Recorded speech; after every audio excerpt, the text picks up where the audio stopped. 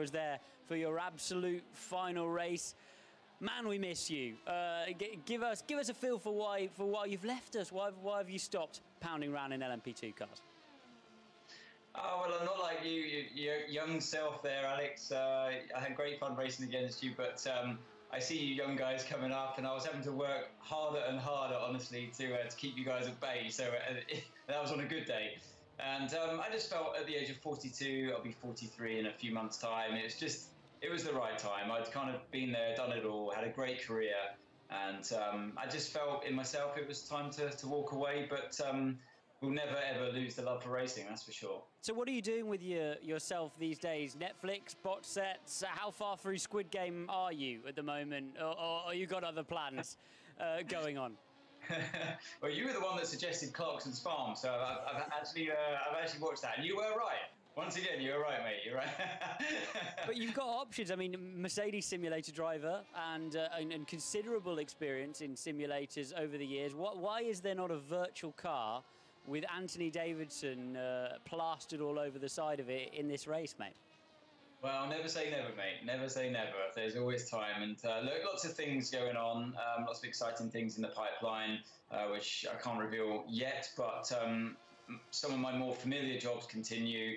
Uh, the role at Sky Sports F1, be doing that again this year. I really enjoy that job, bringing F1 to the fans. As you well know, Alex, it's uh, it's something I've always enjoyed, and um, working with Mercedes in their simulator role is a fantastic job. It's great to be still part of Formula One and watch that development and be at the forefront sometimes of the early developments that don't even make it onto the real car, but you get a chance to feel them uh, sometimes before they do, at least, and, uh, and, and help the team along on its way. Uh, throughout the weekends, when they're at a Grand Prix, I'm back at base in Brackley working on the simulator too to try and find extra speed in their car when I'm not at the circuit with uh, with Sky Sports. So those two jobs alone are, are pretty um, pretty intensive and uh, takes up a lot of my time. Um, but yeah, there's there's more to come, I think, and yeah, more more avenues that, that you can get into once you've uh, stopped racing. But it is a shame. I did. I would be honest. I've got to be honest. Say.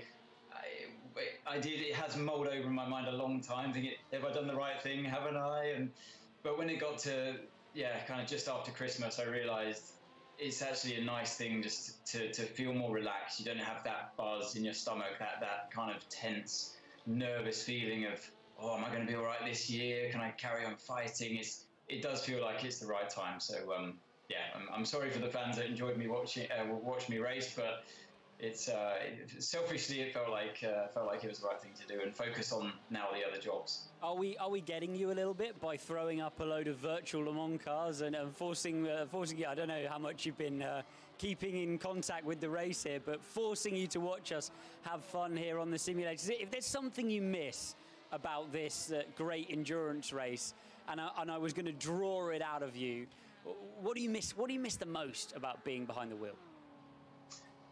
Honestly, I think what I'll miss most about being behind the wheel is not just standing up on the top step of the podium, and that's the reason that everyone does it. Uh, but it's the weird thought is that to never be able to put a racing car right on its limit again, you know, that balance that you feel, only that a, a driver like yourself will know what I'm talking about. When you put that car on the limit, it's a feeling that you don't necessarily get even in, in the virtual world. You get a, a snippet, but you're missing an lo- awful lot of cues that you get from the real thing. And the thought of never being able to do that again is, is quite strange. I mean, yes, you can go and do karting and things like that, but to put a racing car, especially a racing car with a lot of downforce, right on the limit and teeter on that edge of, of balance just to feel the, the way that the tyres work and everything and, and, and just really wring the thing's neck to get that lap time. It's an odd thought to think that I'll never do that again. Oh, I don't have to sell it to you, mate. You, are selling it to yourself. Uh, just, just, just it's, it's, it's a, I see, I see a return in the very, very near future. But this virtual stuff, how far do you think it can go? Is, is there a ceiling on this? Or is this as far as it goes? Or where do you see this all travelling in the future from your perspective of XF1, X World Endurance Championship, and of course, uh, your broadcasting background as well? That's a very good question. I mean, look, today's world is all about simulation. The fact they can put, say, a Mars rover on Mars exactly where they wanted to, to pinpoint it with that kind of accuracy it couldn't be possible without simulation. So we live in a world of simulation. It's only getting stronger and stronger. And it's great now that we're seeing like the race going on today, that the pros and you know, the, the, the esports pros and professional racing drivers uh, in real life behind the wheel coming together, racing together. You just, you know what? It, it's more than sky's the limit. It, it's this isn't going away. It's not just a one-off. It's not just because of COVID this is going to grow and grow, and graphics will get better and better, simulations will get better and better, possibly to the point where in the future there's a blurred line between reality and virtual reality. Who knows? But it's definitely not going away. And I, I am a sim driver myself. I've, I've got a sim at home, and uh, you know we. I, I, race a lot on that, and um, it's fantastic. It's, it really gives that kind of experience already uh, in these early days, we're only teetering on the edge, I think, uh, in, in, these early days of, of, computer games and simulators. I mean, where, where can it go in the next 100, 200, 500 years, say? Well, what's it going to become? It's, uh, it's really exciting, it honestly is. Yeah, absolutely. You could really be there, couldn't you? All you need is somebody to cook a barbecue and waft some sausage smell at you as you head down towards Mulsanne Corner, and you'd be absolutely uh, as though you were as though you were bombing down there at over 200 miles an hour. And best of luck. I know you can't reveal what's coming up next for you, but we're all really excited for us. Thanks so much for joining us and giving your insight. Catch up really, really soon, I'm sure. Thank you, yeah, and enjoy the rest of the race. It was a good one.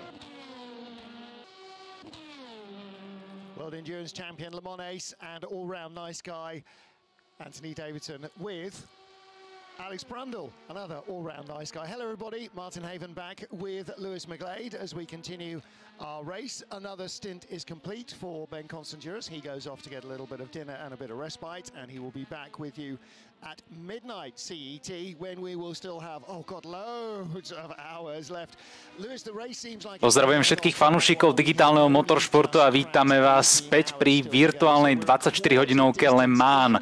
Opäť je pri mikrofóne komentátorská trojica Michal Lukačovič, Michal Cimbalík a Martin Bruňanský.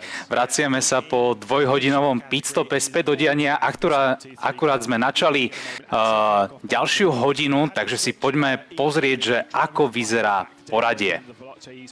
Poradie v kategórii LMP2 a nie len samozrejme v LMP2, ale v celkovom poradí sa nám nezmenilo. Na prvom mieste stále Team Redline s číslom 123 pred eh, druhým Veloce Esports, no a Real Team Hydrogen Redline na tretej pozícii. Eh, počas našej pauzy najmä dvojica Veloce a Real Team Hydrogen Redline spolu bojovali o druhé miesto Takže toto je prvá trojica. Slovenská posádka týmu ARC Bratislava momentálne na 24. mieste. Práve v tejto chvíli je za volantom Maťo Homula, ktorý v tejto chvíli vystriedal Davida Nemčeka, ktorý mal za sebou dvojstint, takže taká veľmi rýchla rekapitulácia kategórie LMP2. No a ako sú na tom GTčka chalani? V GTčkách sa takisto nič nezmenilo, obe továrenské Porsche na prvom a druhom mieste, konkrétne teda aktuálne za volantom Dejong a Östgaard.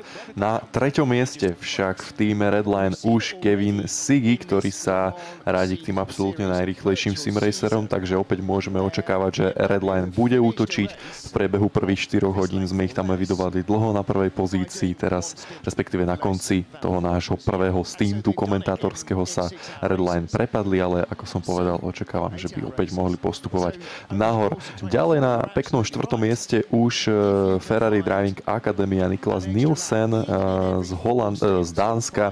No a potom tam sú dve auta týmu Proton Competition na 7. mieste BMW Team BS Competition, Simsa Esports 8. miesto, Tesla Romana Grožána.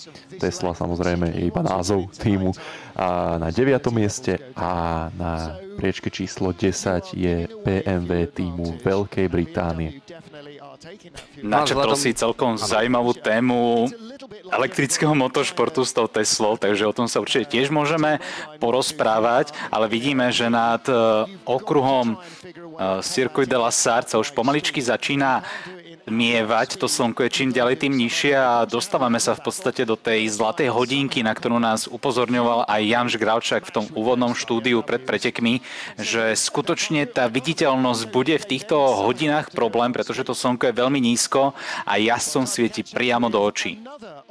Áno, presne túto tému som chcel vlastne načať, že pomaličky sa blížime do času, kedy vo Francúzsku, aspoň na tej západnej, tej západnej časti Francúzska, kde Le Mans leží, tak e, to slnečko začína pomaličky zapadať, aj keď e, virtuálne sme v letnom čase nastavení, čiže ešte nám nejaké tie dve, dve a pol, možno aj tri hodinky chýbajú k tomu, aby nám slnko úplne zapadlo, lebo v Le Mans práve tým, že je úplne na západe Európy, takto slnko zapadá pomerne neskoro, že ešte napríklad do tej pol desiatej tak skoro do 10. to slnečko je stále ešte hore, takže ešte chvíľku potrvá, kým nám úplne slnko zapadne. Samozrejme informácia aj o počasí, že mali sme tu v tom našom prvom stupe nejaké dotazy na, pri YouTube vysielaní, že kedy zaprší, tak nezaprší vôbec, pretože podľa informácií od organizátorov, teda dáš sa nepredpovedá, teda celých 24 hodín pôjdeme na suchej trati. So for now, it's it's, it's, uh, it's going better now than, than previously, and we are making the progress we are to. Uh, medzičasom samozrejme sme boli stále v kontakte s týmom ARC Bratislava. David Nemček mal zo pár nepríjemných udalostí. Tým ARC Bratislava dokonca aj podal oficiálny protest na jednu z LMP dvojek, ktorú však e, v tých rozhovoroch, ktoré tam, e, ktoré tam boli, tak e, som nezachytil, že presne na ktorú LMP dvojku David Nemček hlásil, že jednoducho bol, bol vytlačený, strate bol jednoducho zavretý, vytlačený na vnútornú stranu a jednoducho došlo k veľmi drobnému kontaktu, takže žiadne poškodenie, takže toto bola jedna z tých vecí, ktoré tým ARC Bratislava musel riešiť. No a takisto David Nemček ešte mal aj nepríjemné situácie s GTčkami, kedy doslova sám zhodnil hodnotil, že GTčkári proste, už keď aj LMP2 vedľa nich, tak že zvyknú zavrieť tú stopu a že našťastie vtedy veľmi rýchlo zareagoval a videl, čo sa, čo sa deje, tak rýchlo trošku ťukol na brzdu a tým pádom sa nedostal do kontaktu s jedným z Bavorákov z kategórie GT, čiže krušné chvíle pre ARC Bratislava, ktorí zatiaľ bojujú bez dá sa povedať, bez vážnejších nejakých kolízií, až na tú kolíziu Maťa Homolu tam stratili dve minútky, ale stále je to zhruba to 24. miesto, takže to ešte je celkom slušná východisková pozícia Určite sú na tom lepšie ako týmy Alpine Esports číslom 15, D-Station Racing či Mercedes AMG Esports, ktorí už majú pri svojich posádkach ERCO, čiže retire, čiže odstúpenie z pretekov. No a ženská posádka W Series z kategórie GTE tie ani neodštartovali, takže toto je štvorica vlastne aut, ktoré nám už dnes nepokračuje. Thank you práve Maťo Homola a práve vystriedal Davida Nemčeka, ktorý má za sebou hodinku jazdenia. Pred Davidom sme mohli vidieť v aute aj Denisa Zeťaka a nepočínal si vôbec zle, dá sa povedať, že má za sebou bezproblémové, bezproblémový stint až na jednu menšiu chybičku v šikane na, rovinka, na rovinke. Ináč je, ale nebola to nejaká výrazná časová strata, takže v podstate odkedy sme sa, odkedy sme si dali tú prestávočku, tak stále tá pozícia zostáva rovnaká, čiže stále je toto 24. miesto. Maťa Homolov budú čakať ďalšie dva stinty, ak dobre počítam, a potom by mal už zasadnúť pomaly, ale isto do auta aj Jakub Štovko, na ktorého sme sa tešili. Jakub pretekár, ktorý žije teda v Kanade, no a už sa teda budeme dostávať pomaly, ale isto do tej nočnej pasáže pretekov a práve to, že u Jakuba je úplne iné časové pásmo a tam majú deň, tak e, by to mohlo znamenať to, že Jakub bude čerstvý, nebude pociťovať únavu a tým pádom by mohol mať aj nejaké tie sekundičky e, k dobru, čo sa týka rýchlosti. Jednoznačne a my už sa môžeme opäť venovať aj dianiu na trati, kde prebieha súboj o druhú priečku medzi Boldvinom a Filipem Drugovičom. To sú týmy Veloče Esports a Real Team Hydrogen Redline. takže tým Redline by teoreticky mohol uh, byť na prvých dvoch priečkách v poradí LMP dvojok, ak by sa teraz Drugovičovi podaril ten predbiaci manéver, ale mám pocit, že Baldwin aj jeho tým Veloče Sports ide odlišnú stratégiu.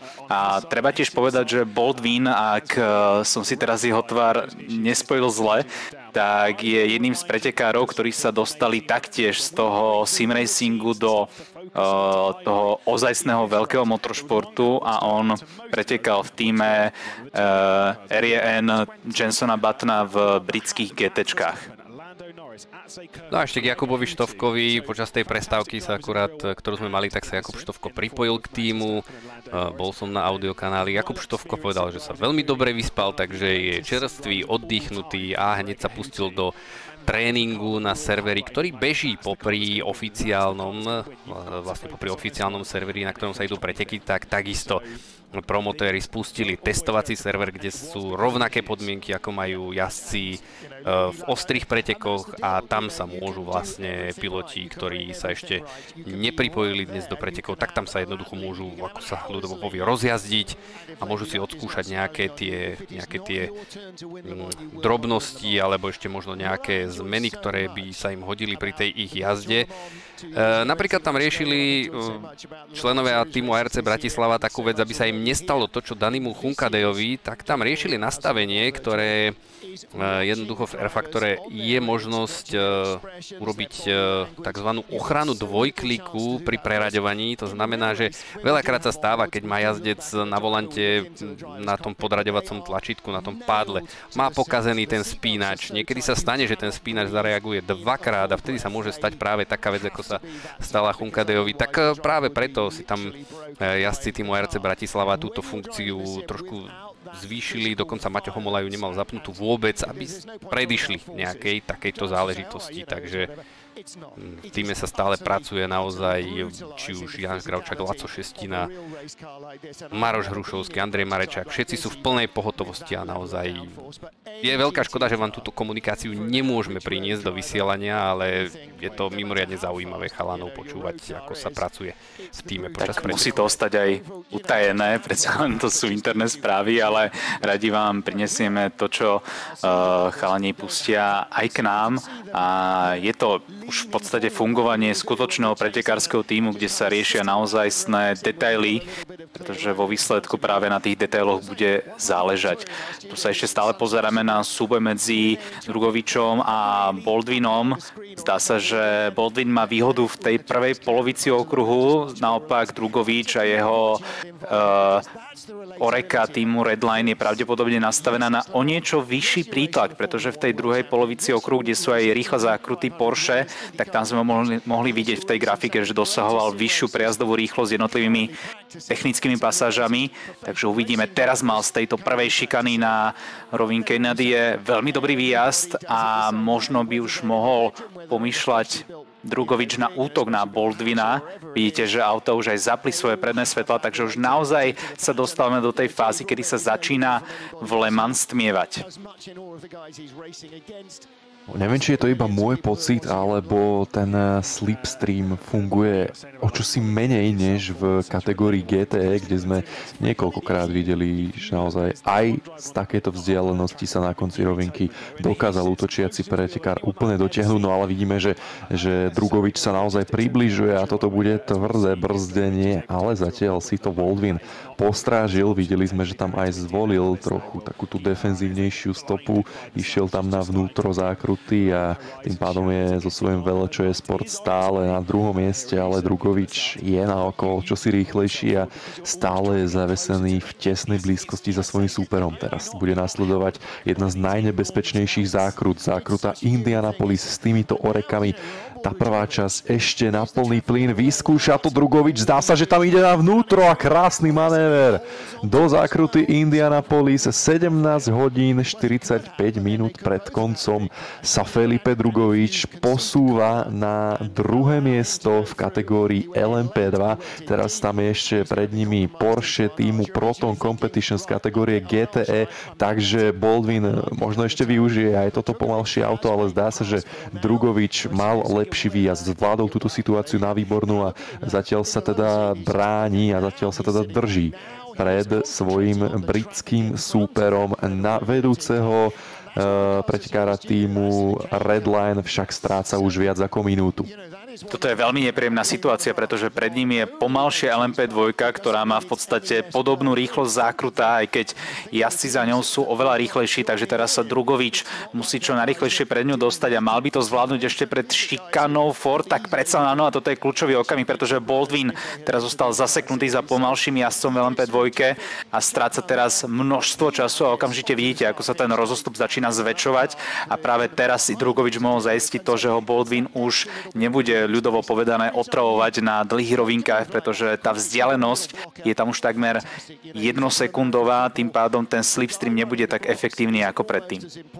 S tým no, ale neviem, či toto bolo úplne dobre zvládnuté od pretekára s číslom 30 eh, Prima Esports, pretože uh, eh, GTčka nemusia púšťať uh, pomal rýchlejšie LMPčka, ale toto auto je v rovnakej kategórii a bolo okolo pozadu, takže tam asi mali prísť modré vlajky, ale skôr sa mi zdalo, že do tej šikany Ford uh, tam trošku zbrzdil Baldwina, takže Neviem, či sa aj na toto budú pozerať trateví komisári. V každom prípade veľmi to pomohlo Felipemu Drugovičovi, ktorý už ako vidíte, tak e, má dosť výrazný náskok.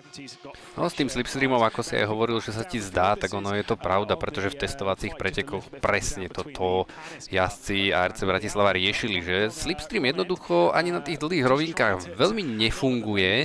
Je to tam naozaj viac o tom nastavení auta a ono na tých rovinkách je to aj trošku vidieť, že RC Bratislava má predsa len iný setup, pretože ten top speed zatiaľ nemajú taký ako ich konkurenti a viac menej tým, že už na tom setupe sa v podstate tie veci veľmi meniť nebudú, tak ani nemôžeme dokonca očakávať, že by nejak výrazným spôsobom porýchlili na rovinkách. Tu máme 21, to je um, Sam 9 Flash Excel, no a pred ním Alpine Sports, Esports 36 to je súboj o 11. miesto, teraz tam trošku poviem to tak skomplikovalo jedno GT, ale je úplne bežné, že pri biehaní pomalších GT sa spomalí aj tá rýchla LMP2, aj GT to trošku obmedzí, takže ale už zase sú opäť pokope rozdiel pol sekundičky medzi touto dvojicou. Áno, vidíme, že Saša Lehmann má pred sebou pomerne čistú trať. To ma zatiaľ až prekvapuje, že čo sa týka tej premávky, tak nebolo to tak husté, ako to v Leman býva, ako sme na to zvyknutí, že tých krízových momentov s premávkou sme nevideli možno až tak veľa, ako by sme čakali, aj keď v highlightoch mimo kamier sa prihodila jedna nepríjemná situácia pre tým Fordzilla, keď jej stratili aj množstvo času na výjazde zo zákrut pod oblúkom Dunlop, tak ich vytlačilo GT do travy práve v tomto úseku pred najazdom do Tretre Rouge a Došlo tam teda k miernemu kontaktu a Fordzilla ostala otočená a stratili tam množstvo času. Vidíme ich aktuálne až na 5. mieste, pričom predtým sa pohybovali na 4. Takže našťastie nebola to veľká strata, ale predsa len jednu pozíciu ich to stálo. No, samozrejme, tak ako nám preteky ďalej bežia, tak aj penalizácie nám e, tu lietajú v pomerne už veľkom množstve.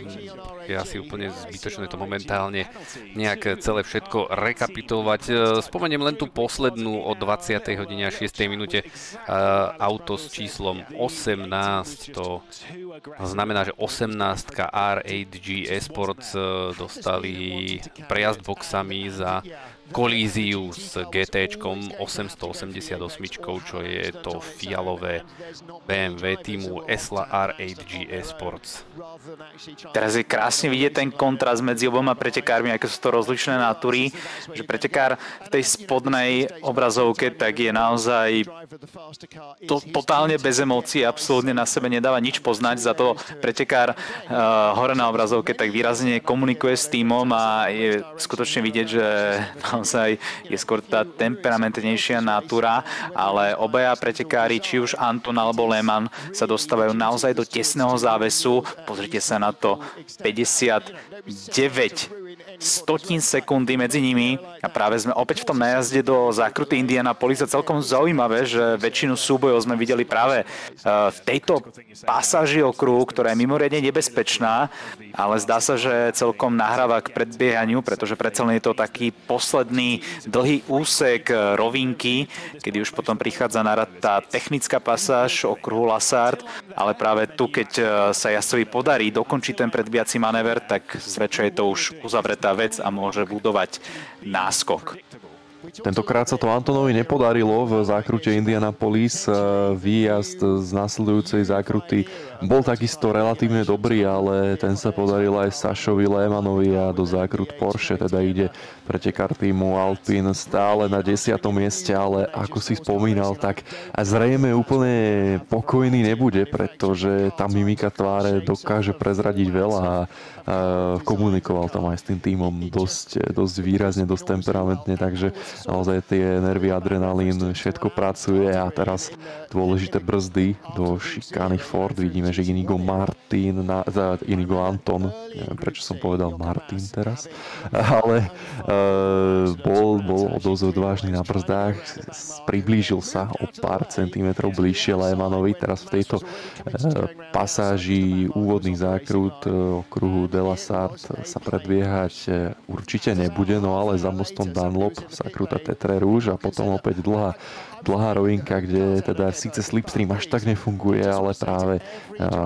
v jej šikanách na brzdy sa črtajú teda tie ideálne príležitosti. Teraz teda dôležitý prejazd veľmi rýchlou zákrutou Tetre Rouge Inak zaujímavosť, že tuto na ľavej strane za zvodidlami je taká malá reštaurácia s rovnakým názvom. Vidíme teraz aj Sašu Lémana, že už sa nervózne kľúčkuje z jednej strany na druhú, snaží sa striasť z toho slipstreamu, ale Inigo Martin sa stále drží francúzského pretekára a ten slipstream trošičku funguje. Martin sa približuje centimetr po centimetri.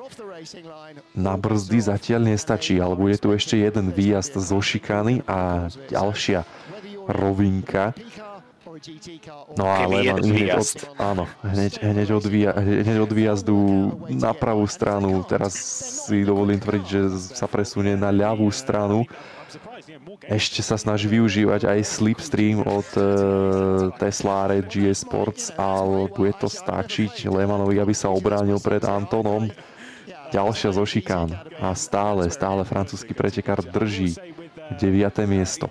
Áno, Inigo Anton e, tam mal trošičku smolu na to, že Saša Leman tam mal to pomalšie GT a mohol čerpať slipstream aj od neho, pretože predsa len medzi týmito dvoma kategóriami tam nie je až taký veľký rýchlostný deficit na rovinkách, ale teraz má už Anton výbornú príležitosť na to, aby to tam poslal na brzdy Lemanovi. Skúša to, išiel tam neskôr na brzdy, vidíte tie červené strmenia, ale zatiaľ sa naďalej Leman ubranil tomuto otoku a v popredí už vidíme aj žltú strelu týmu ARC Bratislava, kde aktuálne sedí Maťo Homola, nachádzajú sa na 24. mieste a čo skoro bude Maťo mať za sebou túto bojujúcu dvojicu o 9. miesto, tak si bude musieť dať obrovský pozor. Opäť ste videli z toho záberu helikoptery, ako sa Anton približoval Lemanovi, ale zatiaľ to nebude stačiť. Toto je záber, ktorý pravdepodobne v, tým, v tom skutočnom motorsporte nikdy neuvidíme, ale môžete mať aj takúto perspektívu virtuálneho motoršportu, ale už sme opäť v tom zábere zo vzduchu a vidíte, že Lemanovi sa zatiaľ darí mať dobré tie uh, výjazdy z tých zákrut, vďaka čomu sa dokáže braniť aj na rovinkách. A okruh Circuit de la Sarthe nemá príliš veľa takých tých miest, kde to dokáže jazdeť za vami poslať na tých brzdách. Jedine zákruta Mulzán je taká výnimočná v tomto, ale inak tam sú väčšinou také rýchle jazdy do tých zákrut, kde, to, kde tá brzdná zóna nie je až taká dlhá, aby tam dokázal jazdiť za vami niečo vymyslieť. Takže uh, musí sa teraz Anton spolahnúť na to, že donúti Lemana k nejakej chybe a potom ho predbehne na rovinke. Paradoxne sa mi zdá, že pilot vzadu má výhodu v zákrutách, čo teda nebýva zvykom, pretože e, keď za niekým idete, tak jazdíte v rozvírenom vzduchu a strácate aerodynamický prítlak, ale práve v zákrutách sa dokáže výborne Anton držať za Lémanom a myslím, že aj približovať, aspoň takto na oko vyzerá. Opäť sme teda v zákrutách a keď si spomenieme na to, čo bolo minútku dozadu, tak na tej rovinke naozaj Leman, dá sa povedať, že jemne utekal a teraz opäť teda v tesnej, tesnej blízkosti títo dvaja. No a uvidíme, ako vyjde ďalší z výjazdov na rovinku Ignadie. Videli sme, že tam boli mimoriadne tesne v najazde do tej druhej zákruty pred oblúkom Dunlop. Teraz opäť je tam pomalšie GT na rovinke, ale nemal úplne najlepší výjazd Anton a teraz nie je príliš v tej palebnej pozícii za Lemanom. Predu naďalej Maťo Homola s e, Orekou týmu ARC Bratislava. Zatiaľ sa k nemu ešte táto bojujúca dvojica nedostala. Opäť ten zaujímavý pohľad z helikoptéry. Vidíte, že naďalej Oreka týmu Alpín má výhodu na tých výjazdoch z tých zákrut. A Anton sa zatiaľ nedokázal dostať dostatočne blízko k Lemanovi. Ani teda na tejto rovinke sa nedočkáme predbiehacieho manévru. Leman je rýchlejší, ale pozor, teraz sú tam pomalšie auta týmu GTE a Lemanovi to vôbec nevadí. Leman si s tým poradil na výbornú a naďalej sa drží pred Antonom, ale opäť je Anton čo si bližšie, aspoň sa mi tak zdá. Tam ho to Porsche zbrzdilo Saša Lemana. Teraz sa pozeráme z pohľadu práve týmu ARC Bratislava. A sme momentálne v podstate v prílbe Maťa Homolu a pozeráme sa This is where the YouTube followers start going mad. For the last four hours they've been asking where is Max? Well the answer is Max is now back at the wheel. Uh, now, he, I, I, did say this to Ben. Now, when it comes to his maximum driver time, once again, to bring out the number, uh, it, it's seven hours is a maximum driver time. He has done two hours and 51 minutes behind the wheel at the moment. Um, so still has a good hour and 10 minutes to meet the minimum driver time. But I wonder if he will do, once again, as he did at the start of the race, if he will be in the car for two hours and 50 minutes. And you were telling me earlier that Mitchy Hoyer was saying about he can believe the speed of Max Verstappen in yeah. this race. Yeah, well, yeah. When Mitchy was in his previous stint, he was the second fastest LMP car on track, and he was still four tenths per lap on average over the over the double stint, slower than the number one, two, three team Redline car. And it wasn't Max at the wheel there either. So I, I mean, it's not just that they've got Max; they've got a great driver roster yeah, Max Benecki, who was driving when Michi was in the car, was still four tenths per lap quicker than one of the top cars in the field. So it is trying to combat that. Obviously, the max factor is enormous as well. You know, he started the race and ran away at the front a lot of people online saying, I don't understand why everybody just lets him go past them, you know, just because he's Max Verstappen. Well, first of all, most of the people in the early stints were in GT cars and weren't as quick. And secondly, even the prototypes, they want to survive to tomorrow. They don't want to have a crash now. I'm joined here by Olivier Panis, team, team principal of Panis Racing. Firstly, Olivier, how are you doing? Uh, I'm good, thank you. I'm I'm looking the race to be honest, and um, and uh, we're not quite good, but uh, the race is still long. Now I just heard that Max Verstappen's just jumped in the car from one F1 driver, you a former F1 driver yourself, to another. I mean, what is it that attracts such high-level uh, drivers to the 24 Hours of Le Mans Virtual? Tak ide teraz rozhovor. I trained for two months with the, the sim racer to explain me how to drive, but it was so difficult to have the pace.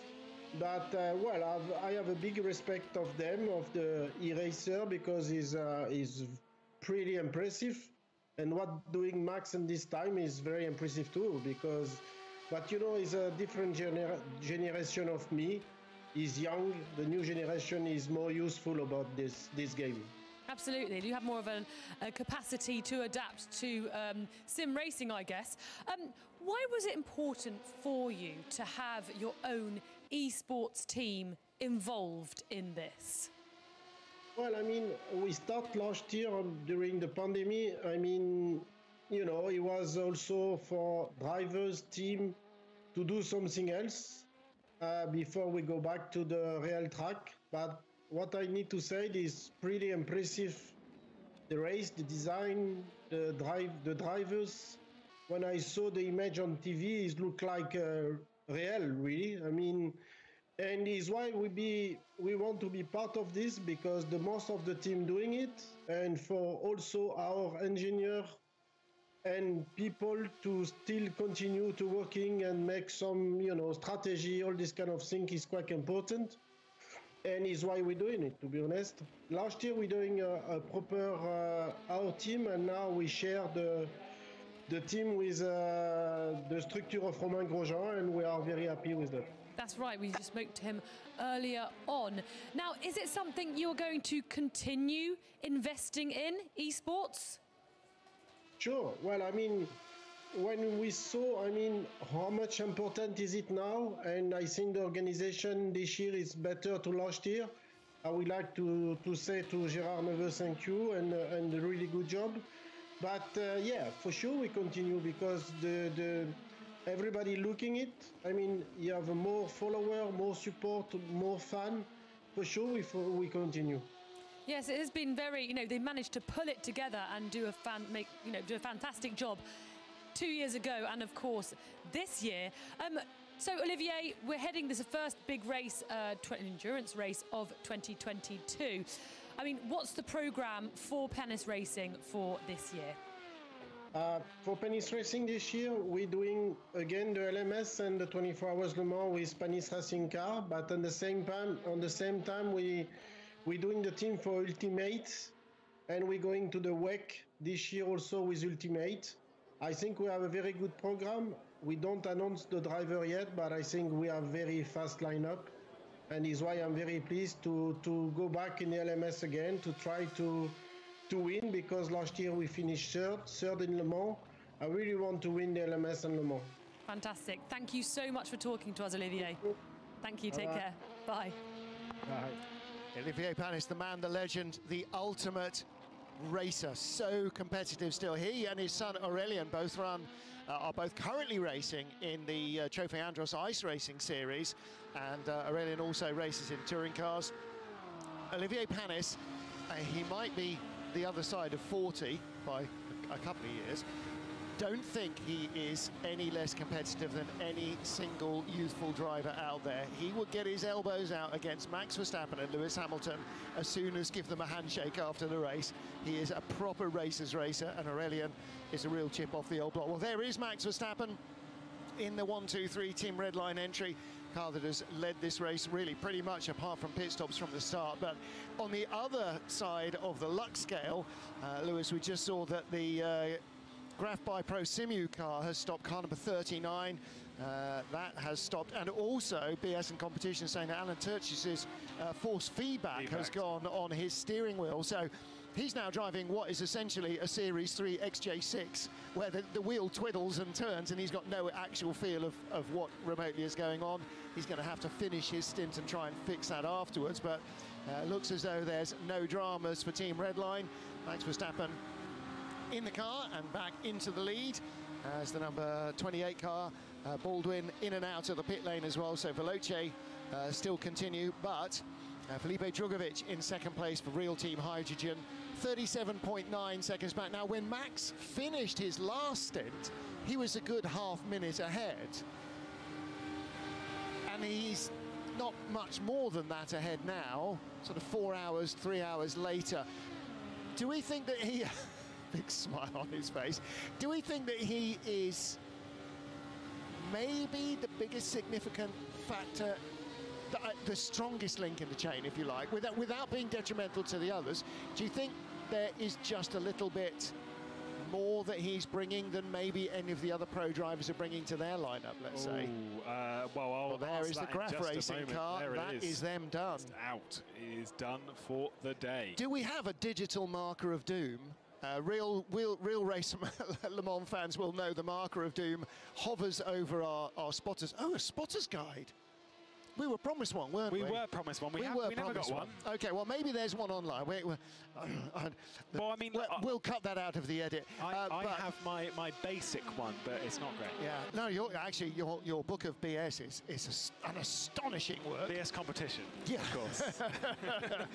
and, uh, and something I'd be inordinately proud of if I could produce that for, for one race or, you know, even for something as significant as the Olympic Games. So, all right, so uh, unfortunately, marker of doom, and, and, Wow, yeah. and grabbed by ProSimu, unfortunately, one of our Le Mans only uh, teams. So who was at the wheel? Arno Santamato, wasn't he? Who was only actually brought Just into the team this this morning. Yeah, Yeah. today. Tak a bonjour po malých technických problémoch a opäť trošku doľaďovaní a zdokonalovaní vášho zážitku z tohto streamu sa vraciame späť do súboja o 11. priečku naďalej medzi Saša Lemanom a Inigom Antonom, na ktorý sa nedokázal stále dostať pred Team Alpine a teraz pozrite sa na tú hustú premávku v zákrutách kde stratil teraz Anton dosť veľa času, takže za toto určite nebude vďačný. A k nám sa teraz pripojil David Nemček, ktorý je čerstvo po svojom stinte, takže David, počujeme sa. Áno, počujeme sa? Áno, počujeme ťa aj my. Takže David, povedz nám, že čo máte nové v týme ARC Bratislava? Tak v podstate uh, môj syn bol v pohode, okrem jedného toho ťukanca, čo ma z vonkajšku zavrel jeden jazdec, ale tak dostal aj trest, takže asi zaslúžene. Inak ideme v pohode, jazdíme si svoje tempo a snažíme sa to nejako tak v kľude krúžiť. Áno, vidíme, že pomaličky už ide dole aj to slnko. Pre Maťa Homolu to pravdepodobne teraz bude predstavovať väčší problém, ale už si si pravdepodobne, čo to zajazdil v týchto podmienkach aj ty, takže aké je to z toho pohľadu jazdca? No, na oko to je krajšie, ale tak treba dať pozor viac na tie brzdné body, ale tu aj uvidíte, že tie brzdné body, tie, tie tabule, čo naznačujú koľko, za koľko metrov je za zatačka, tak sú pekné, e, vidieť, sú vysvietené reflexne, keď na nej auto svieti, takže to není žiadny problém nejako. Áno. Uh, ako zatiaľ funguje vaša stratégia? Boli tam teda aj nejaké problémy, takže ten plán A, ktorý bol na začiatku pretekov, sa už pravdepodobne presunul niekam na ten plán C, ale povedz nám, že napríklad ako idete teraz na koľko kôl jeden stint? Stále ten stint je, myslím, tých 10 kôl a nejako sme tak, taktiku nemenili, stále ideme hlavne na istotu a naozaj uvidíme, čo bude po noci a podľa toho sa už budeme, to budeme vyvíjať, lebo cez noc sa môže stať naozaj hocičo. Môže vypadnúť hocikto. Uvidíme, ako budeme na tom vtedy a vtedy sa nejak bude rozhodovať. Jednoznačne. Uh, teraz na live timingu pozerám a tak konečne Maťo Homola vyšiel od svojich mechanikov, sa mi zdal, že tam bol trošku príliš dlho. Ako to vyzerá s pneumatikami? Máme k dispozícii tri rôzne zmesy. Ste stále na jednej a tej istej meke, alebo ste už vyskúšali aj nejakú inú? Uh, išli sme práve, že stále na médiách, okrem uh, štartu, to Maťo išiel na softoch double stintov, lebo sme menej kol, sme to chceli katnúť. Aj sa to podarilo vtedy, to sme dali 5 miest dole. Uh, ideme stále médiá, už niečo chalani spomínali, že by možno skúsili aj softy v noci, keďže bude chladnejšie, tak by to mohli vydržať. Tak to nechám asi na chalanoch, ktorí budú jazdiť, nech si to pomenežujú. Áno. Uh, pôjdeš do auta ešte aj ty na večerný stint, alebo až uh, keď sa bude rozednievať? Uh, pôjdem v podstate v strede noci o tretej cca, takže ešte si užijem tú tmu. A tešíš sa na to, alebo máš voči tomu rešpekt? Ako, berem tak normálne, ne, nejazdí sa mi horšie, vedel som jazdiť rovnaké časy aj po tme, aj po svetle, takže nerobí mi to nejaký problém. Dobre. A na najbližšie hodiny máš aký program? Ideš sa nejako zrelaxovať, ideš skúsiť možno sa chvíľočku vyspať, alebo práve naopak budeš aktívne s týmom v rádiovej rúmke? Uh, jasné, skúsim teraz si láhnuť, niečo pospať, nech aspoň do tej jednej, druhej niečo pospím, lebo potom zasťahať až do konca bude ťažké non-stop. Tak skúsim niečo pospať, do takej jednej, druhej sa k nej pripojím a o tretej idem znova. Tak ti budeme držať palce a v mene celého týmu ti želám aspoň takto na chvíľku dobrú noc. No, čau, čau. Tak, mohli ste počuť Davida Nemčeka, ktorý teda čerstvo vystúpil z auta a aktuálne prebral opäť opraty od Oreky týmu ARC Bratislava Maťo Homola a sme momentálne na 24. mieste.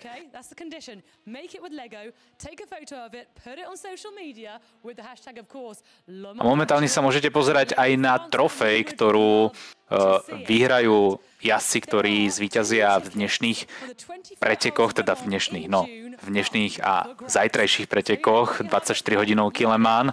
a bude poskladaná vlastne celá z Lega, nakoľko Lego Technik je jeden z partnerov tohto šampionátu. a práve trofej pre víťaza bude kociek, s ktorými sa možno aj doma hráte a taktiež vás teraz vyzývajú k tomu, aby ste si možno poskladali doma vlastnú trofej, že ako by asi vyzerala uh, cena pre víťaza, keby ju môžete navrhnúť vy a poslať ju na sociálne siete a pravdepodobne vyhrať nejaký fajnový kúsok tejto dánskej stavebnice. Do pozornosti sa. dávam ešte link, ktorý beží na, vlastne na YouTube kanály Janaš Gravčaka DMSK. Momentálny, momentálne link nájdete v našom čete a môžete tam non-stop sledovať onboard onboard našich jazdcov týmu ARC Bratislava spolu s tým, že keď si zapnete zvuk, tak budete počuť aj nejakú tú tímovú komunikáciu, prípadne aj nejaké tie rozhovory, počas ktorých eh, samozrejme chalani trošku aj zavtipkujú, trošku uvoľnia tú atmosféru, takže eh, v tejto chvíli link v našom čete pod oficiálnym livestreamom môžete sledovať takisto popri našom prenose aj onboardové zábery z Oreky s číslom 44.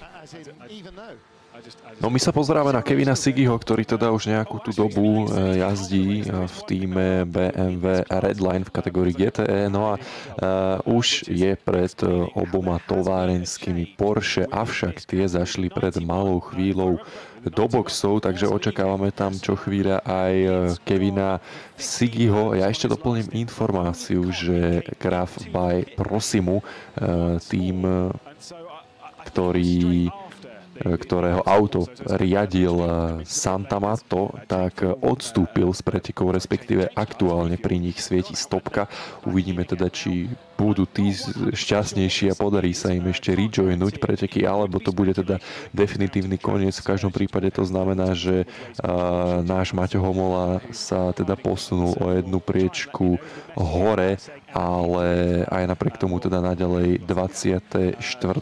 miesto pred neho sa už dokázal dostať uh, tým WRT, konkrétne Poliak Giel E, Gelžínsky a takisto Michele Di Alessandro z týmu e, Mále Racing. E, kamery sa venujú takisto aj tovarenskému Ferrari Niklasa Nielsena, ktorý teda je druhý v celkovom poradí, ale takisto ešte za sebou nemá zastávku v boxoch. Boxy však za sebou má toto auto továrenské Porsche s číslom 92, ktoré by sa malo opäť dostať do čela kategórie GTE po všetkých tých uh, pitstopoch, ktoré nás teda v následujúcich chvíľach čakajú.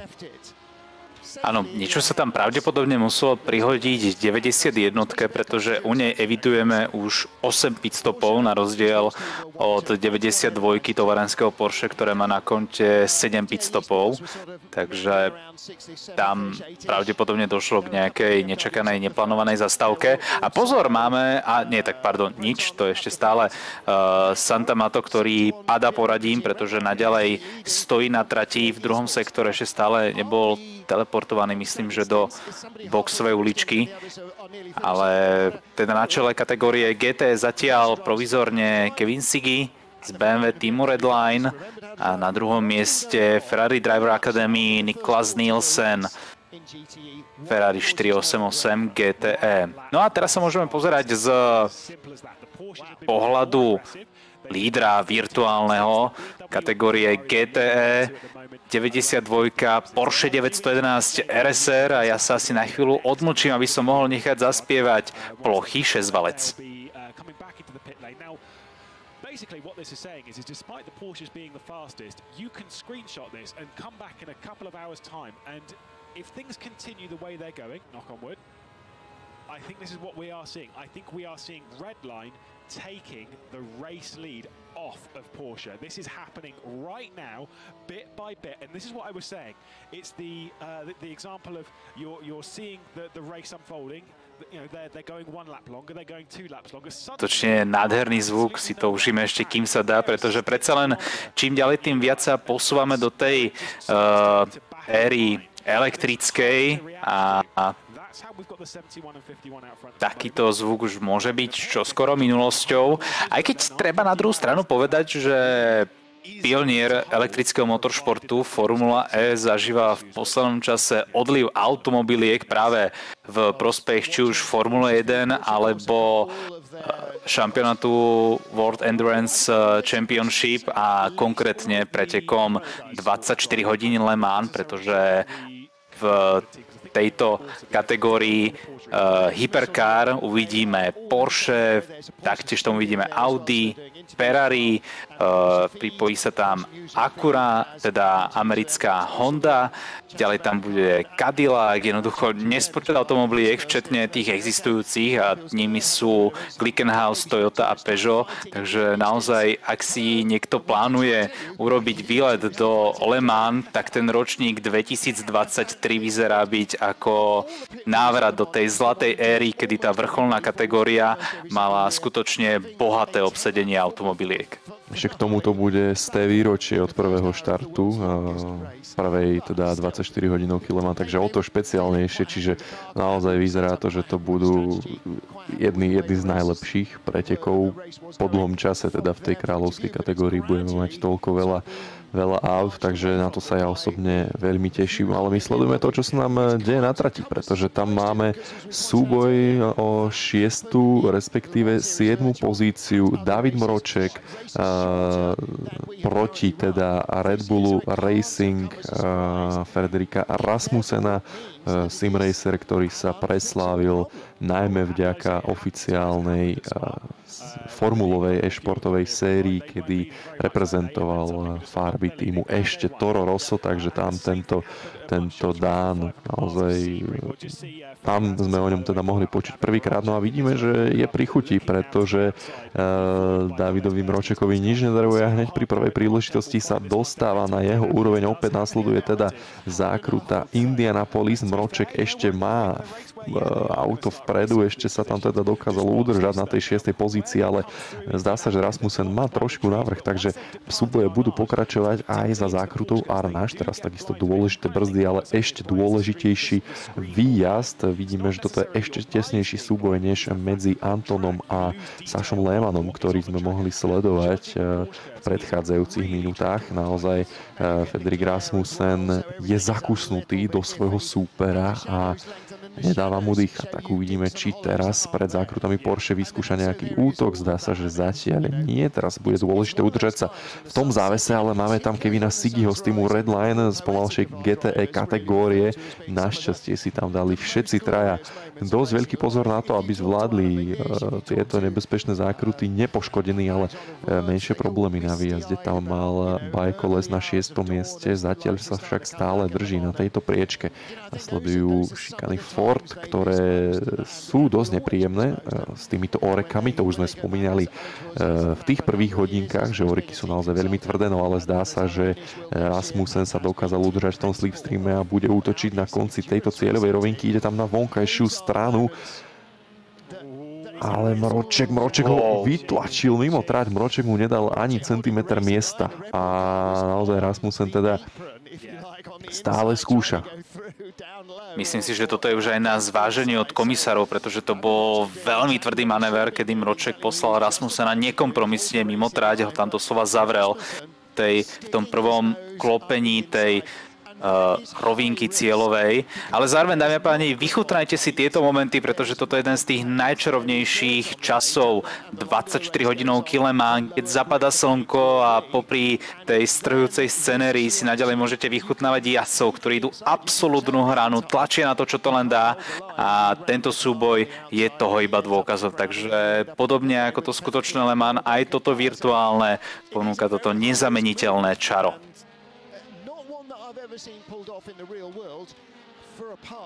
Naozaj je to jedna z najkrajších vecí práve na akýchkoľvek vytrvalostných pretekoch. Tie východy, západy slnka, to sú, to sú záležitosti, ktoré jednoducho máme možnosť vidieť len naozaj niekoľkokrát do roka, pretože tých 24 hodinoviek naozaj takých, ktorí sa jazdí veľmi veľa, eh, je pomerne, teda inak povedané, je ich pomerne málo, nie veľmi veľa, ale takých tých významných je pomerne málo. V tejto chvíli ešte Red Bullácka Oreka na 7. mieste, tam eh, vlastne Rasmussen naznačil útok na Mročeka, ale to ešte, ešte bol príliš ďaleko na to, aby dokázal poriadne zautočiť tak vlastne tých 24 významných, ktoré by nám televízie ponúkali, tak nie je až tak strašne veľké množstvo, aby sme si mohli vychutnávať tieto zábery naozaj 24 hodinovka Le Mans, či blížiaca sa 24 hodinovka v Daytone, Spa, Franko Šamza, Nordschleife, to sú asi tie najvýznamnejšie 24-hodinové preteky, ktoré máme možnosť eh, sledovať. No ale pozerajme sa na Rasmusena, ktorý už je vedľa polského jazdca teraz z vonkajšku pôjde.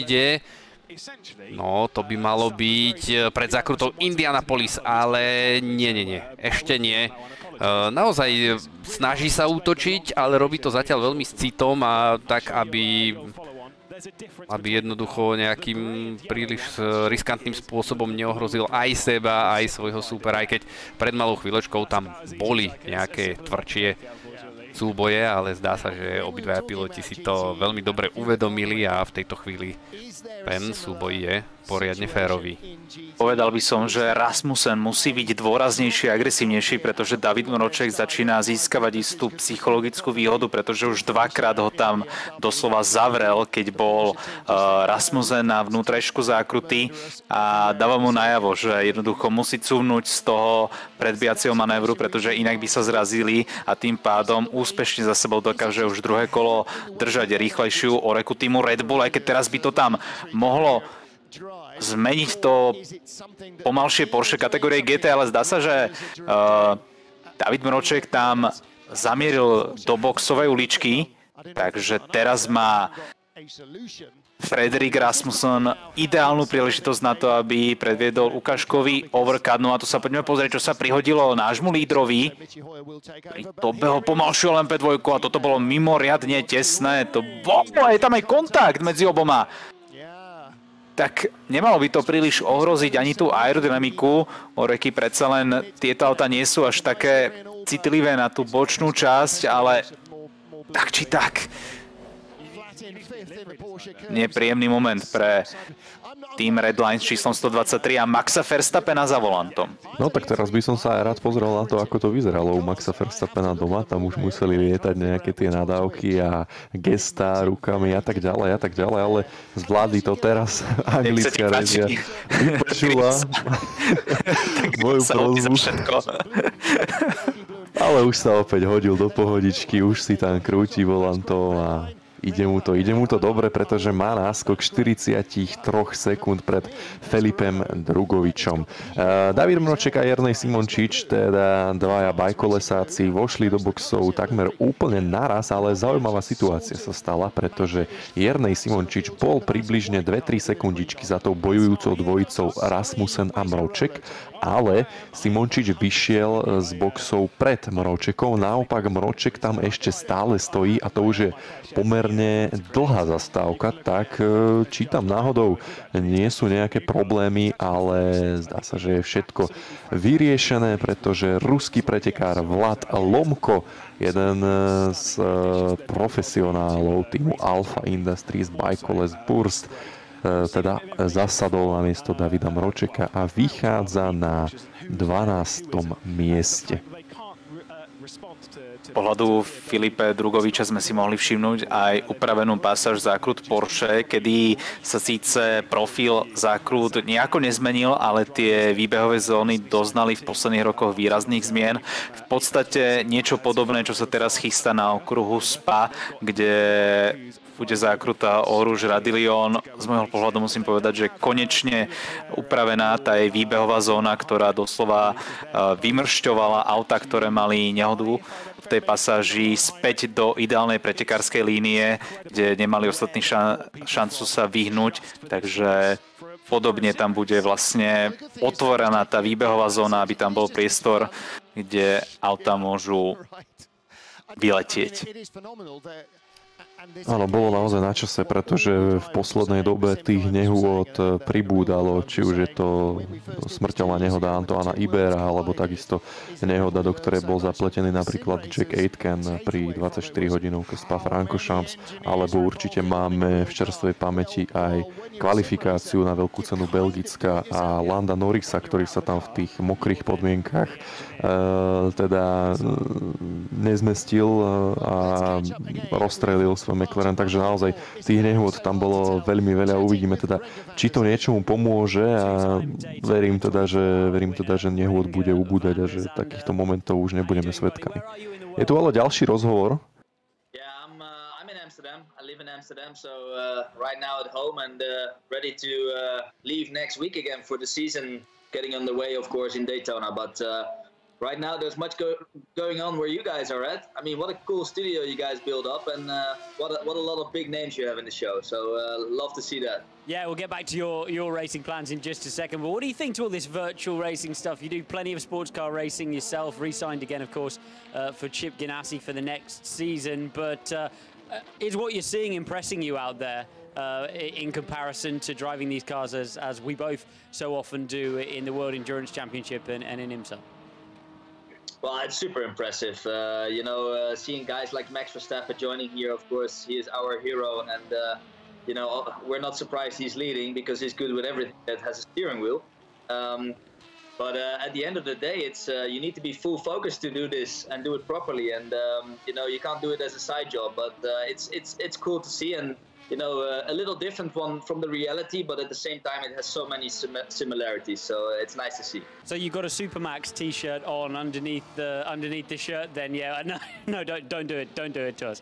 Um, so your your plan this year, your, your plan this year uh, starting, uh, continuing on with Chip Ganassi Racing, also in development of the Cadillac LMDH car, spending a lot of time on the simulator, I might add, uh, to, to do that. How is all of that going, and, and are you excited to roll the car out and, and get competing uh, with that in the coming years? yeah, it's an amazing program. It's um, it, it's going to be the future for uh, going to the real Le Mans, and I think uh, you know with so many big brands, you know Cadillac, but all the other brands coming in and developing their car. We saw the Porsche rolling out, I think uh, during this week, and everybody starts to roll out their new cars now. And uh, we use the simulator a lot, of course. So uh, at the end. The simulator is some, some sort of a, getting a feel for the car, what it does, but it also gives you a lot of direction of going where you know trying stuff on the on the simulator before you try it in real. And uh, um, we do that at Delara, for example, in uh, in Bologna. But we also have a simulator in uh, in Indianapolis.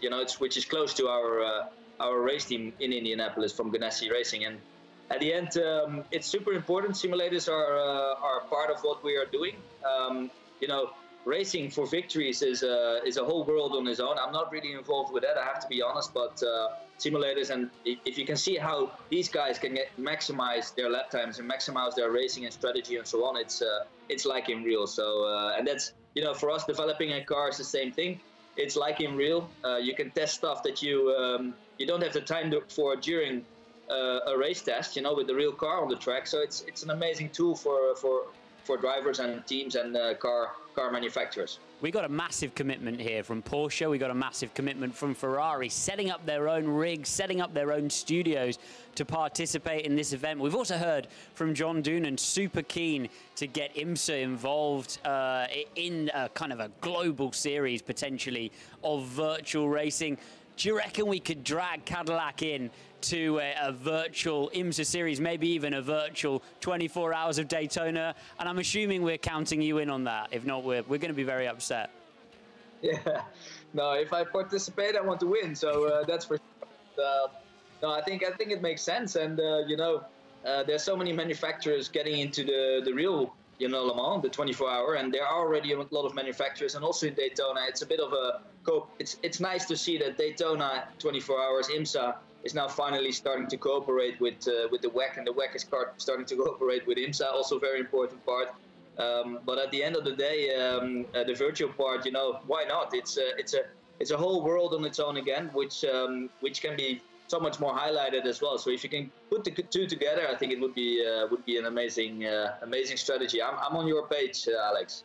always, mate. Always. Renga. super, uh, super good to have you on the show. Thanks so much for joining us. Best of luck at the 24 Hours of Daytona, real or virtual. Catch up soon, buddy. Have fun there. Thank you, guys. Well, we are in a position now where we have the Le Mans 24 Hours Virtual firmly established. We have inaugurated the Le Mans Series Virtual, IMSA Virtual, Daytona 24 Hour Virtual, and a combined Tak po tom rozhovore s Rengelom Zandem sme späť na okruhu Lassard. No a vidíme eh, vedúci tým Redline 123, ako ide do boxov k svojim mechanikom, konkrétne Max Verstappen, tu je Felipe Drugovič, 70 Real Team Hydrogen Redline, takže tie Redliny nám momentálne vládnu kategórii LMP2 tak ako nám uh, doposiaľ vládli Poršáky v kategórii GTE, no ale tam sa pozerám, že Sage Karam 92 je na prvom mieste a 91 máme na treťom mieste, ale 91 má 8 pit stopov, takže preto 91 Porsche momentálne tretia, ale vidíme, že aj druhý v poradí v kategórii LMP2 ide do boxov, takže prvá dvojica k svojim mechanikom. No a tu máme highlighty. Tak mohli sme pozorovať eh, pomerne divoký štart z pohľadu týmu WRT Belgičanov, ktorí sa okamžite po štarte dostali do miernej kolízie a hneď v zápäti sa to pre nich ešte zhoršilo. Vidíme, že mimo tam vyšiel Daniel Hunkadeja, ktorý sa ale dokázal vrátiť bez kontaktu. Tu Max Verstappen, jemu Filipe Drugovič prepustil pozíciu. V GT to taktiež bolo poriadne tesné. Chvíľku teraz, keď sa zapozeráte, tak uvidíte takmer až 5 aut vedľa seba. Jedno z Porsche tam dokonca vyšlo aj na trávu. Ale nakoniec to bola čistá práca pre Porsche s číslom 91 a tovarný tým okamžite v prvej zákrute zbavil líderské pozície Red Bull Corvette. Tuto je opäť kontakt pre belgický tým WRT, ktorý tam ešte vyletel aj do štvorky týmu Bajkoles. Tu je opäť e, súboj v kategórii GT, kde tam prišlo k chybičke 92 tovarenského Porsche. No a tuto Juan Pablo Montoya za sebou narobil takýto vláčik, ktorého súčasťou bol aj Maťo Homola s týmom ARC Bratislava číslom 44. Tuto aktuálne Juan Pablo Montoya vysvetloval aj svojmu synovi, že čo sa tam dialo. A teraz sa pozeráme na Niklasa Nielsena, ktorý z Ferrari bojoval s týmom Tesla R8G a tu Max Verstappen pri svojej vôbec prvej zastávke v boxoch. Následne sa pred neho dostal na chvíľočku tým Velče Esports, ale Max Verstappen si z toho nerobil ťažkú hlavu a takto po vonkajšej strane do druhej šikany na rovinke Mulzán prezal späť vedenie, ktoré odvtedy tento tým už nepustil. No, tuto bol ďalší tesný moment a osmička týmu Romena Grožana skončila takto v bariére bez zadného krídla po kontakte s 22 týmu GPX Rebellion. Tu sa pozeráme na to, ako syn Juana Pabla Montoyu bombardoval mexický tím, ktorý poslal aj do bariéry. No a tuto je Daniel Chunkadeja a jeho moment, na ktorý určite nebude pyšný. Pri preskakovaní obruvníkov sa mu podarilo dvakrát podradiť, čo odpalilo jeho motor a tak sa tým Mercedesu podstate vyradil z týchto pretekov a nikto z jeho hviezdnej posadky okrem Španiela sa ani nedostal k slovu. To boli ďalšie tesné súboje a taktiež Aston Martin týmu The Station Racing v boxoch. Tu sa pozeráme na jednou z pretekárov a ďalšie tesné momenty, ktoré vyvrcholili aj k takýmto divokým nehodám, kde BMW M8 GTS skončilo v bariére v zákrutách Porsche. Tu sa pozeráme na tesné súboje medzi týmom Hydrogen Redline a Veloce Esports, kedy sa práve tým s číslom 70 dostal na druhé miesto. Tedy bol za volantom Felipe Drugovič. Tuto je jeden z pomerne čerstvých momentov. Max Verstappen v kontakte s pomalšou LMP2, ktorú predbiehalo ďalšie kolo.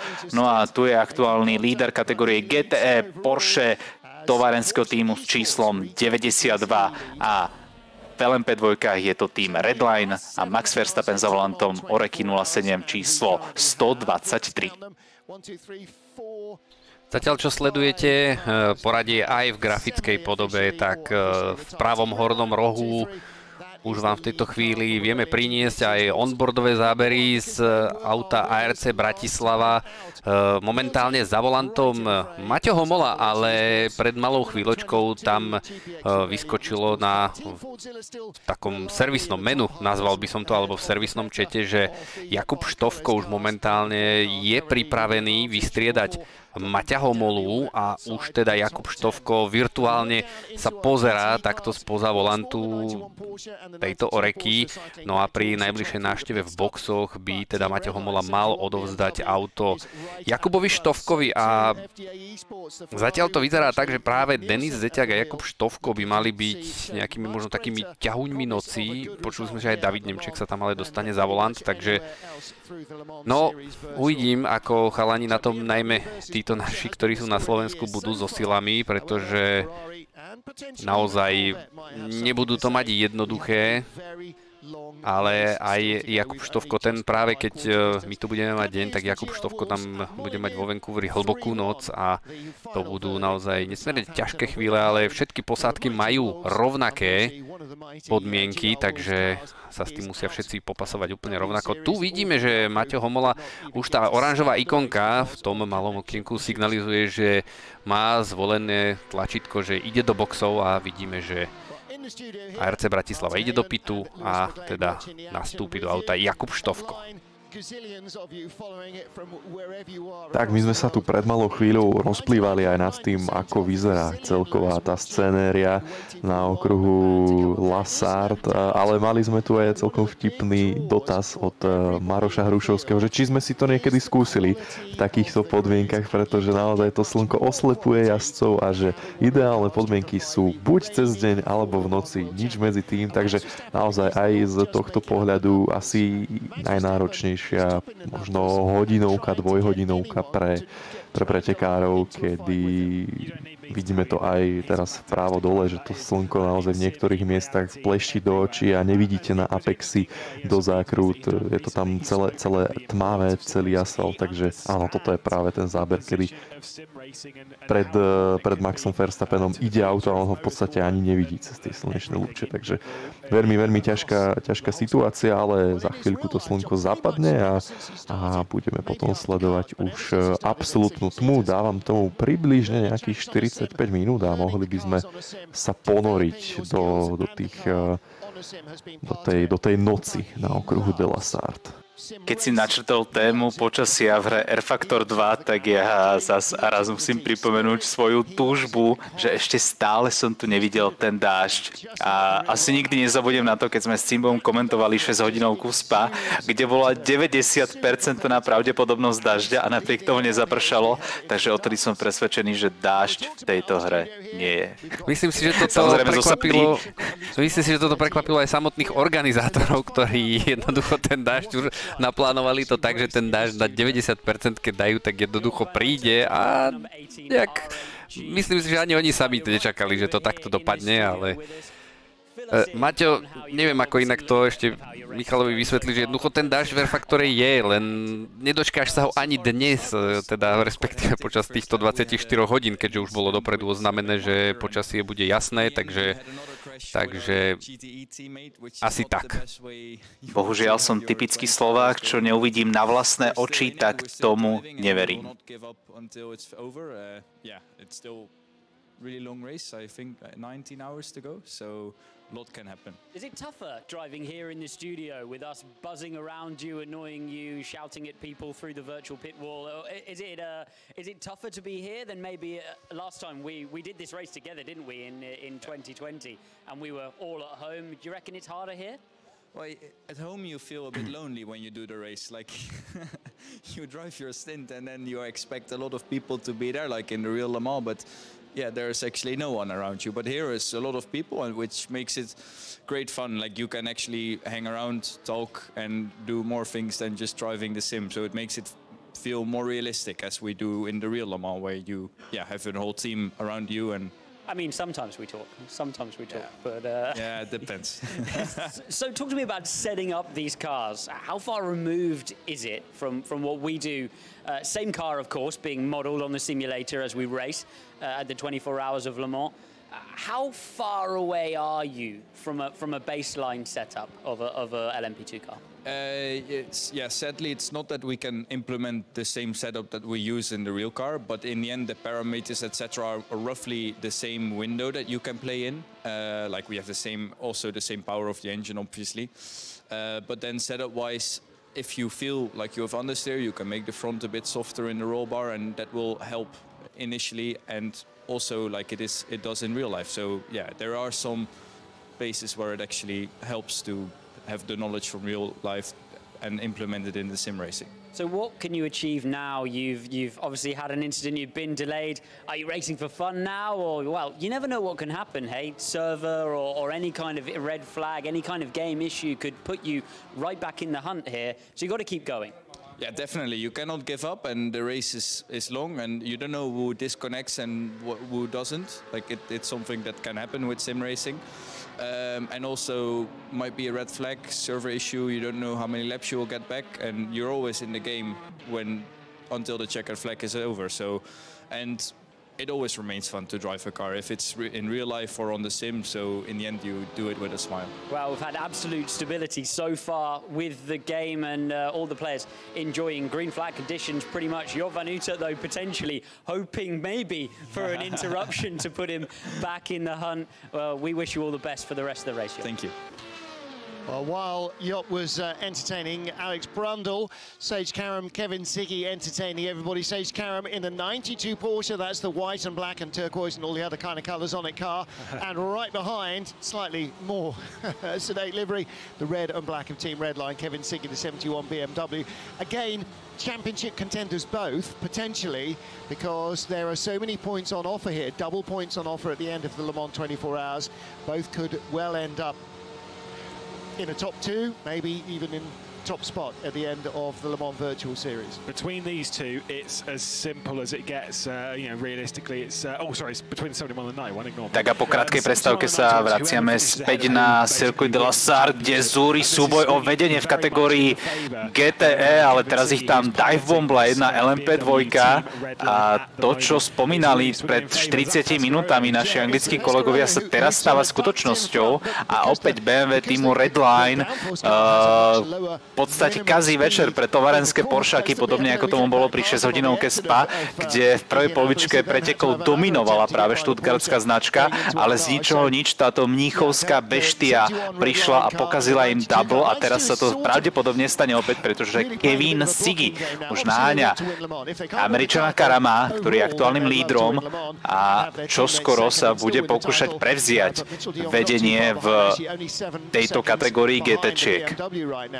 No, Slovinec je naokom trošku rýchlejším pretekárom. V podstate dokázal to v priebehu celej sezóny na jedno kolo určite. Jeden z najrýchlejších, pretože keď sa pozrieme na počet pole position, tak práve Kevin Sigi bol pretekárom, ktorý väčšinou jazdil kvalifikácie týmu BMW Redline a trikrát sa postavil na prvé miesto vo svojej kategórii. Stalo sa tak v Monze, v Spa a v Sebringu, takže naozaj Kevin Sigi uh, asi najrychlejší v celej svojej kategórii. Uh, Karam sa bude musieť pozerať do spätných zrkadiel, pretože uh, čo chvíľa určite dôjde k útoku. Ten rozdiel medzi nimi bol približne 8-9 sekúnd a v priebehu niekoľkých kôl naozaj Kevin Sigi do, dokázal stiahnuť uh, túto stratu a je naozaj asi iba otázka času, kedy sa BMW týmu Redline pozrie opäť do čela svojej kategórie.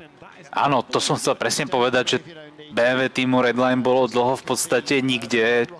Dlhý čas boli dokonca mimo top trojky, potom boli dlho na tom treťom mieste, ale s výrazným odstupom od dvoch továrnych Porsche a zrazu tu máme Kevina Sigiho, ktorý doslova vymazal ten na skok štutgardskej automobilky a už môže utočiť na Serge Karama, ktorý je na čele s Porsche 911 RSR číslo 92. A tu máme opakovačku, pravdepodobne nejaký kontakt medzi 38 a 8, to je tým Romena Gružana. Uvidíme, že čo sa tu prihodilo. To by malo byť v nájazde do druhej šikany.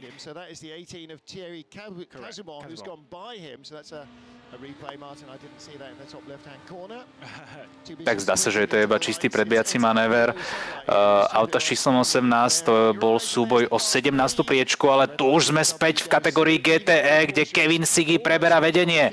Takže BMW máme v čele v kategórii GTE po niekoľkých hodinách dominancie Porsche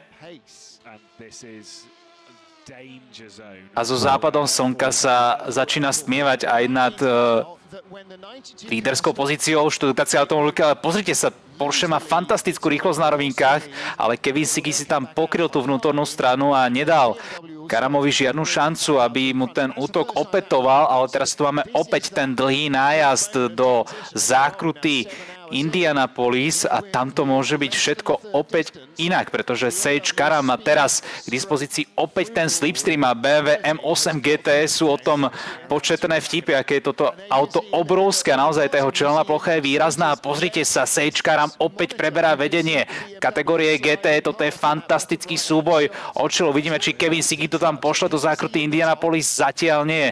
Ďalšia príležitosť čaká už o niekoľko desiatok metrov ďalej v zákrute Arnáš.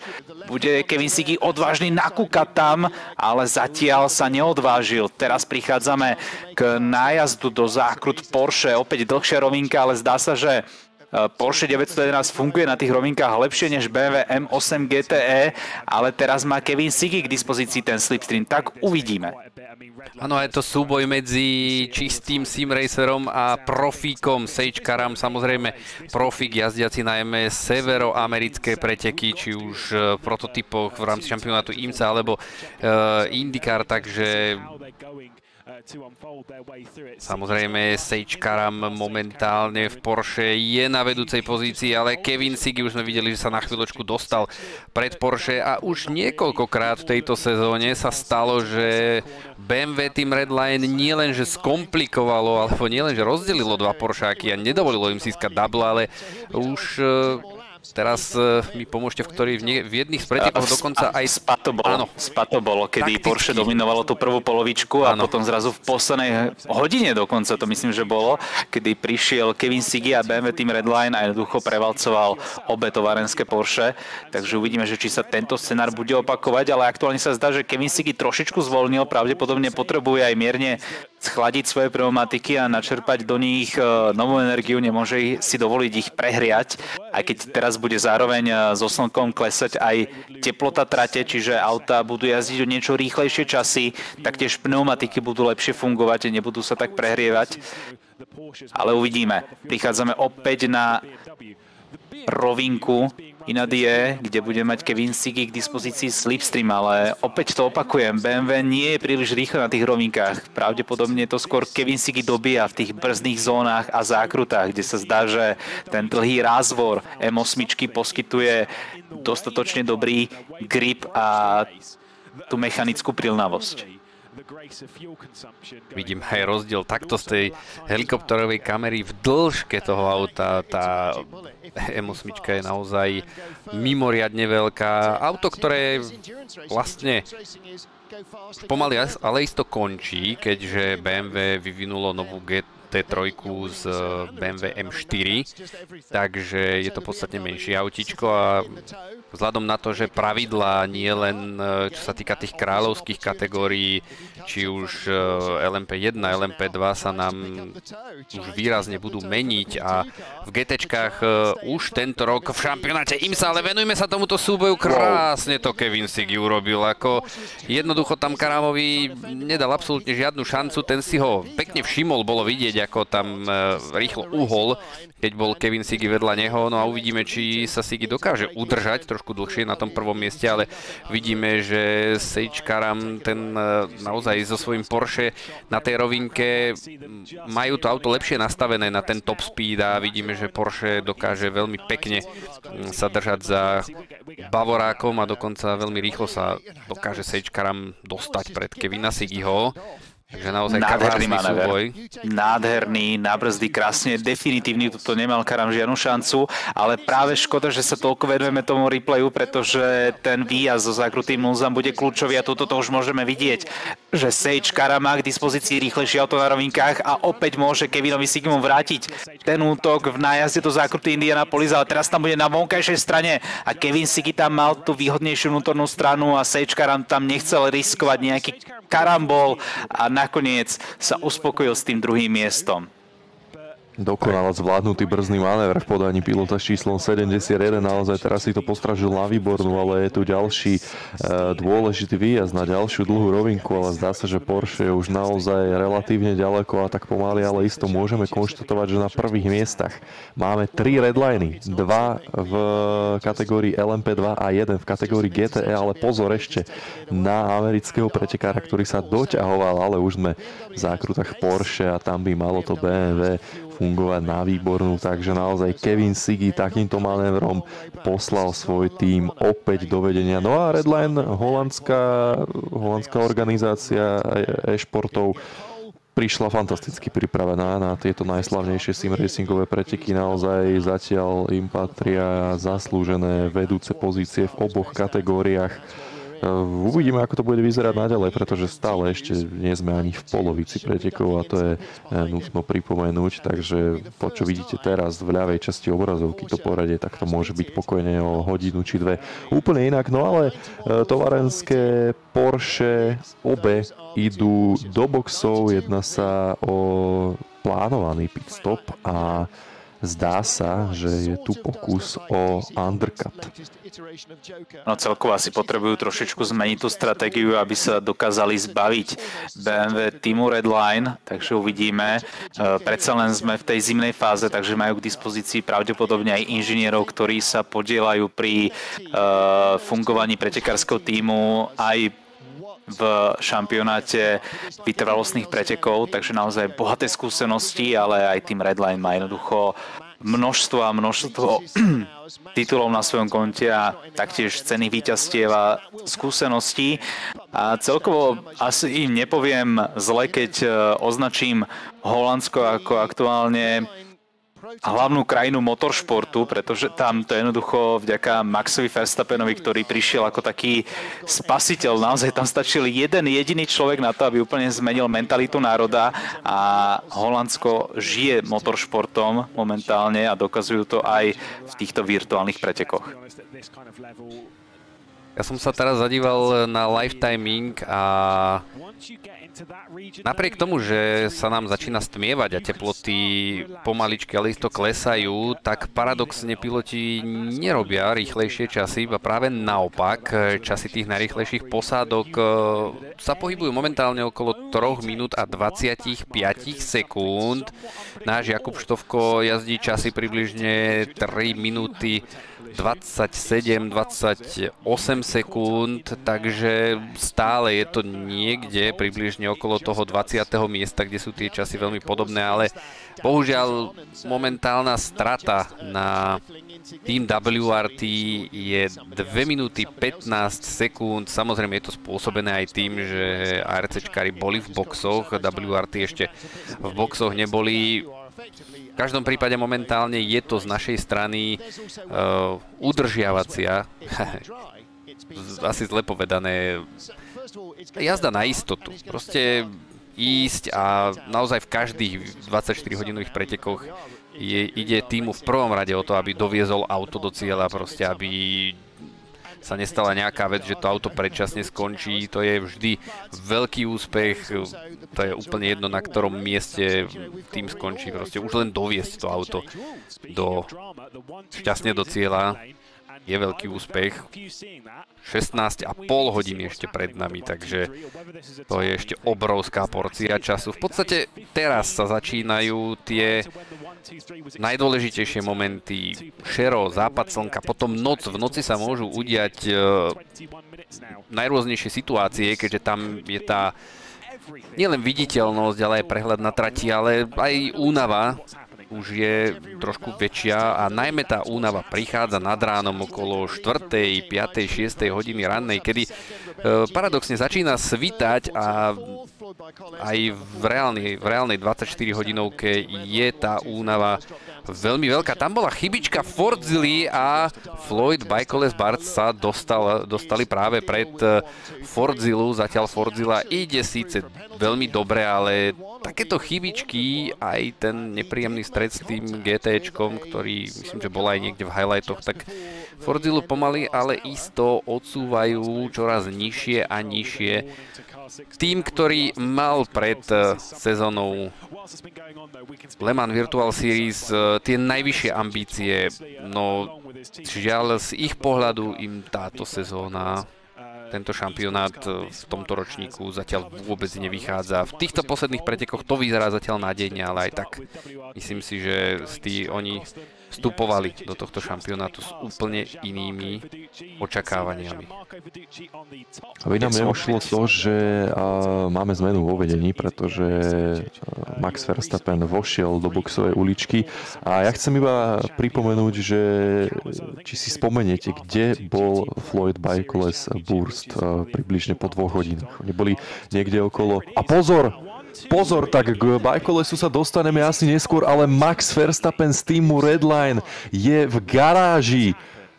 Tak to je neuveriteľné. Suverénny líder dnešných pretekov aspoň pre túto chvíľu končí. Tak to je šokujúce. Toto nikto nečakal. Mali tam vyše minútový náskok a nie je celkom jasné, že čo sa tam udialo, pretože Max Verstappen uh, do boxov zachádzal celkom normálne, keď to tak poviem, po vlastných, nebol nikde na trati odstavený, alebo zadrel motor a nič podobné, jednoducho prišiel do svojich boxov a tak toto je neskutočné. Zrazu sa absolútne mení priebeh týchto pretekov, pretože do čela sa dostáva uh, v podstate tímový kolega týmu Redline, tým Redline Ale Hydrogen s číslom 70 a Rietveld, ktorý zajazdil aj pole position Takže tým s číslom 70 preberá vedenie, majú tam 24 sekundový náskok na tým Veloce Esports. Na tretie miesto sa posúvajú minuloroční výťazí Rebellion, GPX Esports a za volantom je aktuálne pretekár Formule 2 Louis Delatras, ale zatiaľ stále Max Verstappen stojí v boxoch a nehybe sa, už sa prepadli až na 15. priečku, tak toto je obrovská škoda pre tento tým No a nie len, že sa mení priebeh celých pretekov, ale aj celého šampionátu, pretože spomeňme si, ako sme odpisovali práve e, toto auto, na ktoré sa pozeráme na auto číslo 4 týmu Bajkoles, ktorí sa nachádzali niekde okolo 12. a 16. miesta po pár odjazdených hodinách. Aktuálne Jernej Simončič za volantom už vytiahol toto auto na štvrté miesto a e, situácia v šampionáte sa absolútne otočila úplne na ruby. Aktuálne by titul šampiónov išiel opäť do rúk Rebellion GPX Esports, e, ktorú, e, ktoré má teraz na starosti Louis Deletra, je toto auto s číslom 1 a e, hneď za nimi je teda práve spomínaný Jernej Simončič, takže my budeme svetkami pravdepodobne súboja o celkový titul šampiónov celej sezóny priamo na trati, tak to je absolútne fenomenálne, ale obrovská škoda, pretože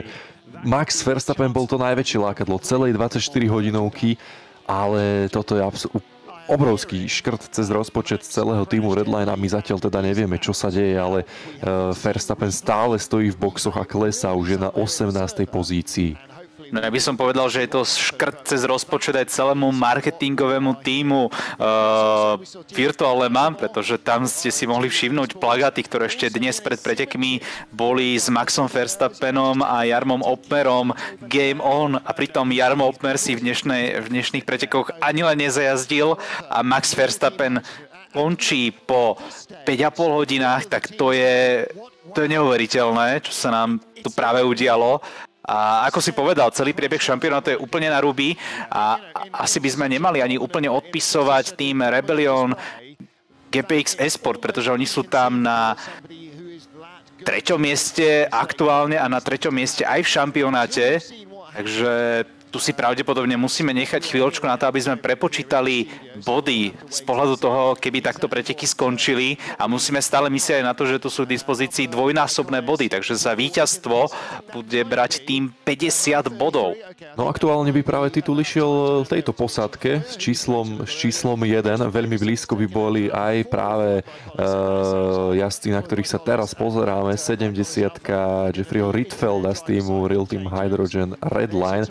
No a ďaleko by nezaostávali ani súčasní lídry uh, v bajkolese, ktorí síce teraz klesli na 8. miesto, ale reálne im patrí tá štvrtá pozícia, pretože ostatní pretekári ešte teda nemajú za sebou uh, zastavku v boxoch, čiže celé sa nám to extrémne zamotalo. Situácia sa zdala byť uh, 8, nie 7,5 hodiny úplne jasná Redline si išli po titul, či už teda po víťazstvo v týchto pretekoch alebo po celkový titul, no ale vidíte, čo prináša Sim Racing technické problémy s najväčšou pravdepodobnosťou uh, u Maxa Verstappena, pretože ak by sa stala nejaká nehoda, myslím si, že by sme to už videli a naozaj, ako si spomínal, tak Max vchádzal do boxov uh, sám od seba.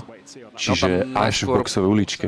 Tam sa najskôr mohlo niečo udiať, pokiaľ e, Max Verstappen Maxa mal niekto striedať s jeho kolegou, čiže mohlo sa tam niečo udiať práve pri tom striedaní. To sú naozaj veci, ktoré sa v sim racingu dejú úplne bežne, že nie vždy to striedanie vyjde, občas sa tam proste Občas sa tam niečo na pozadí pokazí a takto to potom dopadne. Je to samozrejme škoda. Je to samozrejme veľká škoda, ale No, no a pozor, tuto máme opakovaný záber a presne tak, Max Verstappen. Oh, tak to bola tvrdá kolízia s bariérou v šikane Ford a preto to sa ešte tam dovlieklo do boxov po vlastných, ale toto bude pravdepodobne dlhá oprava. Pozrite sa, on stratil obe kolesa na tej ľavej strane. Tak toto je neskutočná chyba od majstra sveta Formula 1. Pozrite sa na to neskutočne tvrdý má náraz do tej bariéry a obe kolesa preč z tej oreky, toto Boh vie, že či sa ešte podarí vôbec opraviť tú oreku a v akom stave vyjde opäť na trať. Tak takéto preťaženie nezažil ani v Silverstone tohto roku. No to bola veľká rana a zdá sa, že koniec, teda definitívny koniec, pretože toto opraviť asi úplne nepôjde. A Redline teda končia a nádej na titul takisto.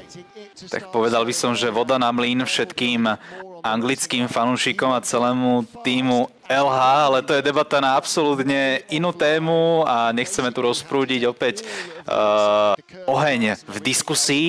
takže radšej sa tomuto vyhníme, ale zdá sa, že pre tým Redline s číslom 123 to minimálne na niekoľko dlhých minút znamená stopku a nie som si istý, že ako, ako veľmi uh, povolný je ten uh, R-Factor 2 v tomto, že čo všetko ti dokáže opraviť, to by si nám možno Bruno mohol prezradiť, že napríklad uh, či takúto tvrdú nehodu dokážeš ešte napraviť v boxoch alebo taký odpalený motor Záleží, odpalený motor určite nie a čo sa týka týchto nehôd, kedy odletia kolesa, tak záleží všetko na nastavení aktuálneho módu, pretože dá sa tam nastaviť, že vám opravia zavesenia, tým pádom vám namontujú od znovu tie kolesa, ale dá sa to vypnúť a, a neviem teda úprimne, ako to je v tomto prípade, ale podľa toho, že Max Verstappen sa doplazil do tých boxov a aj napriek tomu odstúpil, dovolujem si tvrdiť, že tá oprava nebola možná, no a, a máme teda o jedno auto menej.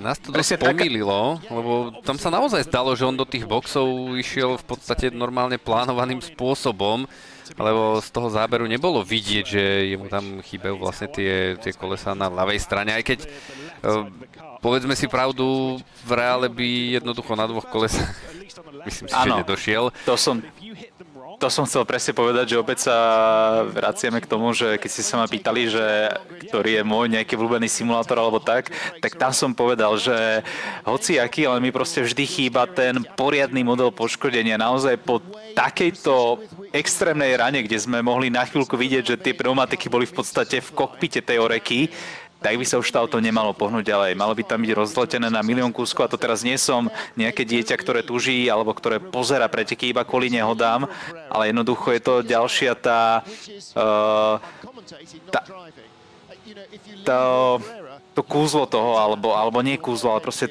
to, čo vás vtiahne do toho deje a zabudnete na to, že sledujete vôbec nejaký simulátor alebo niečo, čo sa nedie v tejto sekunde niekde na svete. A tu môžeme opäť vidieť tú rozbitú oreku týmu Redline, tam bol pravdepodobne ešte opakovaný záber do toho momentu, kedy sa udiala tá nehoda.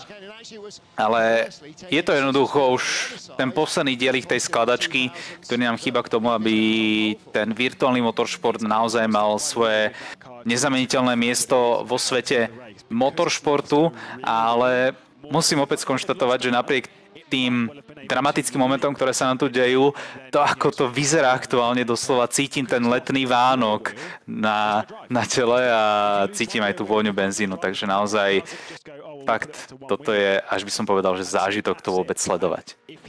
No a samozrejme, samozrejme, síce, síce mm, nechce, nechceli sme tu rozprúdiť nejaké debaty aj na našom čete, ale tie debaty sa jednoducho rozprúdili same, stačí si to tam prečítať, sú tam rôzne názory.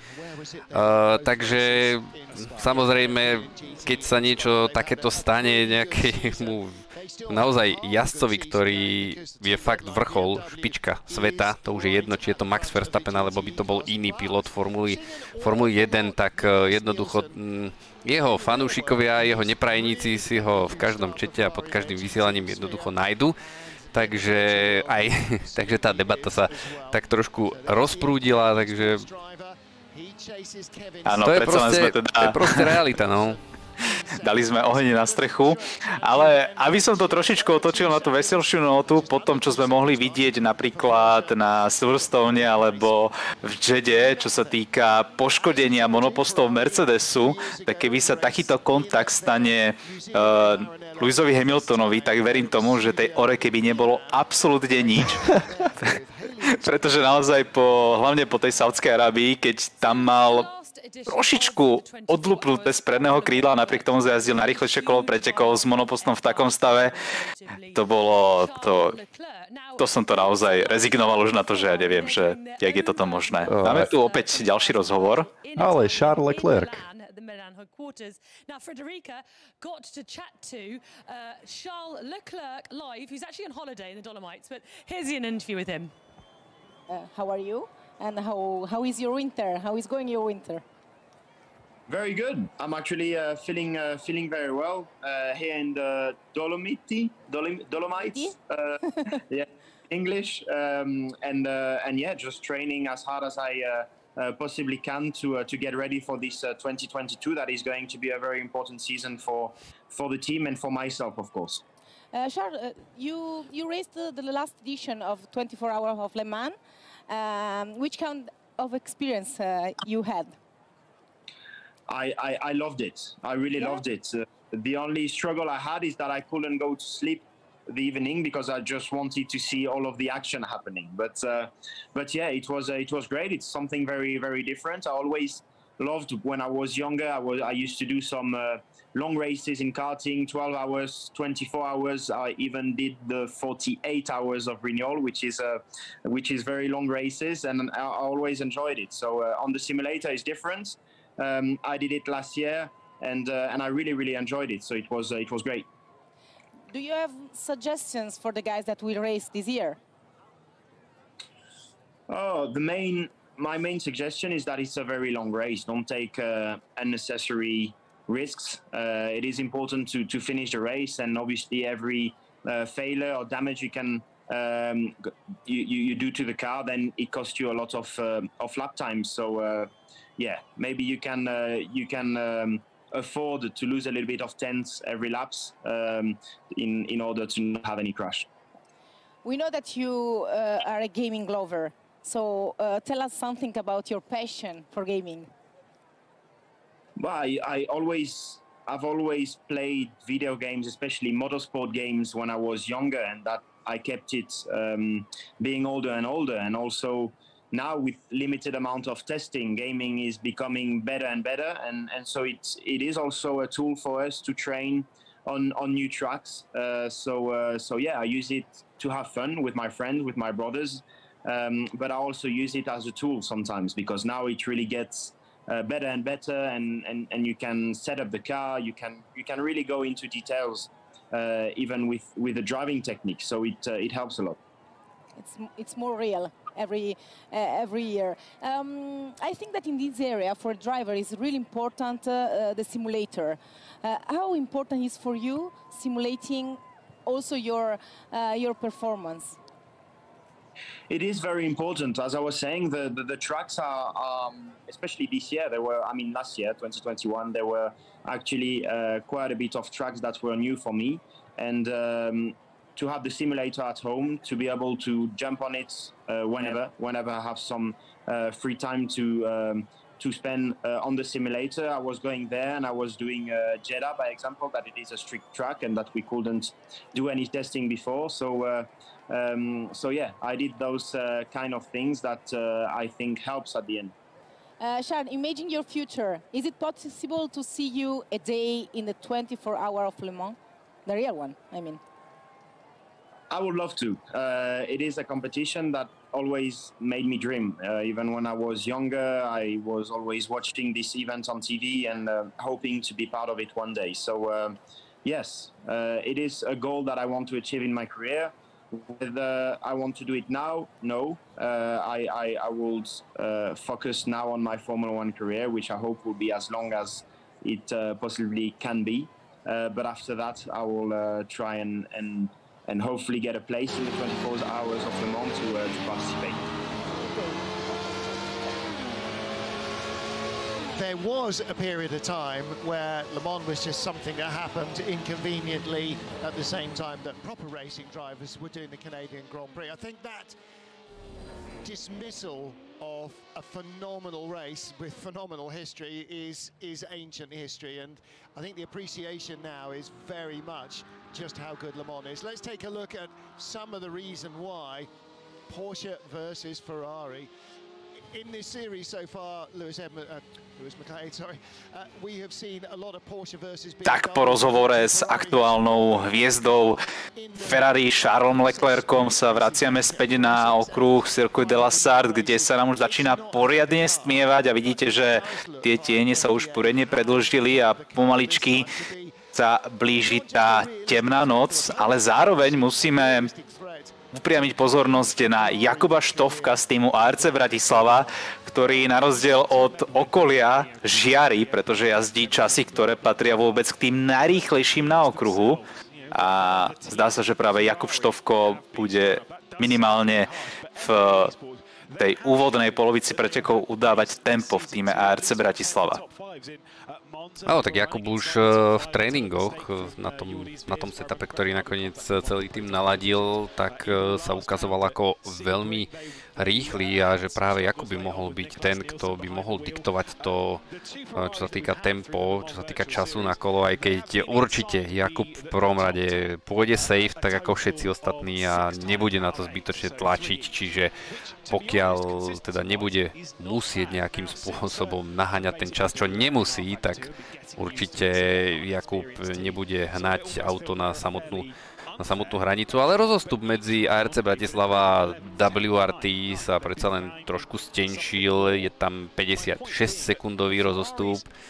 No a to, to, čo sme hovorili v predchádzajúcich hodinách, tak e, jednoducho to, je, to sú klasické 24-hodinové preteky. Môže sa udiať čokoľvek a videli sme, čo sa udialo aj jedným z najväčších favoritov. Momentálne síce sú na 25. mieste tým Redline, ale Myslím si, že tam už k nejakému návratu, no sa, ozaj záleží od toho, čo je nastavené na serveri, akým spôsobom je teda povolená oprava, či, či je povolená alebo nie je. Už je tam, už tam stoja vlastne nejak okolo 18 minút tým Redline, takže dá sa predpokladať, že aj v prípade návratu by to už naozaj bol, bol v podstate boj o nejaké to lepšie umiestnenie, ale tam o to víťazstvo, tam už to bolo veľmi, veľmi, veľmi, veľmi ťažké. Samozrejme tam sú superi ako Eh, Real Team, Hydrogen Redline, Veloce Esport, Rebellion GPX a potom aj Floyd Bikeoles, eh, ďalej tam máme aj GPX, Rebellion Esports, tí sú momentálne na 8. mieste, 22.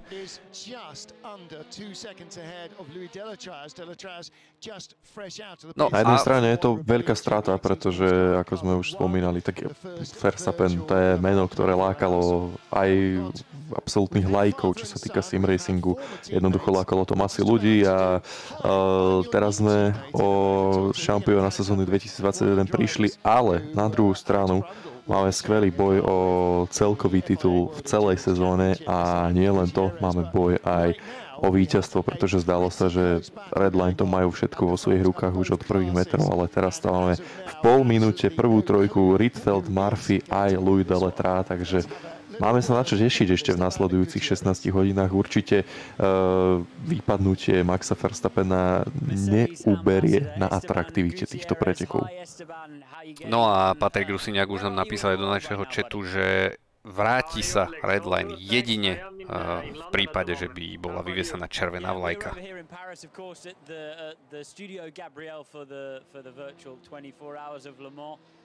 Mercedes ambassador, we've got a couple of Mercedes cars in the race here. But I know also throughout uh, lockdown, throughout the, the early stage of the pandemic, you got involved with a lot, a lot of esports, bit of streaming. Take us through your, your esports experience and, uh, and, and how you started out. I, I, believe you're still, you're still going, are you still streaming uh, gaming online? Yes, I did. I did uh, started in in the uh, of course when when the pandemic started. You know, we had more time, and um, as a team uh, in Mercedes, we you know we prepared all the simulators. Um, we got one simulator to all the drivers, and we started. Um, you know, just racing each other and testing each other, and then we got involved with the with the races, as you know, and it was actually really fun. Uh, it was really interesting, and and of course from there I started experimenting on streaming, and it was a really nice way to to connect with with the fans and with the people, and actually give the time uh, in that moment that we were all going through quite quite a tough time for everyone. we got a bit of tire action going on yeah, in, in, the studio. What, what's going on over there in the studio? I think they're I think they're putting new tires on the Montoya car over here, but um, the, look, did, did, there we go. Look, did it give you? Uh, did it give you? I think a sponsor Goodyear are going to be delighted. Um, did it give you a, a, a, bit of something extra then when you jump back in? Uh, when you jump back in the real race car, or, or even when you're preparing on the sim in, in Formula E, uh, is it is it worth something to you?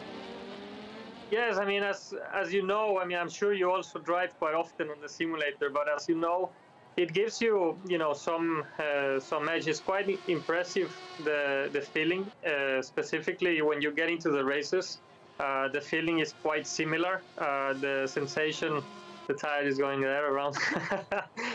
um, and no, but but definitely it's a, it's a great tool. Uh, I I give a lot of uh, importance to to the simulator, especially when you have it at home and you can actually turn the simulator on and and just drive anytime you want and, and race anytime you want. My team getting a little bit overtired here, but uh, we're, we're, we're, it's a bit of a weird interview, honestly, because as I watch the, the darkness fall over uh, over the 24 hours of Le Mans, you're coming back to endurance. I'm sorry about the terrible teammate options that were made available to you.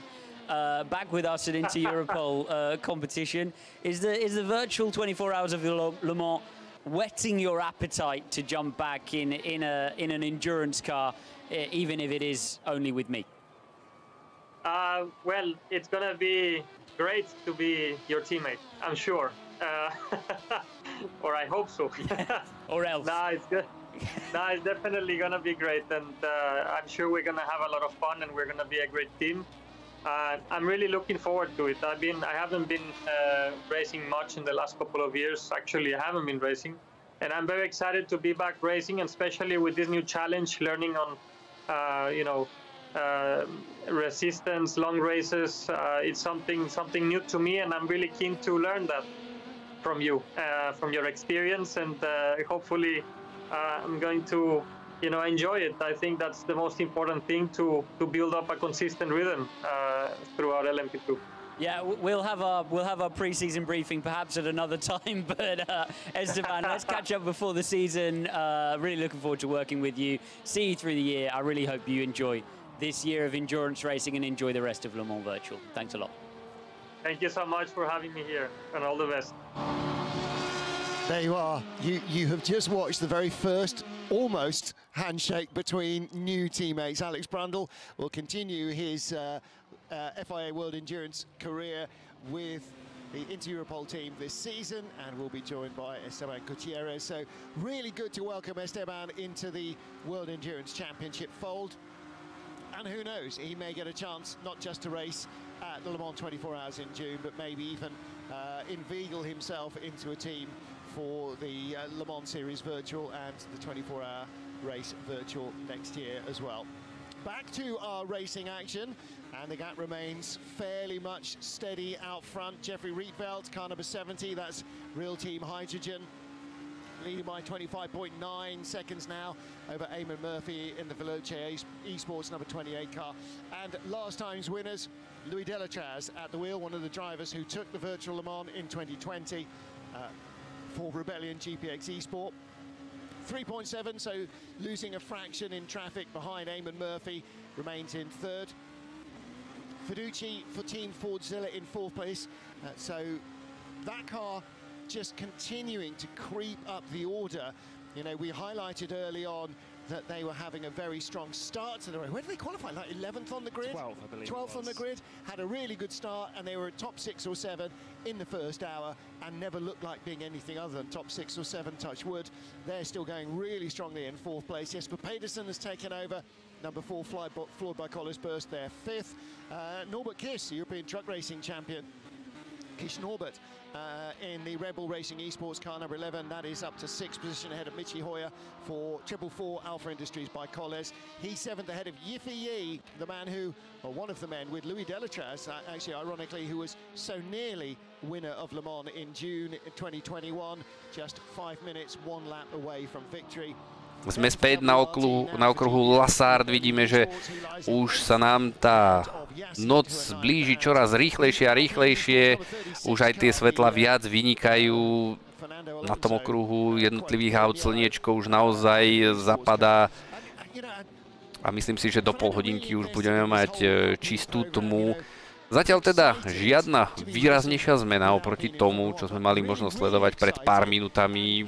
Naozaj Max Verstappen a Team Redline tí už sa môžu vrátiť jedine v prípade, že by bola vyvesená červená vlajka. V tomto prípade platí, že červená vlajka je vyvesená vo virtuálnej, virtuálnej 24-hodinovke len v prípade, že by sa niečo stalo s oficiálnymi servermi, že by to jednoducho tak ako sme to zažili minulý rok, že by jednoducho sa server, sa ľudovo povie, zosypal a jednoducho všetkých pilotov poodpájalo. Čiže toto je jediný jeden moment, kedy tu môže nastať červená vlajka, takže ten návrat týmu Redline je momentálne veľmi nepravdepodobný. A teda poradie kategórii LMP2 sa nám síce výrazným spôsobom na prvej pozícii zmenilo, ale tie rozdiely sú podstatne menšie, ako tomu bolo, kým boli redlineáci na trati. To oni mali naozaj veľmi vysoký náskok, ale teraz na, medzi, tý, medzi prvou trojicou je len 30 sekundový rozostup, takže to je naozaj veľmi, veľmi málo. Tak ako sme už bu, si zvykli, tak v GTčkách je to vždy mimoriadne tesné medzi prvým a druhým, medzi Porsche 92 a BMW 71 je tam ani nie 2 sekundy rozdiel a ďalších 5 sekúnd stráca Porsche číslo 91, takže tam je naozaj ešte všetko otvorené. Porsche s číslom 77 aj BMW s číslom 89 nám poskočilo pred Ferrari, ale vyzerá to tak, áno, Ferrari má o jeden pitstop viac ako Bavoráky pred nimi, takže vidíme, ako sa ešte aj tento súboj vyvinie. ARC Bratislava a Jakub Štovko za volantom eh, momentálne Momentálne tie časy sú zhruba na hodnote 3 minúty 28 sekúnd, takže približne to, čo jazdí väčšina štartového pola, Samozrejme, úplne, úplne niekde inde je úplne prvý tým Jeffrey Ritfeld a Real Team Hydrogen Redline. Jeho posledné kolo bolo 3 minúty 25 sekúnd, takže to je niekde úplne inde ako zvyšok štartového pola. Áno, ja musím vzdať eh, hold, dať dole klobúk, burku, všetko Martinovi Holanovi a jeho komentáru koukám im do studia přivalilo kolo Maxe.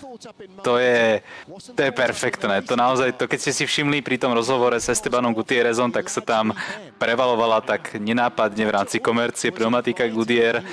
Martin, palec hore, toto, toto bolo fakt dobre, toto vyšlo. Was invited by David Ingram from Audi in Great Britain to join them a vidíme, že na okruh Circuit de la Sarthe sa už privalila noc a naozaj je už výrazne vidieť svetla a taktiež sme sa už teda ponorili do toho nočného stintu. Uh, taktiež už neplatí ani to, že vola kedy museli mať auta kategórie GTE žlté svetlá, teraz už majú všetky kategórie biele svetlá, takže ani toto vizuálne odlišenie tu už nie je. Myslím, že to bolo odôvodnené aj tým, že kvôli tomu žltému svetlu tak bola zhoršená výkonnosť tých svetiel, ten dosvit bol menší, čiže bezpečnosť hrá samozrejme prvoradú úlohu a toto pravidlo bolo počase zrušené.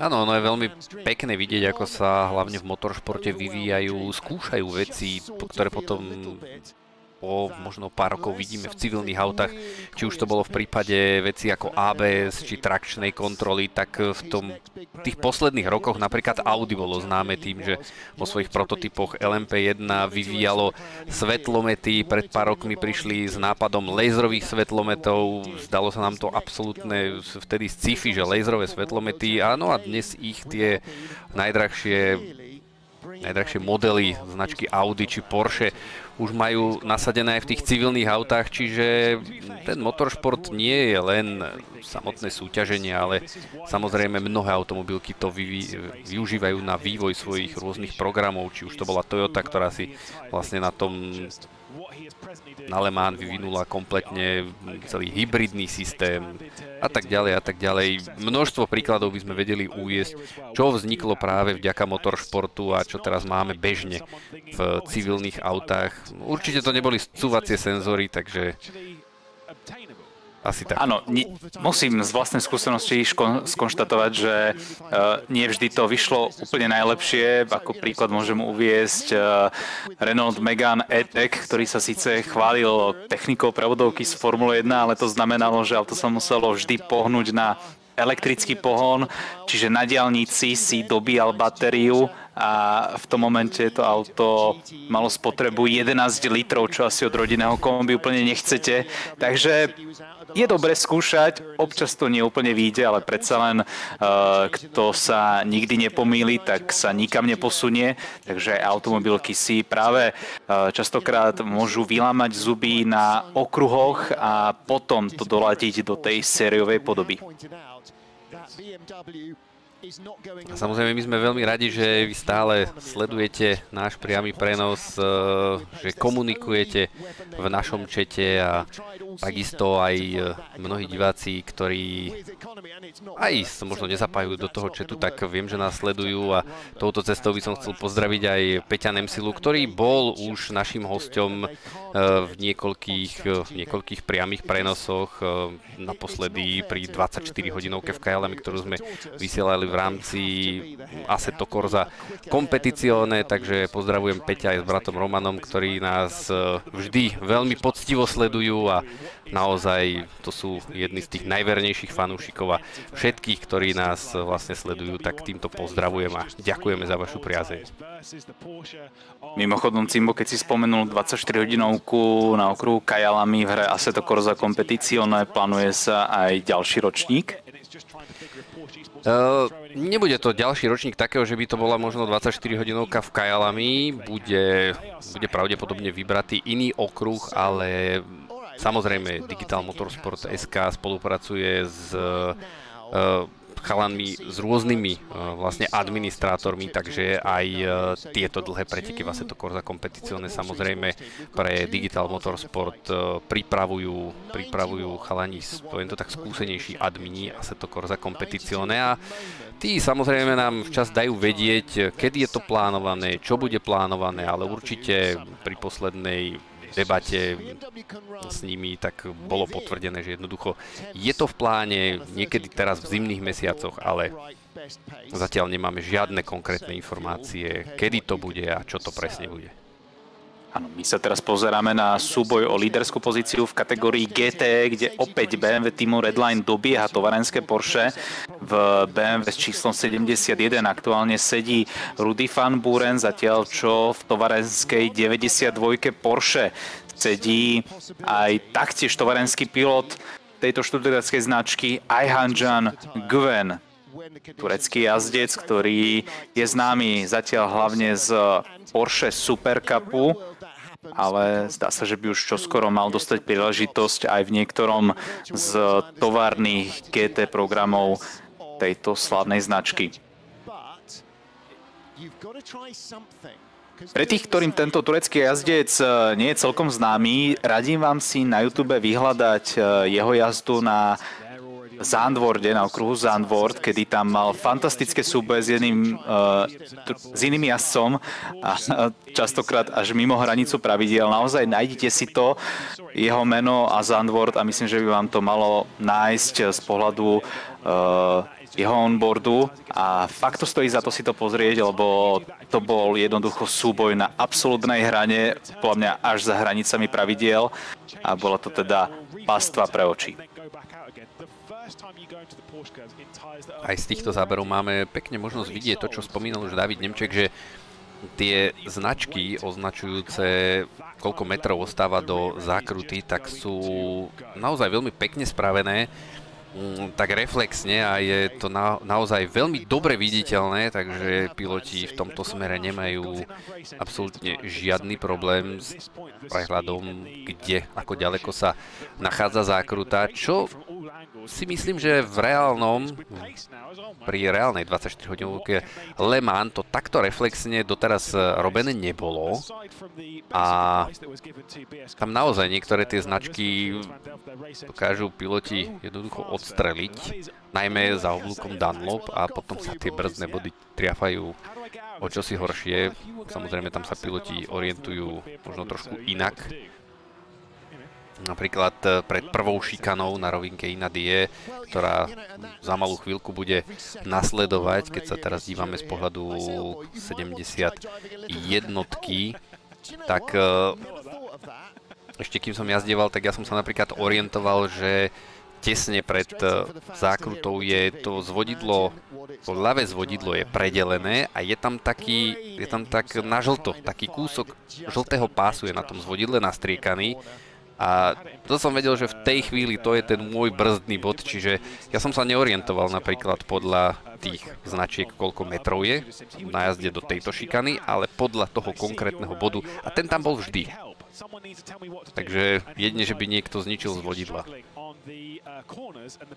Tak hádam, taký pastor Maldonado sa tu nenájde, ale mňa tam upútal ten záber na Van Burena a Gwena, kde boli dva odlišné prístupy k tým nočným stintom v rámci sim racingu a to síce, že Van Buren tam bol v podstate v úplnej tme, že ho tam osvetloval iba monitor, na rozdiel od Gwena, ktorý tam bol v podstate v tom uh, štúdiu Porsche, kde majú rozložený celý pretekársky tím a mal tam pomerne dosť svetla, tak čo ste vy preferovali? Či preferujete aj pri jazde v noci mať uh, kumbáliku zasvietené, alebo naopak mať úplnú tmu rovnako ako v hre?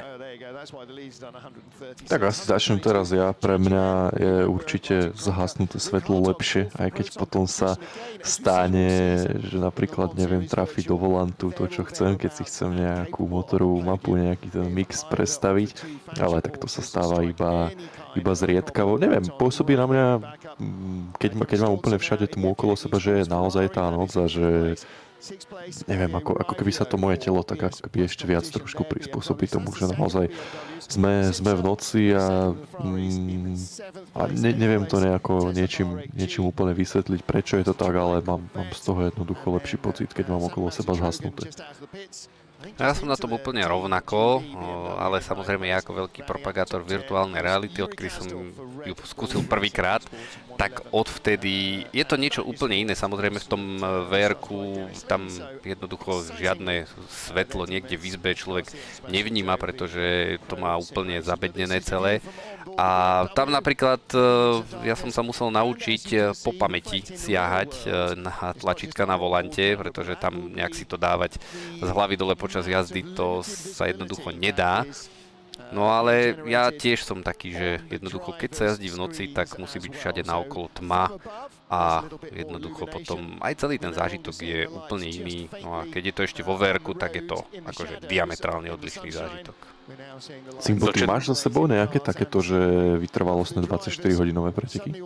No v čase, keď som ja končil jazdenie, tak mm, veľmi, veľmi sa ešte až takéto dlhé preteky jazdievali sa, ale ja som sa ich nezúčastňoval, ale mm, hlavne vtedy ešte tie simulátory, mm, áno, Air Factor jednotka vedel striedanie jazdcov, ale tie niektoré iné simulátory to veľmi nevedeli a potom keď prišli do popredia také simulátory ako Race Room či Assetto Corsa, ešte to pôvodné, tak tam v tom základnom alebo v tom originál engine vôbec nebola zakomponovaná noc, čiže a nejaké také dlhé preteky sa tam veľmi ťažko organizovali. Teraz je samozrejme doba niekde úplne inde a toto sú úplne normálne záležitosti, takže nejaké dlhšie preteky mám za sebou a keď som aj jazdil v noci, tak to skôr boli nejaké kratšie preteky a bolo tam natvrdo nastavené, že sa začína niekedy o 10. večera a končí sa to o polnoci večer toho simulátorového času, čiže keď sa jazdilo v noci, tak to boli skôr také tie kratšie preteky a bolo to tam natvrdo nastavené. Ako, samozrejme, nejaké dlhšie preteky sa organizovali, ale nikdy som nebol súčasťou pretekov, kde by som sa striedal s niekým v aute.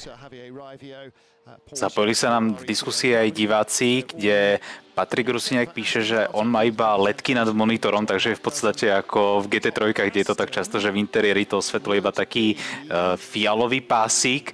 Uh, ďalej tam píše Martin Holán, ktorý má radšej iba ľahké, ľahké osvetlenie, aby uh, monitor mu tak rýchlo neunavil oči.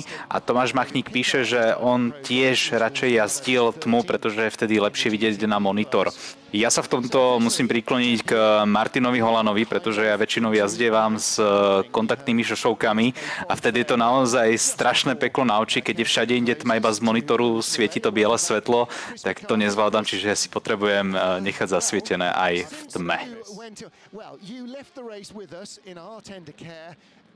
Tak prebrali sme ďalšiu veľmi zaujímavú tému, myslím si. A poďme sa trošku povenovať aj tomu, čo sa nám momentálne deje na okruhu. Tu máme dvojicu GPX Rebellion Esports a Yazheed, dvojica, ktorá bojuje o 6. miesto súboj medzi čínskym jazdcom Yifei Yi a Maďarom Balážom Remenikom.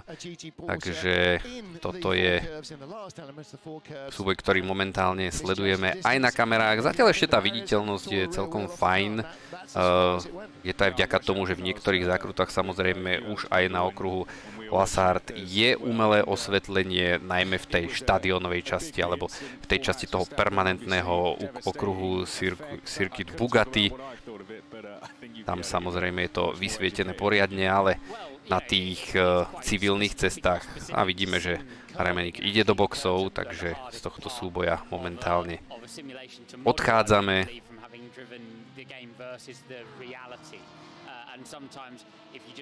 za volantom 44 RC Bratislava stále Jakub Štovko, 22. miesto.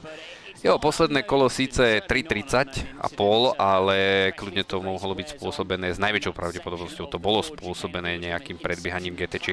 Predsa len to je situácia, ktorá v noci je podstatne ťažšia. A to predbiehanie tých pomalších GT. Ten odhad je úplne iný a Veľakrát aj e, jazdci v tých GT majú trošku horší prehľad, kde sa ten prototyp nachádza. Mm, je tam samozrejme úplne iná orientácia potom samozrejme záleží aj od toho, či jazdcovi naozaj viacej vyhoduje jazdenie cez deň alebo v noci, lebo poznáme pilotov, ktorí v noci dokážu byť rýchlejší ako cez deň, takže Naozaj je to o individuálnej preferencii toho pilota. No a teraz sa ja spýtam Maťa Bruňanského, ty jazdíš radšej v noci alebo cez deň?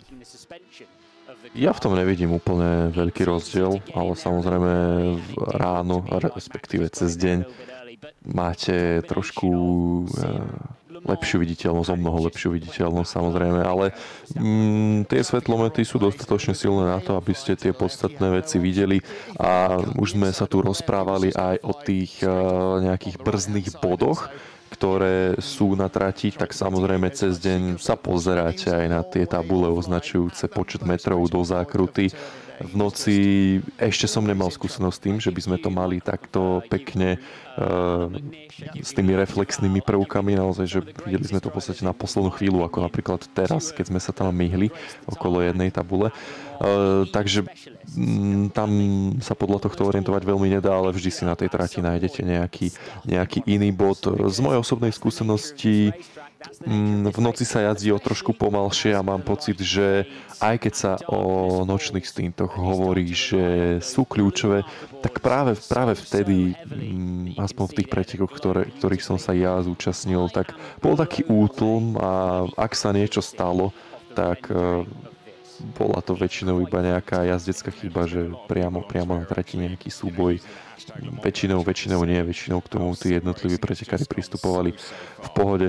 Takže, aby som ti dal odpoveď, e, nemám, nemám nejakú preferenciu, ale poviem ti tak, že endurance preteky a už asi len také skoro nepôjde, pretože neviem, nejak som, nejak som toho bol na začiatku roku 2021 prejazdený a frustrovalo ma, že som sa nedokázal držať s mojimi tímovými kolegami Marošom Hrušovským a Andrejom Marečákom, ktorí boli výrazne lepší, na to som nebýval zvyknutý, takže povedal som si, že chalani Endurance nechám vám a ja si budem jazdiť nejaké, nejaké moje formulky a na to sa teda ja budem sústrediť hlavne. Ale uh, bude sa organizovať jedna 24 hodinovka na Air Factor 2 v československej komunite, tak to si určite dám, lebo je to, je to jeden event, nie je to celý šampionát, sú to jedny preteky 24 hodinové a to má stále niečo do seba. Síce celý deň za počítačom, ok, poviete si, ale keď už je na tej trati trochu voľno, tak si aj zavtipkujete s chalami a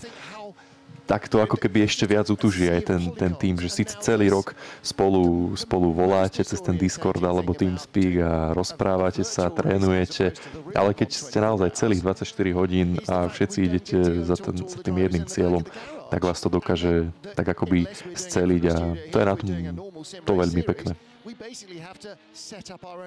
No a ja trošičku zase posuniem tému iným smerom, pretože máme virtuálne preteky a rád by som teraz upriamil pozornosť všetkých virtuálnych finančných žralokov na facebookovú stránku Leman Virtual, pretože absolútne som nečakal, že by vôbec, nie, vôbec niečo to také, vôbec niečo takéto vymysleli, ale priniesli exkluzívne NFTčka, ktoré si môžete kúpiť na tému Le Mans Virtual Series. Takže ak niekto má záujem o NFT, má výbornú príležitosť obohatiť svoju zbierku o takéto exkluzívne kúsky. To Neprestáva ma to fascinovať, priznám sa, že ja osobne tomu absolútne nerozumiem, aj keď v kutiku duše cítim, že mi asi uchádzajú celkom e, veľké peniaze, takže si musím nájsť nejakého kamaráta zo strednej, ktorý ma pozve na kávičku a zapojiť sa do nejakej poriadnej finančnej pyramídy. Ty Máme si tuším videl jedno, jedno video na YouTube, nie? ktoré sa takýmto veciam venovalo, také vtipné to, už, to už dávnejšie, ale priznám sa, že už som aj niekoľko takýchto kavičiek absolvoval vždy v dobrej viere o tom, že sa chcú naozaj porozprávať o tom, že ako sa nám zmenil život za ten čas, čo sme sa nevideli a za každý som si dal iba dobrú kávu, ale Máme to otázku od Dominika Ceknera, ktorý sa pýta, že čo sa stalo s týmom Redline, prečo sú poslední, tak Max Verstappen tam z prvého miesta spravil chybu v šikane Ford a mal tam obrovskú nehodu, pri ktorej stratil obe kolesa na ľavej strane, taktiež aj zadný spoiler a pravdepodobne sa tento tým už nezapojí do ďalšieho priebehu týchto ikonických pretekov. Trošku škoda, že nám režia v tejto chvíli neukazuje kategóriu GTE, pretože opäť nám tam prebieha súboj o vedenie medzi Porsche s číslom 92 BMW Team Redline 91 momentálne, 71 momentálne. Je tam rozostup len jednej sekundy, čiže auta sú doslova nalepené na sebe. 6 sekúnd stráca Porsche 91, čiže naozaj z tejto trojice je to momentálne absolútne otvorené, ktorý z nich teoreticky by momentálne mohol byť vo vedení, ale uh, turecký jazdec Given momentálne v Porsche je predsa len uh, Stále na prvom mieste zatiaľ Van Burena z BMW Team Redline nepustil pred seba, aj keď ten na ňo neustále tlačí a ten rozdiel jednej sekundy je naozaj minimálny. Tak snáď po tomto vstupe zo sociálnych sietí sa dostaneme aj do kategórie GTE, medzi tým, aby si diváci chceli čoskoro pozrieť, že čo sa deje práve na trati, tak Janš Gravčak píše, že čoskoro sa dočkáme onboardu Denisa Zeťaka, ktorý pôjde do auta po Jakubovi Štovkovi, takže tá kamera priamo z kokpitu týmu ARC Bratislava bude čoskoro opäť k dispozícii tak samozrejme to znamená, že Jakub Štovko vystúpi z auta. Mm, tak ako sa dalo predpokladať, tak ten čas, ktorý tam mal 3.30, tak e, jednoducho bol spôsobený nejakým, nejakou premávkou a už sa Jakub opäť dostal na časy 3 minúty a 28 sekúnd, jeho posledný čas 3 minúty 28,1. A je to, je to naozaj v celku, v celku dobrý čas. E, sú tam autá, ktoré na o mnoho vyšších pozíciách, ktoré majú horšie časy. Bohužiaľ však strata na tým WRT je 1 minúta a 33 sekúnd. E, stále zatiaľ 22. miesto pre ARC Bratislava. Ale pred nami ešte 15 hodín, čo je spústa, spústa fúra času. Tu máme práve pohľad aj na safety car, ktorý je teda ten uh, vodíkový koncept, ktorý by sa mal pozrieť aj na reálnu 24-hodinovú kolemán, tak uvidíme, že ako to dopadne.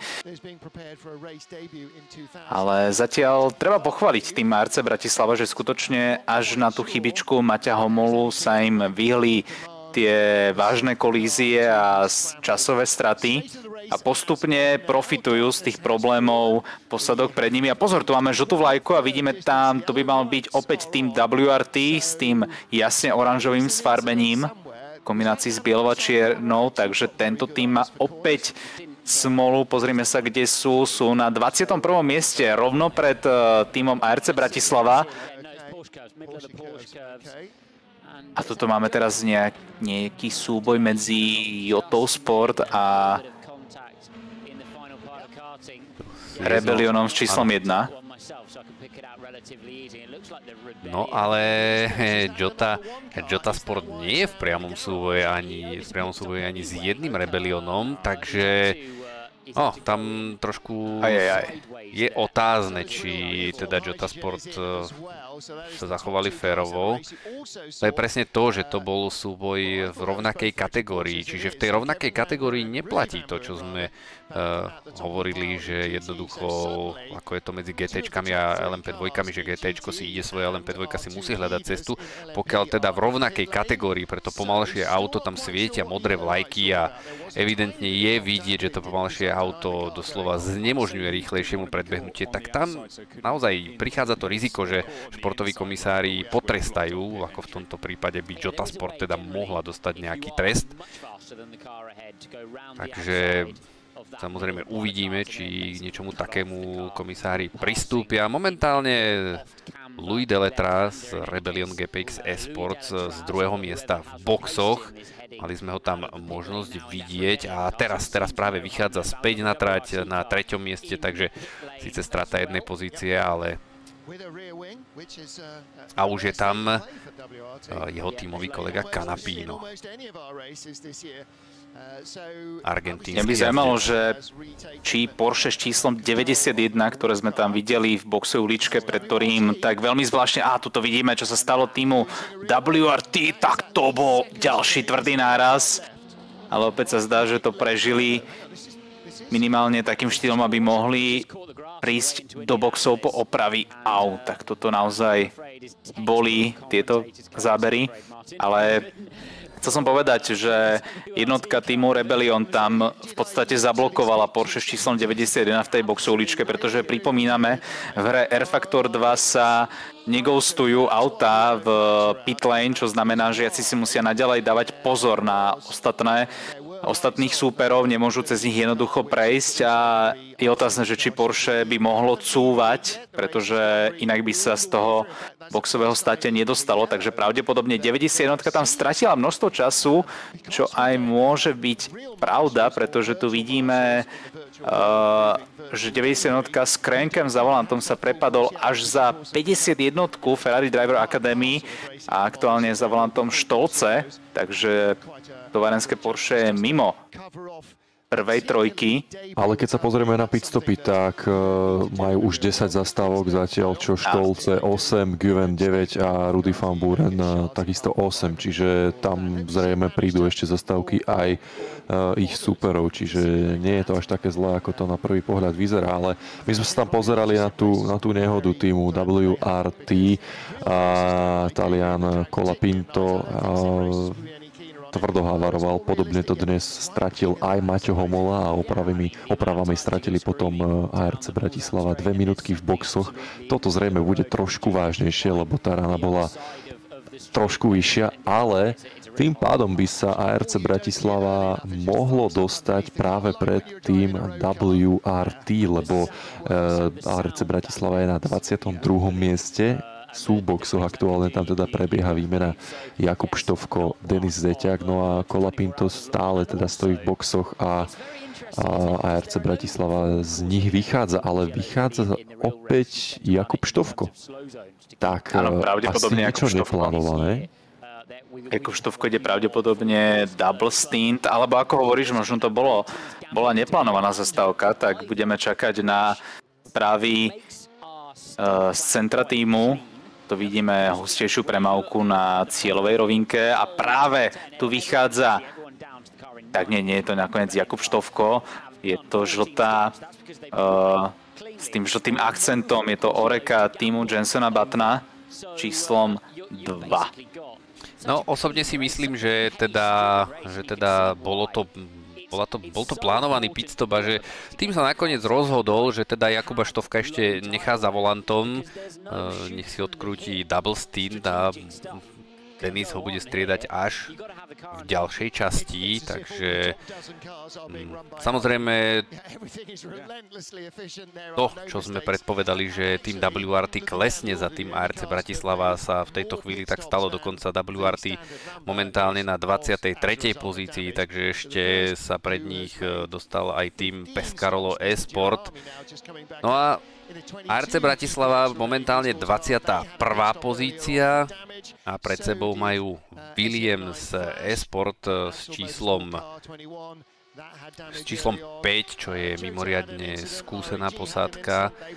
Ale posádka, ktorá takisto je poriadne hlboko v štartovom poli, je tam eh, napríklad Attila Taši medzi profesionálnymi pilotmi, čo je veľmi známe meno z najmä cestovných automobilov Attila Taši, ktorého sme nieraz videli aj na Slovakia Ringu. Či už to bolo najskôr v tých nižších súťažiach, alebo potom v Európskom pohári cestovných automobilov. Napokon Attila Taši sa momentálne pevne usadil v tej svetovej sérii, no a ďalší jeho parťáci sú Talian Moreno Sirika, eh, Chorvát eh, Petar Brľak a Greg Michael Romanidis. Takže to je posádka, ktorá je momentálne pred týmom ARC Bratislava. Áno, tam je vidieť, že ako v Maďarsku funguje tá podpora mladých jazdcov a podobne ako Norby Michelis, ktorý to tam naštartoval, tak Odtedy vidíme čoraz viacej toho maďarského zastúpenia, hlavne vo svete cestovných vozov. Bohužiaľ, u nás sa to nie celkom podarilo, ale tak budúcnosť e, môže písať iné príbehy. Venujeme sa radšej tomu, čo sa deje na trati, pretože tu sa pozeráme na aktuálnych lídrov 70 týmu Real Team Hydrogen Redline, ktorá prevzala teda opraty vedenia 24 hodinovky Le Mans po vypadnutí ich tímových kolegov a chybe Maxa Verstappena. Na druhom mieste máme tým Veloce Esports a Murphy za volantom. Na treťom mieste máme minuloročných šampiónov jednotku Rebellion, GPX Esport a Canapino za volantom from the start of your stint to the end of it. Yeah, unless you're talking about the Charles Leclerc yogurt zone, in which case yeah. that, that area you can afford... V kategórii GT sa naplnila nočná mora tovarenského týmu Porsche a BMW Team Redline s Van Burenom prevzali vedenie v tejto kategórii zatiaľ, čo Given sa prepadol a už stráca No zdá sa podľa lifetimingu, že jedno celé kolo.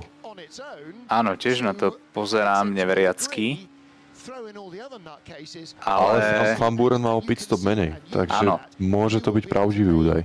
Áno, nie, podľa mňa nie celé jedno kolo, ale minútu a 20 sekúnd pravdepodobne tam stráca. A to je zhruba aj ten čas tej zastávky v boxoch, takže tamto pri výjazde Van Burena alebo jedného z jeho tímových kolegov bude poriadne tesné.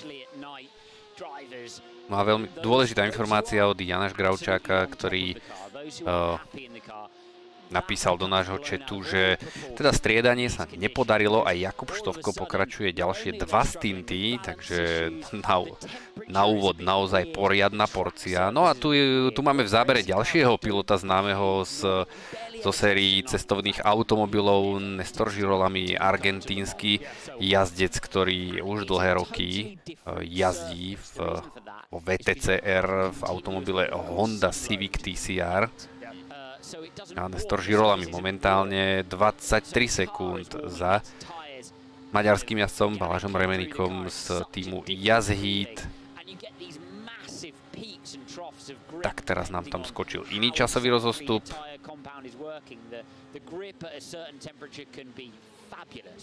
and then all of a sudden it can fall away to nothing and it can be a real horror story out there. And no doubt it's the same for these Ako si povedal, Nestor Žirolami jazdí za Hondu vo svetom šampionáte cestovných vozov. Tam sme videli niekoho odpadnúť. A uh, za tie roky, čo sa jazdí VTCR, tak treba povedať, že Honda si pomaly ale isto buduje takú reputáciu Ferrari tohto šampionátu, pretože častokrát mali tú rýchlosť, ale za každým, či už to bola nejaká smola alebo jazdecké chyby, tak im ten titul či už jazdcov alebo fabricky ušiel. Áno, ale Honda samozrejme už so svojou, svojím Civicom je pomerne dosť veľa rokov v tcr bez nejakej e, evolučnej zmeny, ale to auto stále dostáva každú sezónu upgrade a naozaj v čoraz... V niektorých sezónach je Honda mimoriadne rýchla, keď sa ten upgrade podarí a stále je to konkurencieschopné auto a Honda zatiaľ nejakým spôsobom neplánuje nejakú novšiu evolúciu, ako je to napríklad v prípade Audi či Cupry, takže Hondu v terajšej podobe ešte budeme mať možnosť, myslím, že pár rokov sledovať v TCR-kách, no a takým najznámejším predstaviteľom Hondy v slovenských farbách je tým Brutal Fish Racing Team, takže toto je tým, ktorý od začiatku v podstate svojej kariéry v Európskom pohári cestovných automobilov je spojený s Hondou, no a spokojnosť s týmto aute aj v tomto týme. Áno, Honda to robí veľmi privetivo voči svojim zákazníkom, že nemusí za každým kupovať úplne nové auto, ale dodáva tie vylepšovacie balíčky. Niečo, o čom by Maťo Homola možno aj sníval, pretože jemu sa v, tejto, v tej uplynulej sezóne prihodil taký príbeh, ako keď e, má rodina obľúbeného psa a zrazu do rodiny príde dieťa a na toho psa sa úplne zabudne, pretože Hyundai priniesol do Európy nový typ Elantra N a akokoľvek sa to auto prezentovalo ako novinka, tak ešte stále novinkou bola aj vylepšená verzia i30, lenže k nej sa Maťo ako si k tomu balíčku nedostal, Zatiaľ čo Elantra patrila k tým najsilnejším autám nielen vo VTCR, ale aj v európskom TCR a bojovalo víťazstva, no tak Maťo sa tam s i30N častokrát veľmi trápil a naozaj to pôsobilo, že sa na i30N ako si zabudlo. No, ono to tak nepôsobilo, ono to tak nakoniec aj bolo, pretože v každom prípade to, že Hyundai prišiel s novým modelom, tak Jednoducho hneď do začiatku to bolo také veľmi málo pravdepodobné, že Hyundai jednoducho bude ďalej investovať do i30, čo sa nakoniec aj stalo. Jednoducho aj celá tá politika ohľadne BOP bola vyslovene už mierená pre novú Elantru. i30 mala stále, čo sa týka európskeho pohára, vlastne 30 Enko z tých najvýznamnejších tcr podujatí bola najvyššie v Európskom pohári, no a tam jednoducho bolo BOP z predošlej sezóny, čiže znížený výkon na 97% e, plnej výkonnosti, vysoká svetlá výška, proste veľké váhové zaťaženie. I 30 si so sebou doniesla z predchádzajúceho obdobia všetky tie balasty a jednoducho Hyundai už nemal proste, Hyundai už nemal jednoducho žiadny záujem uh, nejak i30 ďalej posúvať dopredu alebo proste niečo robiť v prospech i30. Uh, smola bola trošku v tom, že Janik Motorsport, ktorý vlastne pripravoval pre Maťa Homolu i30, tak uh, jednoducho na, na nich sa nedostalo poradie s tou Elantrou. Elantry bolo zatiaľ vyrobených málo kusov, alebo teda na začiatku minulej sezóny nebolo vyrobených toľko, aby Janik Motorsport e, mohol dostať Elantru. Teraz sme videli súboj, ani nie súboj, to bolo Ferrari a Porsche, tam takmer došlo ku kontaktu medzi touto dvojicou Kaspar Štolce a mm, Mac Bakum, tak je to nakoniec súboj o tretie miesto, jazdec Ferrari, celkom akože rázným spôsobom ubránil svoju pozíciu. Veľmi dobre tam Mac Bakum zareagoval a nedošlo ku kontaktu. Takže len toľko k dokončeniu myšlienky, že jednoducho na Janik Motorsport sa v predošlej sezóne jednoducho nedostala rada.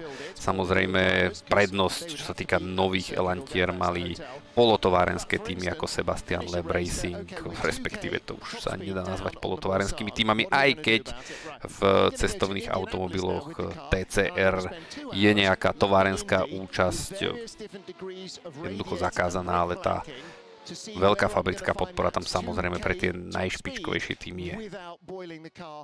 Áno, to je v podstate aj budúcnosť kategórie, v ktorej aktuálne sledujeme súboj o to tretie miesto zatiaľ, čo reklama na pneumatiky Goodyear naberá stále nové a nové rozmery.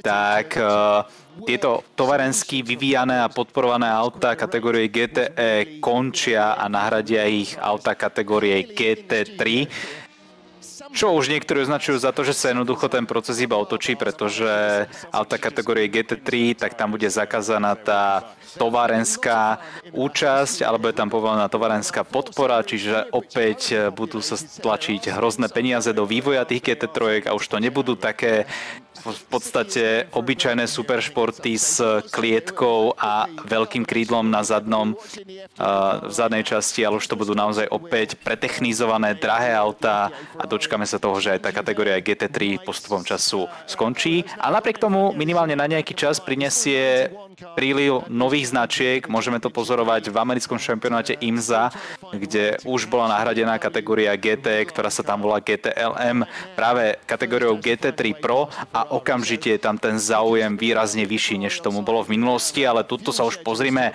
na Porsche s číslom 91, ktoré to pustí do zákruty Indianapolis na tú vnútornú stranu a dostáva sa pred Ferrari Driving Academy s číslom 51 na tretie miesto a môže začať naháňať uh, svojich tímových kolegov s číslom 92.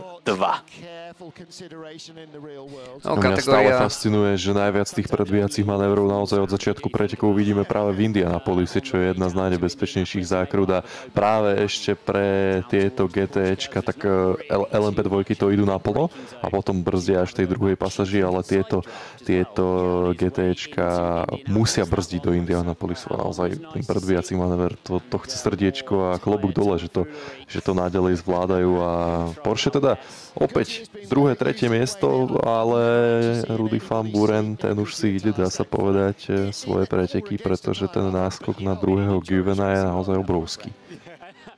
No, ono k tým GT3, to čo si spomínal, že postupom času, ono, táto situácia už sa, už sa dokonca deje a nedieje sa len tento rok, ale deje sa už pár rokov. Uh, v úvode, keď vlastne kategória GT3 vznikla, tak práve vznikla za účelom, že mala mala doplniť vtedajšiu veľmi drahú kategóriu GT1, tam proste tie auta boli šialene drahé. A vtedy GT3 dokonca aj v oficiálnych nejakých dokumentáciách vtedajšej série Blancpain GT Series alebo jednoducho európskeho poháru, vtedy ešte GT3, tak tam jednoducho boli materiály, kde dokonca boli zverejnené aj ceny aut a napríklad GT3 Ferrari tam stálo niečo málo cez 300 tisíc eur, kdežto v dnešnej dobe no GT3 Ferrari už sa pomaly šplhá na úroveň 700, 600, 700 tisíc, čo sú už, čo už pomaly sú ceny ako kedysi mala práve kategória GT1 takže uvidíme nakoniec, kam sa to až vyšplhá, pokiaľ sa teda do toho ešte nejakým spôsobom vložia fabriky, ale momentálne kategória GT3 zažíva obrovský boom, máme obrovské množstvo značiek, naozaj dá sa povedať od A do Z. Snáď dokonca aj, myslím, že aj Toyota teraz uh, pripravuje, pripravila GT3. Ona predstavila koncept. Áno. Oh, a tuto nepríjemný moment pre Alexa Bankomba v týme Jensona Buttona, to je Oreka s číslom 2, Rocket Sim Sport. A dostal sa tam na, tú, na ten klský štrk na výjazde zo zákruty Indianapolis a dal tam miernu ťapku bariére. Uvidíme, aké tam bude poškodenie, či zamierí rovno aj ku svojim mechanikom. Zatiaľ sa tak nestalo. Môžeš pokračovať, prepač.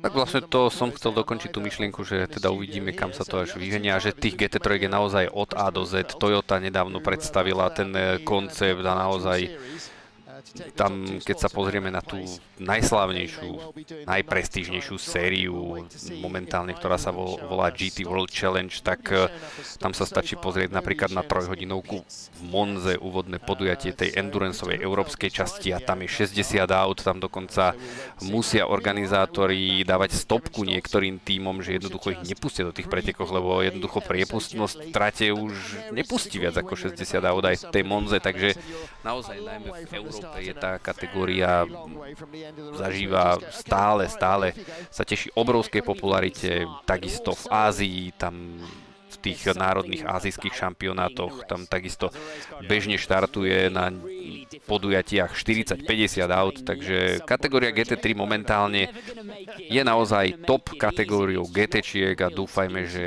ešte aj pár rokov ostane a že nejak tento, toto zlúčenie alebo toto, že vlastne GT3 pôjdu do vlastne do vytrvalostných pretekov, majstrovstiev sveta vytrvalostných pretekov a 24 hodín Le tak ďalej, že to nejak nejakým výrazným spôsobom túto kategóriu nepokazí, čo sa týka cenovej dostupnosti. Mňa napríklad osobne teší, že jednoducho aj Corvetta musí, musela teda svoju novú C8 už vyvinúť pre kategóriu GT3, aj keď oznámili, že e, nejaké tie zákaznícke auta sa budú predávať až o nejaké možno 2 až 4 roky. Ale jednoducho GT3 z Corvety tu už je a Jednoducho môžeme očakávať návrat do Le Mans značiek ako BMW a možno aj iných značiek, McLaren, keďže aj z toho máme GT3. No, sám budem zvedavý, ako, aké rôzne značky a týmy zavítajú a myslím si, že organizátori budú mať čo robiť, aby jednoducho s tým schvalovaním tých jednotlivých pozvánok, lebo myslím si, že začne byť obrovský záujem, najmä o 24 hodinovku v Le Mans. Áno, plne tuto číha ďalší problém, ktorý, ktorý budú musieť organizátori riešiť, pretože ak má pamäť neklame, tak myslím si, že maximálna kapacita, čo sa týka pitlane na okruhu Circuit de la Sarthe je 60 garáží, čiže 60 posadok. A čo skoro nám sa teda otvorí tá kategória GT, ktorá bude pravdepodobne nie z názov ako GT3 Pro alebo niečo podobné a to bude budiť obrovský záujem potom je tu kategória LMP2, ktorá je permanentne v podstate, kde vidíme samostatný štartový rošt Formule 1, že tam býva častokrát 22 prototypov. Potom sú tu amatérske GT, ktoré pravdepodobne taktiež porastú v tom počte. A potom je tu ešte tá kráľovská trieda, do ktorej sa hrnie hneď niekoľko značiek, že tam bude, myslím, že takmer až 10 rôznych značiek, čo znamená, že minimálne 20 ďalších aut a ako si, ako by povedala legenda slovenského internetu, to mi nevychádza. Áno, je to nejak tak. Uh, v každom prípade je to, je to samozrejme ďalšia éra, na ktorú sa napríklad ja veľmi teším. Uh, už naozaj za pár týždňov tu budeme mať vlastne s týmito novými pravidlami 24 hodinovku v Daytone, takže tam e, dostaneme takú prvú ochutnávku toho, čo sa nám tam bude diať a je to tam jednoducho rozdelené. Kategória GT3 Pro, tam budú mať e, vlastne, tam bude možná účasť len profesionálnych pilotov, ktorí vlastnia licenciu, vieme, že licencie u pilotov, čo sa týka vo vytrvalstvých pretekoch sa označuje vlastne farbou kovu. Bronzová, strieborná, zlatá, potom platinoví jazdci, to sú väčšinou piloti alebo bývalí piloti, piloti v Formule 1, takže a naozaj do profesionálnych GT si budú môcť sadnúť len jazdci zlatý a platinový, aspoň takto by to malo byť. No a potom do tej amatérskej posádky samozrejme tam budú, tam myslím, že buď len samotní amatéri, alebo budú mať možno povoleného jedného profíka. Ešte som to úplne dopodrobná neštudoval, takže, takže no, naozaj veľmi zaujímavé osvetlenie momentálne u Armina Bindera. Tam to vyzerá skutočne ako v nejakej Unimobunke. Áno a možno práve to je to, že on tam má nejakú možno diodku nejakej inej farby, aby proste sa nejakým spôsobom mu to neťahalo oči. To je presne to, čo tu aj naši diváci rozoberali.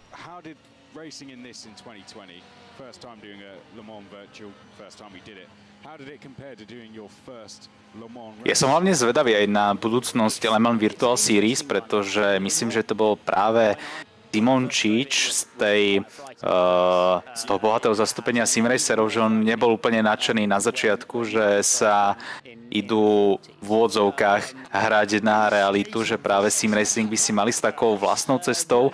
A ja s tým tak trošku aj súhlasím a bol by som možno rád, keby tu vidíme niečo podobné, ako robí napríklad séria Gran Turismo, do ktorej automobilky navrhujú virtuálne špeciály, ktoré síce nikdy neuvidíme v realite, ale v tom hernom svete sú a podľa mňa by bolo zaujímavé vymyslieť všeobecne nejakú kategóriu, ktorá by možno napodobňovala ikonický, ikonickú skupinu C z Le Mans alebo auta kategórie GT1, ale v tom modernom podaní a aj s oficiálnou podporou automobiliek, ale iba čisto pre ten e-športový svet.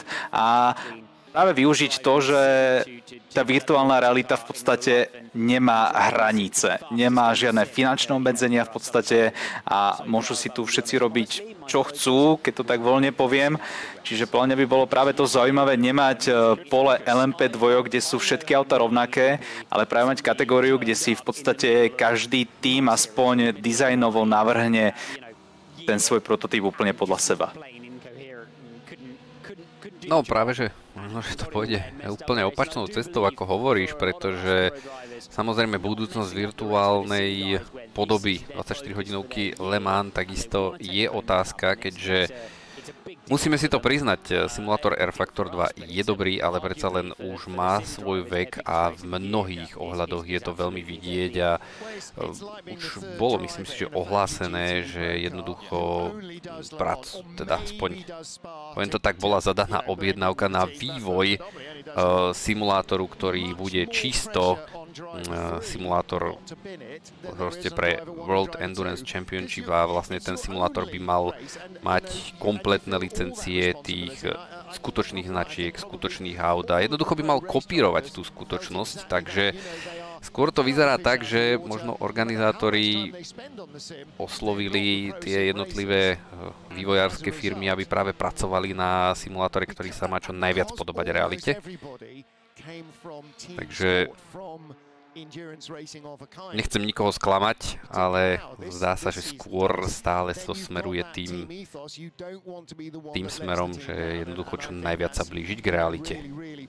Tak ešte stále to môže byť zaujímavé tým, že tam už budeme mať k dispozícii v podstate celú štartovnú listinu hyperkárov, čiže tam bude na výber 10 rôznych uh, prototypov po väčšine, ale tak nazvime to hyperkár.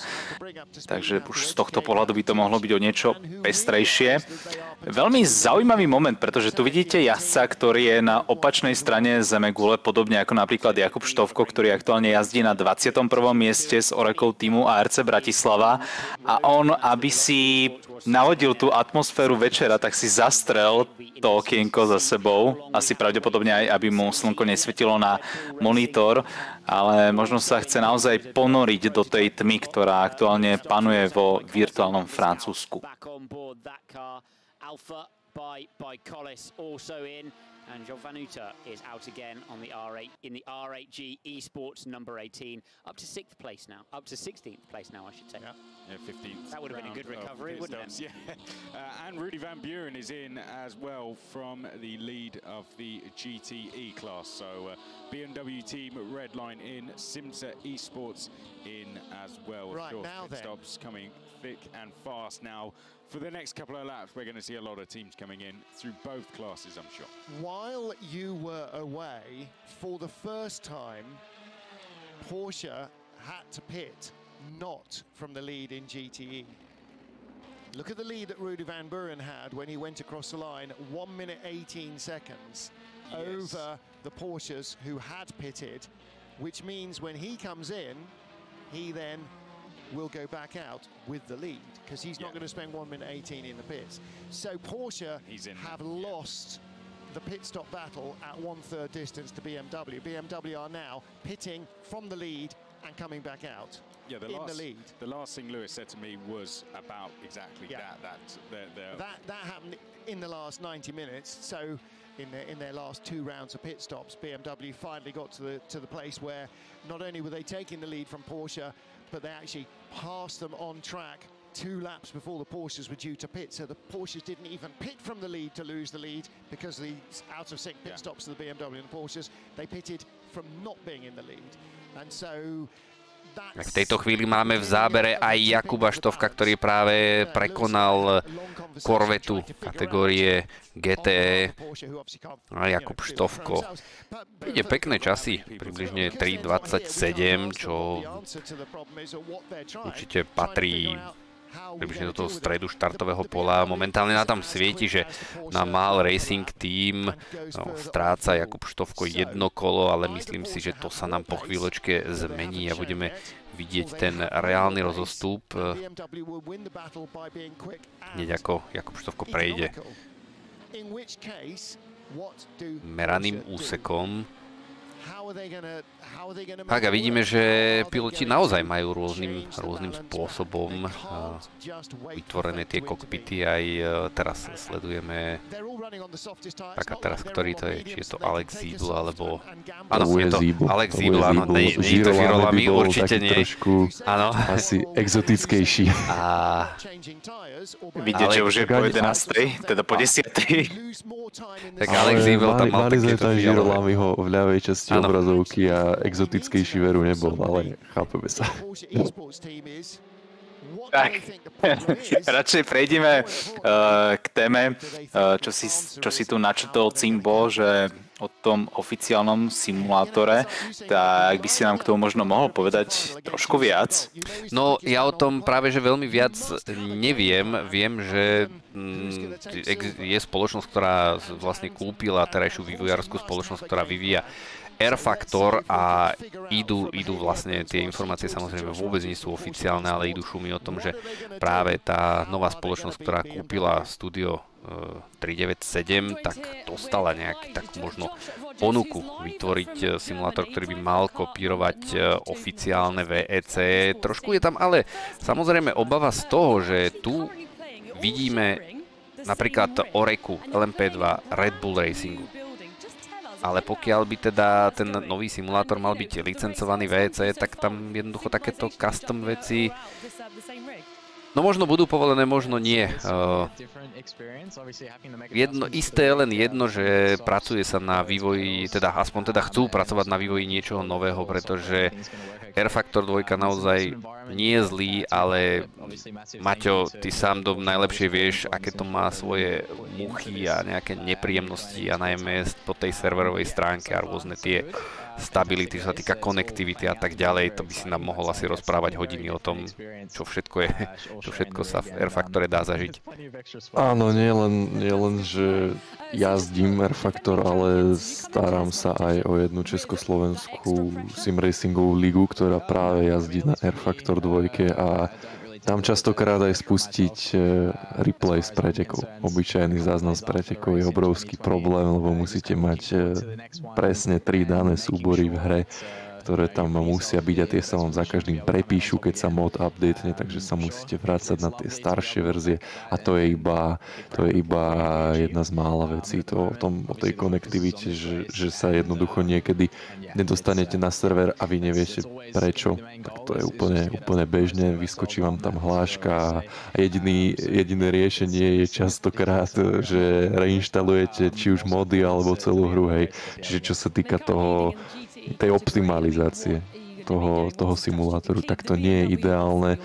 A viem, že robili, respektíve spravili približne, už to bude aj rok a pol asi, dozadu nové, nové, nový user interface, nové užívateľské rozhranie, čiže nové menu a, a celkový ten, ten vzhľad toho, keď nie ste na trati.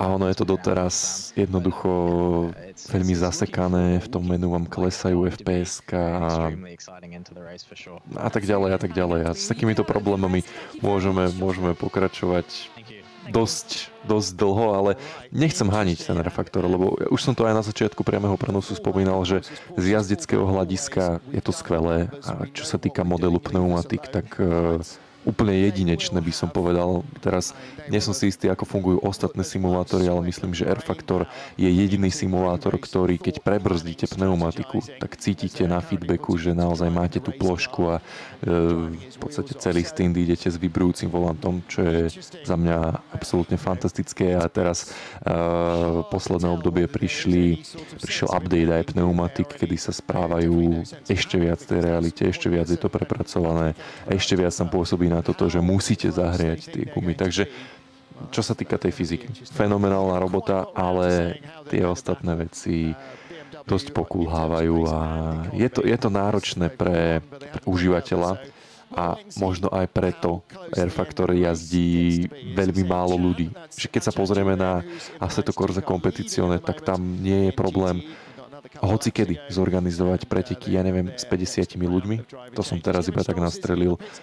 Naopak v Air Factor 2 aj tie možno také, čo sa týka Československa, naj, najväčšie ligy, tak jednoducho takéto počty nedosiahnu a to je, to je škoda, no, lebo, lebo užívateľia chcú to pohodlie, chcú jednoducho zapnúť tú hru, zajazdiť si, výjsť na trať, spraviť pár kôl a, a neriešiť. No lenže na Air Factor niekedy si robíme srandu s chalanmi, s administrátormi našej ligy, že potrebujete maturitu alebo minimálne uh, štúdium na strednej škole aspoň pár rokov v IT oblasti. Hej. Takže naozaj je to, je to zložité a trošku asi aj už zastaralé.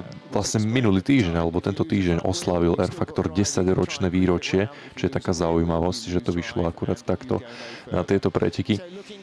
Takže mm, čakáme, čakáme možno na niečo nové, ale ja som si istý, že ešte minimálne dva roky tu bude R Factor taký, ako ho poznáme teraz. Minimálne tá komunita tu ostane, lebo neviem si teraz predstaviť, že e, príde niečo nové a automaticky sa tam všetci presunú. Podľa mňa aj ten nový simulátor bude potrebovať ešte nejaký, nejaký čas na to, aby, aby si získal tú komunitu, aby si získal aj e, aj týchto simracerov, na ktorých sa teraz pozeráme. No a potom tie ligy, čo sa týka na náš, ako Československa, tak e, no neviem, bude to asi náročné niečo také zorganizovať, ale všetko je to len otázka času. A very late addition to this car. Only in the last 24 hours did he join the number 11 uh, Red Bull Racing esports team.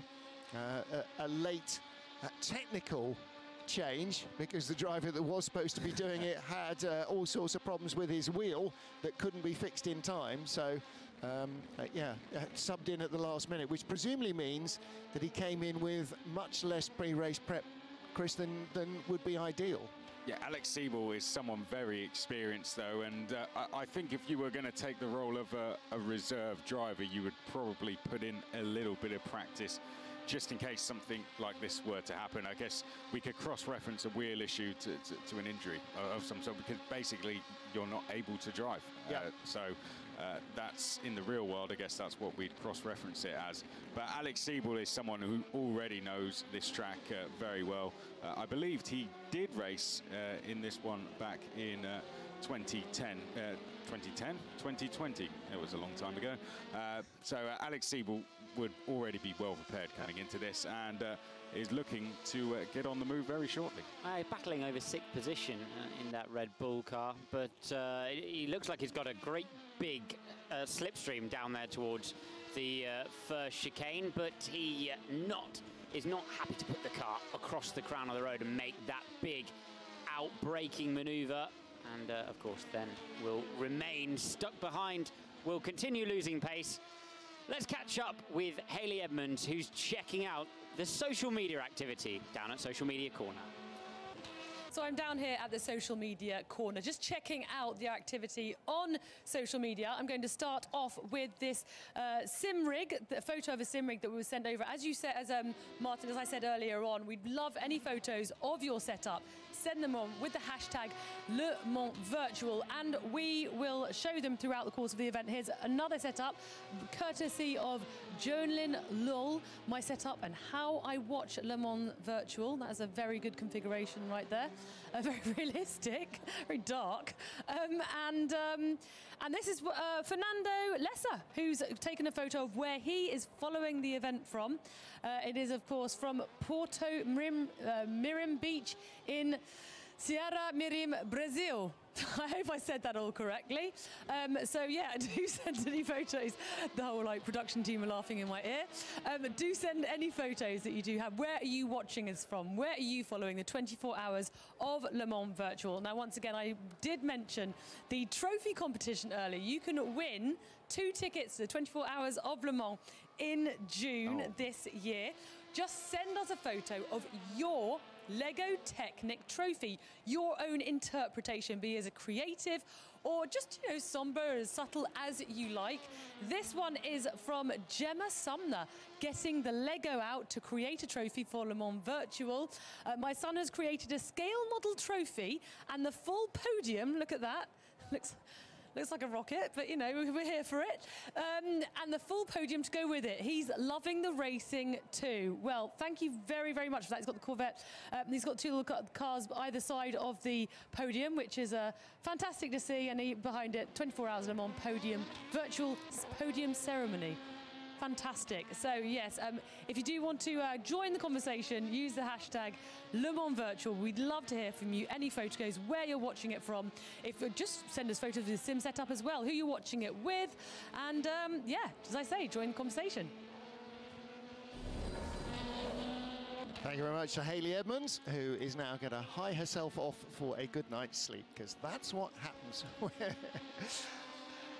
That is uh, great work on the sim rigs and uh, yeah, nice pictures there from Brazil as well. So if you've got a glamorous location, if you are watching us on 26 different screens, and I know that some of you will probably have at least half a dozen different ways Tak teda opäť po krátkej odbočke, čo sa nám deje na sociálnych sieťach, sme späť aj my. V zábere máme momentálne aj Oreku týmu ARC Bratislava. No a ja by som chcel takto dnes skoro večer privítať uh, nášho hostia, Romana Rosinu, ktorý je mnohým najmä tým, poviem to starším známy z toho simulátorového sveta, keďže už sa pár rokov Roman simulátorom až tak veľmi nevenuje, ale je to človek, ktorý sa vďaka simulátorom dostal aj k reálnemu motoršportu, či už so skúsenosťami aj ako jazdec alebo mechanik. O všetkom nám samozrejme sám určite porozpráva, takže Roman, vítaj, pekný večer.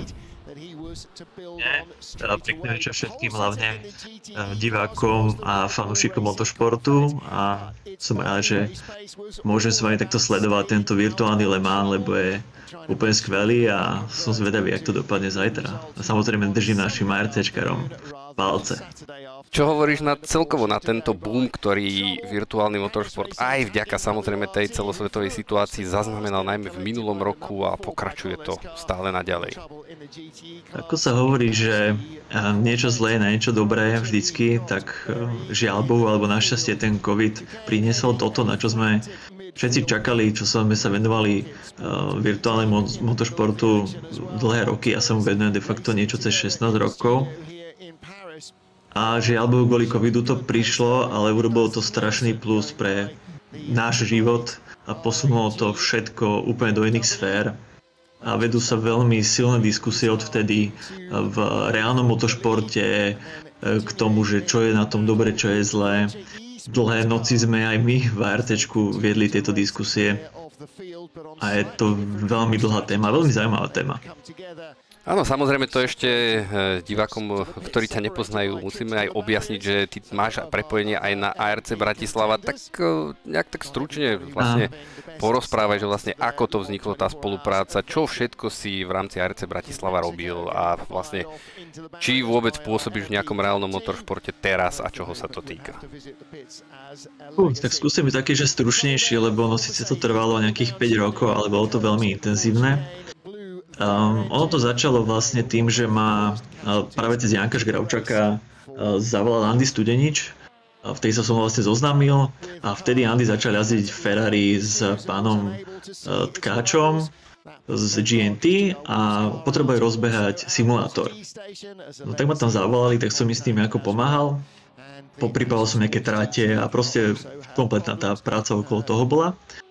No a potom, jak sme sa za tým bavili a riešili sme práve fyziku toho Ferrari, aby to bolo blízke tej realite, keďže my sme tú fyziku robili už od GT, GTR 2, um, tak sme sa posunuli uh, až do toho, že ma raz zavolal na preteky GT do Monzy, ako nech sa idem pozrieť, čo vtedy Miro Konopka v rámci ARC teda.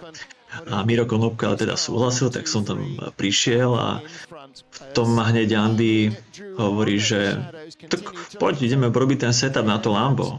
Že fúha. tak bolo to také, že, že čo samozrejme k ničomu moc nepustili, ale ale sme sa bavili o telemetriách, s pilotmi sme tam debatovali a tak a Andy ma nechal, tým, že trošku na mňa pozerali jedným očkom, aby som zase ich moc nejako neburcoval do niečoho, čo nie je OK. No a tam to vlastne celé začalo. A nakoniec, keďže k tomu setupovaniu de facto ani Miro Konopka moc nepúšťa Slováku, jedine tak Andyho, a tak povedal Andy, že vlastne tam žiaľ Bohu v tomto týme, v tomto nemám priestor, ale že veľmi potrebuje niekoho, kto trošku má, trošku rozmýšľa nad určitými vecami a rozumie sa tomu aspoň z tohto športu virtuálneho a že potrebuje vlastne time manager, to znamená, že tento sa stará o pneumatiky. No a tak som tam nejako ostal externe, chodil som na preteky, či to boli GT, vtedy ešte v 2017 bolo Span 24 hodinovka, to bola moja prvá 24 A tak sa to posúvne potiahlo potom do tej azijskej Le Mans série. No a v neposlednom rade dvakrát Le Mans som dal. No ale dva roky alebo 1,5 roku dozadu myslím, že to bolo, som povedal, že už kvôli rodine aj práci sa to proste nedá stíhať, keďže mám robotu a je to veľmi náročné.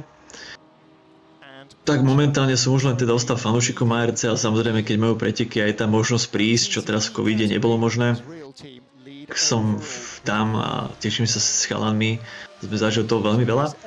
No a popri tom s Andym, keďže Andy má svoj pretekársky tým, ktorý vedie ako team manager uh, Brutal Fish, Martina Rybu, tak ma túto sezónu pozvali, napriek tomu, že sa povedal, že už nebudem robiť túto robotu, tak ma strašne potrebovali pomoc práve tiež s gumami, tak som si s nimi dal zo pár pretekov práve európskej TCR. No a uvidíme, čo bude tento rok. No, času nie je, ale také človek to má v krvi ten motošport a mu to chýba, keďže už ani nejazdím. Ja hovorím, že vlastne som sa podarilo vďaka práve tej spolupráci aj s ARCčkom akým spôsobom dostať sa do pretekania MX-5 KP. Tam som 4 roky jazdil tak proste nejak to je takto sklbené z de facto okolo Andyho Studeniče, dá sa povedať. No a je to veľmi silné na porovnanie tej reality uh, toho virtuálneho sveta. Takže asi takto stručnejšie tomu, ako sa k tomu dostal a ako som na tom.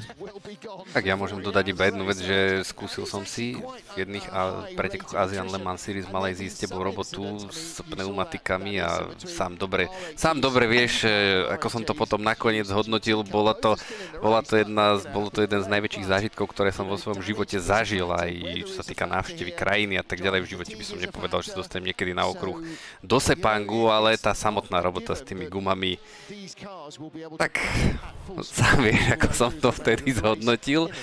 Uh, ale ty si dvakrát absolvoval 24 hodinovku Le Mans s týmom ARC Bratislava, tak keďže to máme teraz aj vo virtuálnej podobe, tak sa poďme trošku venovať tomu, trošku priblíž našim divákom vlastne z tej pozície mechanika. Ako to vlastne v tom Le Mans vyzerá, ako dlho, koľko času tam vlastne mechanici strávia, vieme, že mechanici a celkovo týmy tam prichádzajú podstatne skôr ako samotní piloti a podstatne neskôr odchádzajú, takže trošku to približ našim divákom, že čo to je pre mechanika 24 hodinové preteky a také ako som Le Mans.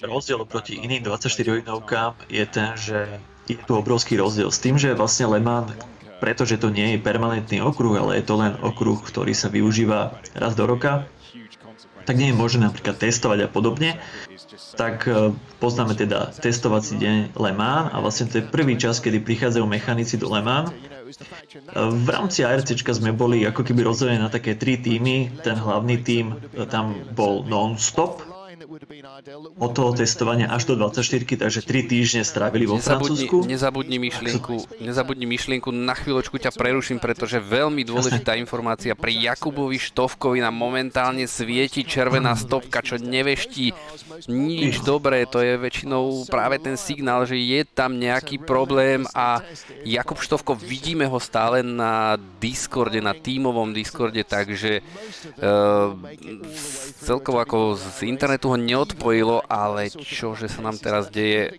Určite informácie dostaneme čoskoro od Janaš Gravčáka. Budeme túto situáciu v najbližších teda chvíľach sledovať a tak Roman pokračuj. Možno by som skôr odbehol do inej 24, aby to bolo jasné. Štandardná 24 je len o tom, že prídete o pár dní skorej, to znamená, že nepríde sa klasicky niekedy v stredu, štvrtok, ale prichádza sa v pondelok, lebo je tam predsa iná procedúra. A de facto ten klasický víkend závodný je pretekársky je natiahnutý o nejaké 3 dní. V Le Mans idete najprv na testovací, testovací víkend, pri ktorom uh, určitá časť týmu potom teda odchádza domov a ten, ten main, ten úplný základ tam ostáva a auto de facto rozoberú na súčiastky, dá sa povedať, uh, povymieňajú od brzd, uh, spojky, motor vymenia za druhý prípadne z tých testov, lebo na tých testoch niekedy sú akože staršie motory, nemusia byť úplne nové a takže je tam strašne veľa roboty a mechanici tam ostávajú tú celú dobu medzi ostrým Le Mans a tými testami. No a potom zbytok týmu sa vracia do Le Mans. To je najväčší asi rozdiel, to znamená, že chalani už po tých dvoch, troch týždňoch sú tam úplne že psychicky hotoví, že už proste nechcú nič iné vidieť, chcú ísť domov. Takže to je také dosť náročné už na tom štarte. No a potom to samotné Le Mans, um, rozdiel proti iným pretekom uh, je možno tá atmosféra. Tým, že okolo tej trate a celkovo tí fanúšikovia, že je tam obrovské množstvo fanúšikov, ale hlavne um, je tam taký silný mediálny tlak. To znamená, že aj my v boxoch uh, sme museli, uh, alebo boli sme kontrolovaní veľmi, veľmi intenzívne maršalmi, museli sme si dať pozor na oblečenie, museli sme dať pozor, že kde mám hasičské prístroje, kde mám Eh, kde odkladám pneumatiky, kde je priechod pre požiarníkov.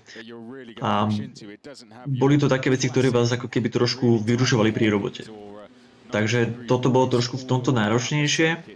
Druhá vec, tým, že tam všade chodia kamery, tak museli sme byť eh, de facto väčšinu času veľmi, veľmi slušne oblečení tímovo čo tiež niekedy vám není úplne najpohodlnejšie v rámci tej roboty, hlavne keď robíte tú fyzickú robotu. A pri tých pneumatikách je to dosť náročné. Jedna pneumatika s tým hočikovým diskom váži 18 kg a tých pneumatík mám na starosti 36 diskov plus teda pneumatiky, čo je dosť značná prenesenie tonáže za jeden deň. Takže človek je rád, keď není moc naobliekaný takže to sú také náročnejšie veci. A čo je úplne asi najhoršie v rámci mechanikov, teda tých gumárov by som povedal, je ten dáv ľudí v boxoch, teda vzadu v uh, uličke, kade vlastne sa dopravujete k, danému uh, gumárovi, to znamená, že buď Dunlopu, Goodyear, alebo podľa toho v tej sezóne, že koho máte objednaného. A idete de facto dvorkolkou, za ktorú máte zavesený vozík a musíte sa medzi tými ľuďmi pretláčať, čo na inom okruhu nepoznáte. To znamená, že namiesto tej klasickej rýchlosti, keďže idete asi 300-400 metrov a potrebujete ten čas, aby ste tie gumy pripravili, odvezli a tak ďalej, tak idete absolútnym krokom, trubíte na tých ľudí, niektorých čakáte, či ich zrazíte alebo prežijú. Je to, je to aj na psychiku vás, lebo vidíte, že ak máte zodpovednosť, máte málo času tak toto je veľmi, veľmi náročné. A niekedy sme skončili tak, že som prišiel do boxa, už sa ma pýtali len, že jeden alebo dvaja. A ja, že nula. To bolo, že koho som zostrelil, hej, zo srandy. Takže to boli také vtipy, lebo už sme to odľahčovali. Aj, tu je, tu je presne Michalovi. záber na Oreku ARC Bratislava. Vidíme, že tam chýba práve zadné koleso a už sa uh, objavujú aj prvotné informácie od Doda Matiaška, že jednoducho Jakub Štovko mal nehodu, rozbil to a nedá sa mu naštartovať auto. Dokonca sú tu ešte aj uh, nejaké špekulácie, že či mu predtým náhodou nejak neskolabovala hra aj kvôli tomu to rozbil. Oficiálnu informáciu ešte ešte od týmu ARC Bratislava nemáme, ale tie zábery hovoria za všetko. No, nevyzerá to vôbec e, dobre v tejto chvíli. Vyzerá to podobne ako s týmom Redline. Takže, no, počkáme si na oficiálnu informáciu a potom budeme môcť nejak vyhodnotiť túto tému. Takže, čo sa týka Le Mans, tak pre mechanikov to naozaj nie je žiadna, žiadna prechádzka, pretože, tak ako si hovoril, tam naozaj tá, tá mediálnosť, ktorá okolo toho je, predsa len čo sa týka 24 hodinoviek, po celom svete, tak e, stále, či sa to niekomu páči alebo nie, 24 hodín Le Mans sú stále najprestížnejšie a najslavnejšie 24 hodinové preteky na svete. Tým sa asi dá jednoducho len súhlasiť a jednoducho naozaj je tam nápor na všetkých členov týmu. Tak, možno ale akože atmosférou v rámci um, motošportu, alebo keď človek je že fanúčik motošportu, tak musím povedať, že atmosféra na Nordschleife 24 a v Spa je lepšia pre tých fakt ostrých fanúšikov, ale toto je tak mediálne silnejšie samozrejme. V tom spa je to úplne úžasné, je to aj do atmosférou tráte, takisto na tom Nürburgringu, na tom Nordschleife. Ale akože potom v rámci 24 je tá práca identická, každá 24 je rovnaká, či pôjdete s Cliom jazdiť, alebo pôjdete s LMP2. Tá práca je rovnaká, je to veľmi náročné fyzicky, psychicky, de facto mechanik je 36 hodín hore, pre tých 24 a my sme okolo 36 hodín to býva hore. To znamená, že vy už keď sa dáte na, na grid ako pretekár, tak my už sme hore okolo tých 7-8 hodín. Čaká nás pretek a ešte po preteku musíme zbaliť veci v rámci boxu, musíme skontrolovať auto, ak teda skončí nejaký park ferme. Až potom sa vlastne ide spať. Takže je to veľmi fyzicky náročné a mechanici de facto môžu maximálne podriemávať v tom boxe, ak sa tam klasicky leží. Čo žiaľ Bohu Gumar nepodriemáva ani sekundu. To znamená, že my ideme fakt non-stop. A o to je to možno ešte náročnejšie, že vlastne tá fyzička, ktorá telo by si chcelo oddychnúť, tak tým, že idete úplne bez prestávky, lebo ako gumár nemáte ani sekundu času na nič, tak už potom fakt nad ránom ledva zvíhate tie pneumatiky. A keď už ide posledný s tým, tak sa tak tešíte, že už to nikdy nechytíte do ruky.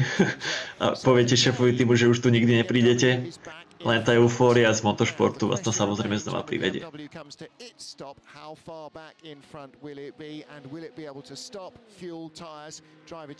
Tak načníme určite aj tému, vlastne, ktorú, ktorá ťa dostala k tomu reálnemu motoršportu. Ten, vlastne tie simulátory, ty už si to úvodom naznačil, že naozaj veľmi veľa rokov si sa tomu venoval. Samozrejme nejaký ten odstup času už samozrejme prebehol, už ani ja sa, ani ty, ani ja sa tomu nevenujeme takým úplne aktívnym e, spôsobom. Simulátory sa veľmi, veľmi zmenili, naozaj väčšina simulátorov je postavená na tom, že sa jednoducho modovať nedajú. Air Factor 2 je jeden z posledných simulátorov, ktoré sa modovať dá. Mm, ty si si skúsil Air Factor 2, konkrétne aj tento mod, tak e, možno aj z tvojho pohľadu človeka, ktorý kedy si naozaj veľmi výrazným spôsobom pracoval na modoch, e, či by si vedel nejak e, veľmi jemne zhodnotiť e, tvoj, tvoj pocit z toho, ako napríklad tieto auta jazdia.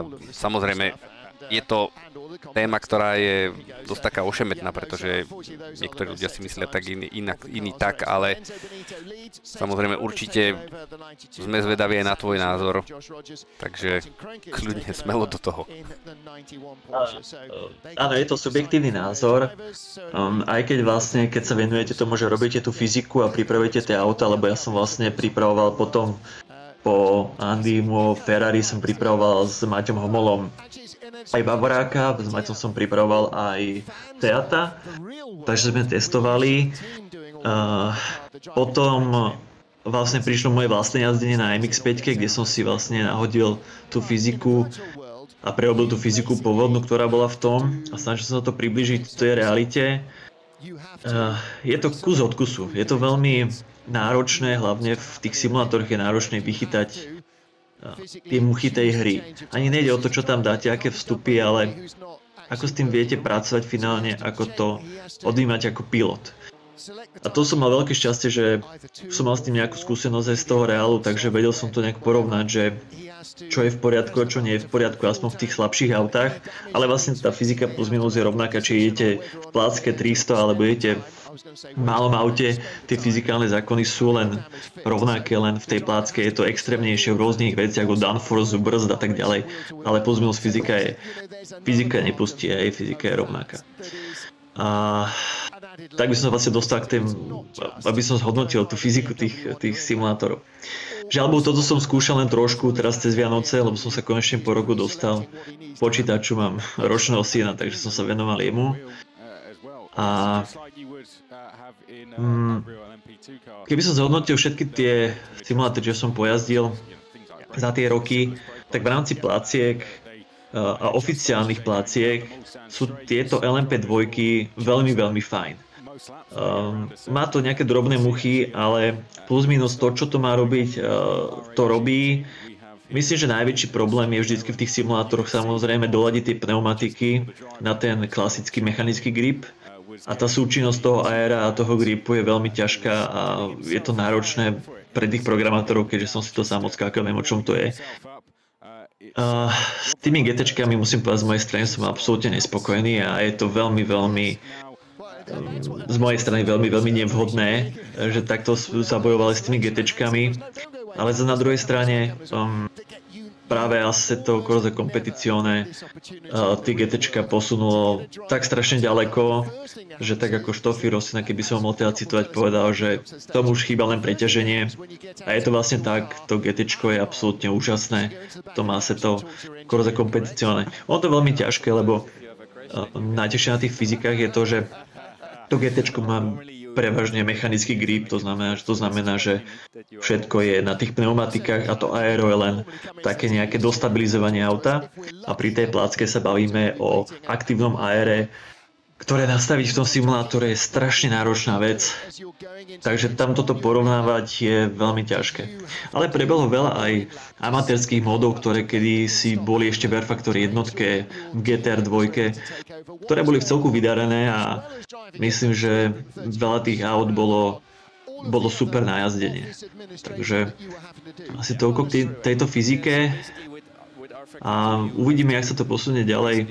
Tam je najväčší problém v tej fyzike, tá súčinnosť, všetci chcú lepšiu grafiku a zároveň chcú všetci lepšiu fyziku a máme jeden počítač, ktorý je strašne rád, že to zvláda, tak jak to zvláda a ten problém je práve v tomto, že vlastne nedokážeme, ani tí programátori nedokážu ešte viac robiť výpočtov na tej fyzike, lebo je to finálne proste nevíde na výkon tých počítačov. Takže je to veľmi náročné nastaviť práve pre toho štandardného konzumenta. Keď sa bavíme o tých simulátoroch, ktoré sú vo Formule 1 a podobne, tak tam samozrejme je to jedna obrovská stanica, do ktorej to viete natlačiť tie informácie a vie to rátať o mnoho, o mnoho inšie veci a tie výstupy sú iné aj na to jazdenie, takže žiaľ s tým sa to porovnávať nedá, ale myslím, že na to, ako to kamera teraz nazval, že Kitchen Grand Prix, to znamená, že sedím v kuchyni a jazdím, je to veľmi, veľmi dobré a pre tú prax uh, tej skutočnosti, keď viete precítiť ten simulátor, to, čo tam potrebujete nájsť, je to veľmi, veľmi blízke a veľmi fajn. Nemôžem povedať, že to je rovnaké samozrejme, ale je to veľmi blízke. Tak eh, už máme potvrdené eh, informácie, že mm, tým ARC Bratislava v 24 hodinovke Le Mans v šampionáte, teda v sezóne 2021 končí, pretože auto mm, sa jednoducho po tom náraze niekde v zákrutách Porsche už nedá naspäť naštartovať, takže bohužiaľ koniec pre ARC Bratislava a jednoducho Celkovo v šampionát Le Mans Virtual Series bol zatiaľ takto z takého krátkeho pohľadu. veľmi veľká skúsenosť a dúfajme, že sa podarí teda nejakým spôsobom ARC Bratislava dostať aj do budúcoročného, budúcoročného účinkovania, ak teda bude tento záujem, pretože naozaj nie je jednoduché sa dostať do tohto šampionátu.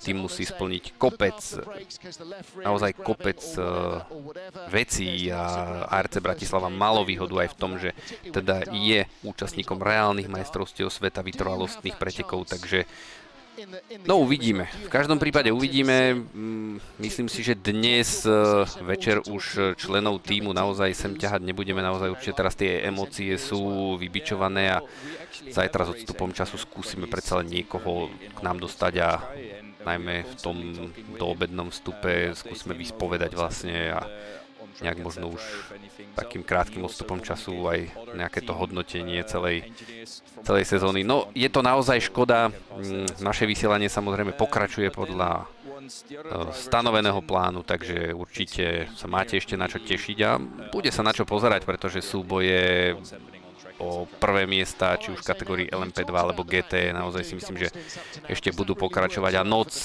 noc naozaj oddelí ako sa hovorí. Zrnka od pliev. Áno, áno, presne takýmto spôsobom. No, dobre, Roman, e, ty takisto tiež máš skúsenosti, čo sa týka toho jazdenia, či už denného alebo nočného. My sme tu mali takú tému. Ako je to u teba, či jazdíš radšej v noci alebo cez deň? Ako vnímaš to nočné jazdenie? Či jazdíš pri nejakom tom svetielku alebo máš rád úplnú tmu, aby si mal tú nočnú atmosféru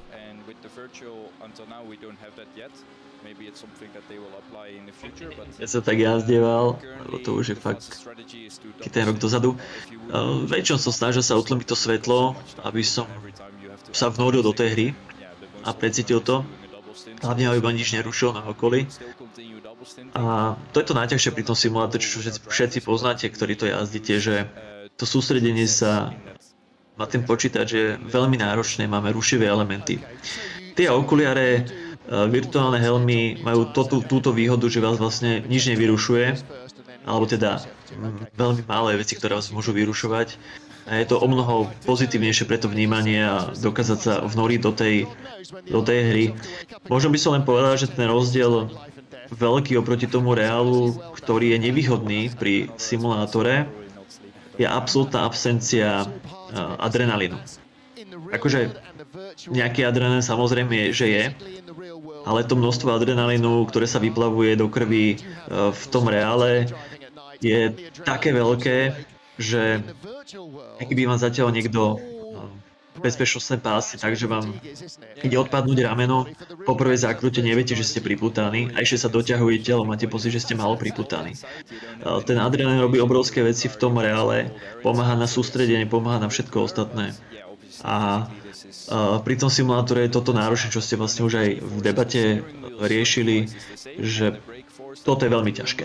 Pri tom počítači, a keď sú nejaké dlhšie preteky, čo sme aj kedysi mávali, tak presne po tom dlhšom čase dokázať sústrediť na to, aby som neurobil chybu pri pozeraní sa na monitor, je veľmi náročné. Takže určite by som nevytýkal chalanom, a že sa niečo takéto stalo. Strašne ma to mrzí, lebo viem, čo prežívajú. Aj v tom reále sme to ako mechanici veľmi zle niesli.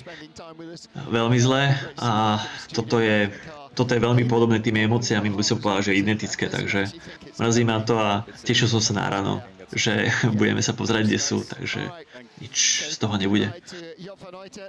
Ale to sú samozrejme veci, ktoré k motoršportu patria. To, to jednoducho, či už je to virtuálny alebo reálny, o tom ten motoršport je, že jednoducho nestačí byť iba rýchly alebo presný, alebo proste nestačí byť len dokonalý v tých určitých technických veciach, ale Jednoducho potom príde situácia, ktorú ani, ani najšpičkovejší tým nedokáže ovplyvniť a videli sme, že rozbil to aj Max Verstappen, takže mm, a vytrvalostné preteky sú ešte o to náročnejšie, že proste tam je tá časová porcia naozaj obrovská. Ešte nie sme ani v polovici týchto pretekov a už naozaj máme celkom slušný počet vypadnutých, takže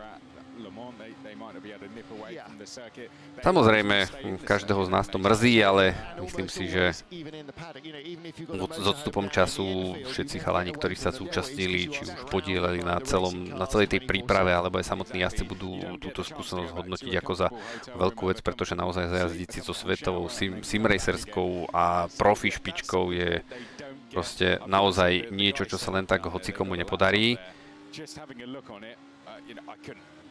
Vráťme sa opäť k tej našej eh, načatej téme, k tej našej debate, takže máš radšej nočné, tie, také tie nočné stinty, alebo tie denné, patríš k tým pilotom, ktorí sú napríklad v noci rýchlejší ako cez deň, alebo nie?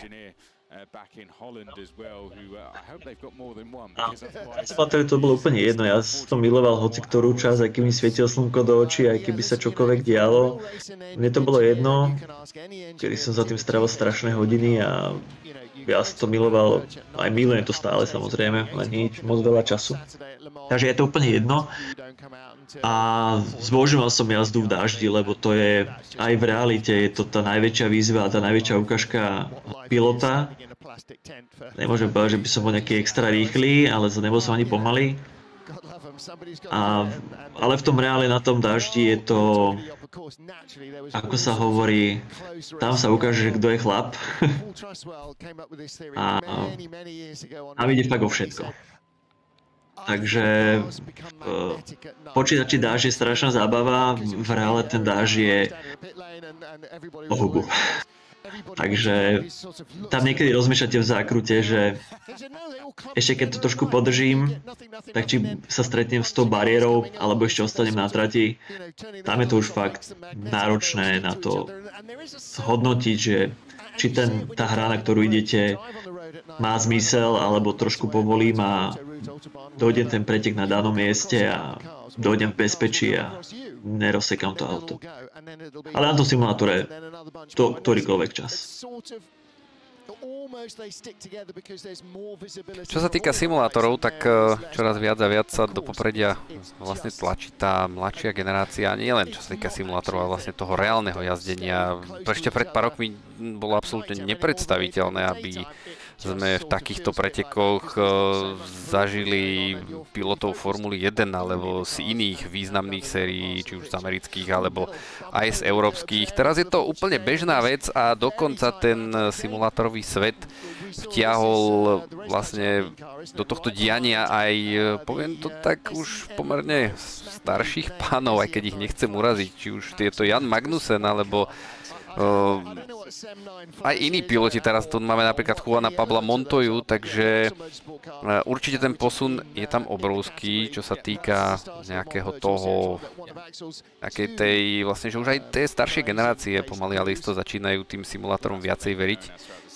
A to je vlastne celá tá snaha ľudí, ktorí sa venujú týmto veciam a vlastne celý ten, celý ten koncept a tá éra tých modovaní v podstate priniesla to, že jednoducho vývojári samotných hier si naozaj začali uvedomovať, že je potrebné spraviť tie simulátory tak, aby boli jednoducho dobré a prístupné, pretože ľudí, ktorí robia jednotlivé módy je čoraz menej, lebo tak ako si sám povedal, je to veľmi, veľmi náročná vec a Naozaj nás je veľmi ťažké je odhadnúť eh, to, aby proste tie hodnoty a všetko, čo tam eh, vlastne si, si aj nastavoval, aj eh, robil, aby sa to čo najviac podobalo k reálu a robiť to vlastne pre autá, ktorý, s ktorými vlastne v reále si nikdy nejazdil, to musí byť fest sakra náročné. Viem, že ešte keď sme boli spolu v kontakte, tak si mi to párkrát aj vysvetloval, ale to je niečo, na čo ja napríklad vôbec nemám hlavu. Takže je to naozaj, je to asi veľmi ťažké spraviť niečo také, aby v podstate jazdilo a podobalo sa to tomu, čo to naozaj v reále robí. Dobre, že som nastúpil do toho RCčka a ja som aktívne spovedal uh, pilotov, uh, všetky telemetrie som si študoval po večeroch tam, aj keď sme boli v Ázii alebo hoci kde keď sme mali anglických inžinierov, tak som dopytoval otázkami, na ktoré mi niekedy aj nevedeli odpovedať a na druhý deň radostne mi odpovedali, že si to pozreli v manuále pre niečo a začali sa mi to vysvetliť. Uh, s mojou lamanou angličtinou to bolo o to vtipnejšie. Máme tu nejaký skvelý súboj. To by mala byť 14 to znamená, že to je... Áno, áno, je to 14 To je súboj o 7 pozíciu. Macduff Race Clutch Alpine, čiže Alpinka s číslom 14 sa práve dostala pred eh, Sam9 Flash Excel, to je malajský tím, ale za volantom tohto malajského týmu je momentálne Josh Pervin, to je jeden, to je jeden z tých eh, hostujúcich pilotov, je to austrálsky jazdec, takže Malajčanov. Respektíve, áno, je to malajský tým, ale malajský jazdec je len, je len jeden. Potom tam máme uh, jazdca z Filipín, Josh Pervin Austrálčan a je tam ešte aj no, Ar Muhammad Elif, ale z tej vlajky naozaj neviem identifikovať, aká je on národnosť, takže no, no podľa mena Blízky východ. Ale vidíme, že obidvaja idú do boxov, takže bol to viac menej súboj, ktorý nám nič výrazné zatiaľ ešte nerozhodol, lebo v boxoch sa to môže všetko zmeniť. Ale keby som teda dokončil je, že um, tým, že som vlastne inžinier z Slovenskej technickej univerzity, tak aj tie veci tak uh, inak ako vnímam, ja sa na to pozerám, že niektoré veci, ktoré sú schopné, som schopný si nejakým spôsobom overiť aj matematicky, tak um, dá, dá sa povedať, že to by veľmi pomohlo v tom pochopení tej fyziky. No a potom práve pri tých páskach, kde máme o mnoho iné elementy, na tom prúžení, na tom aére, na tých všetkých komponentoch, ktoré sú tam, je tam vzadu je tretí element, špeciálne prúženie pri vysokých rýchlostiach, kde vlastne tá plácka pri 260 km za hodinu má prítlak 1,7 tony. To si myslím, že nikto nevie úplne predstaviť, kým to nezažije fyzicky asi.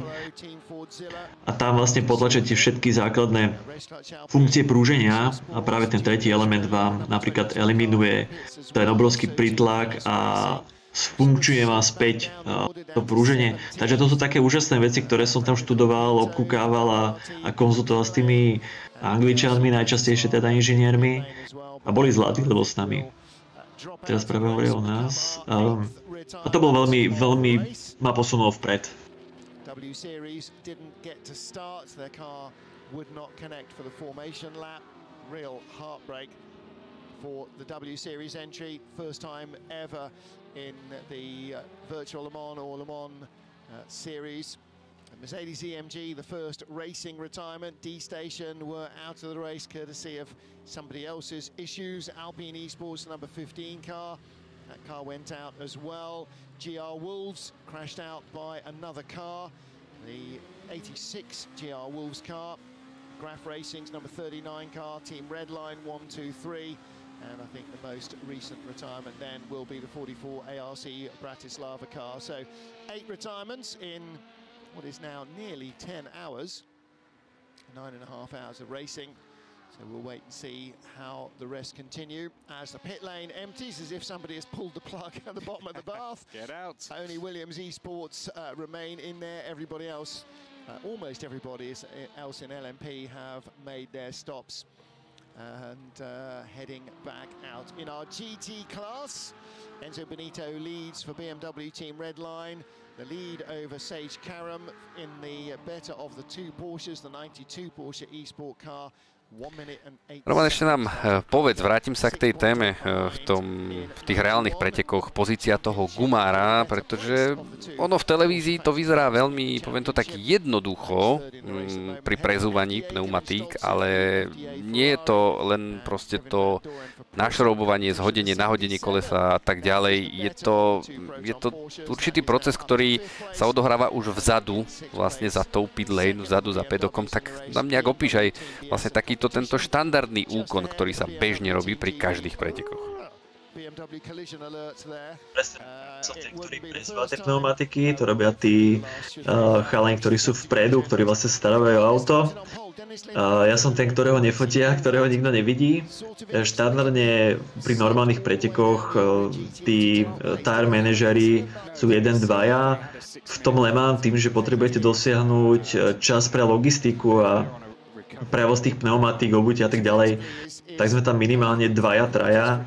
A je to náročné hlavne v Leman, pretože uh, je veľká vzdialenosť dopravať tie pneumatiky do stanu niektorého z toho výrobcu, to znamená, že napríklad poviem, že Pirelli, hej, a jeden z tých sprievodných faktorov, viac tak by som mohol povedať taký nejaký priebeh, aby ste mali predstavu, že vôbec to nie je také jednoduché.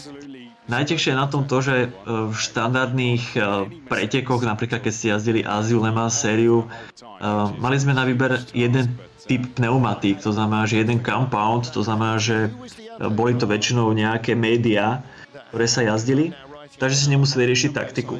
Le štandardne máme teda minimálne tie tri suché, intermediálky, neviem či tento rok reálne boli alebo boli iba mokré, ale minimálne v tých suchých máte obrovský boj s tým, že vy musíte všetky tie pneumatiky mať pripravené v zásobe, keď je napríklad defekt. To znamená, že musíte mať každej pneumatiky urobených minimálne 6, 6 obutých, lebo ľavú, pravú v prípade defektu ešte viete, ako sa hovorí, oželieť, že to prehodíte. Ale ten problém je tam rôzny, ktorý je s tým spojený. My máme v pneumatikách tlakové senzory, ktoré sú priamo spárované s čidlami. To znamená, že vy keď prehodíte pneumatiku prednú, ľavú za pravú, prestane vám to ukazovať v aute tlak pneumatik a inžinierom samozrejme. A čo v Leman je veľmi dôležité, lebo tých x kilometrov čakať, že čo je s autom, či nie je náhodou pomalý defekt, ktorý pilot môže pocítiť po najrýchlosti v Porsche, zákrutách, kde už je neskoro, Uh, tak toto sú veci, ktoré vlastne my čekujem počas celej tej jazdy. Takže je tam už len týchto vstupných faktorov je veľmi veľa. Uh, s tým, že máte aj nejaký obmedzený počet priestoru, kde môžete manipulovať, to znamená, že nemôžete tam mať úplných 50 diskov, s ktorými obsluhujete jedno auto, ale proste je strašné množstvo pneumatík a diskov, ktoré musíte mať u seba a je to veľmi zložité a hlavne v tom Leman je to veľmi, veľmi uh, priestorovo náročné. Takže toto sú veci, s ktorými bojujete. No a v neposlednom rade, tak ako nám tam zapadlo slniečko, v tom reále je to presne o tom, že okamžite musíte meniť tlaky v tých pneumatikách, nesmiete zazmetkovať, lebo to, čo ste už zohriali, má iný tlak, iný je ten pomer, keď odfúkujete. To znamená, že studená pneumatika má nejaký tlak, tá zohriata má o mnoho vyšší tlak, značne vyšší a jedna je zohriata na 80 stupňov, druhá je na 100 stupňov, tretia je na 40. Takže musíte veľmi opatrne robiť všetko, čo robíte, mať výborné poznámky, s ktorými pracujete a veľmi mm, opatrne konzultovať tieto veci s tým manažerom alebo s inžinierom, ktorý vám zadáva túto robotu. Takže čo máte s tým urobiť? Takže to je prvá taká asi najdôležitejšia vec, lebo ten tlak eh, s minimálnymi rozdielmi vie robiť veľkú zmenu. A zase nehovorme uh, o desatinných číslach uh, úplných podrobných, ale bavíme sa o rozdiele napríklad uh, 0,1 kPa ešte v pohode, ale proste tie rozdiely sú, uh, sú niekedy veľmi problematické a musíte veľmi rýchlo reagovať na tie zmeny. No a ten najdôležitejší úkon je ten, že keď príde pneumatika z auta, z toho stintu, tak prvé, čo musíte urobiť, uh, musíte ju očistiť, lebo vám ju nikto nebude chcieť uh, prezúvať, keď budete mať na disku nalepené žmolky a keď je tam závažičko, ktoré tam je. To znamená, že vy musíte okamžite z toho disku vyťahnete ventilčeky a začnete čistiť disky. Ten disk má 120 stupňov Celzia.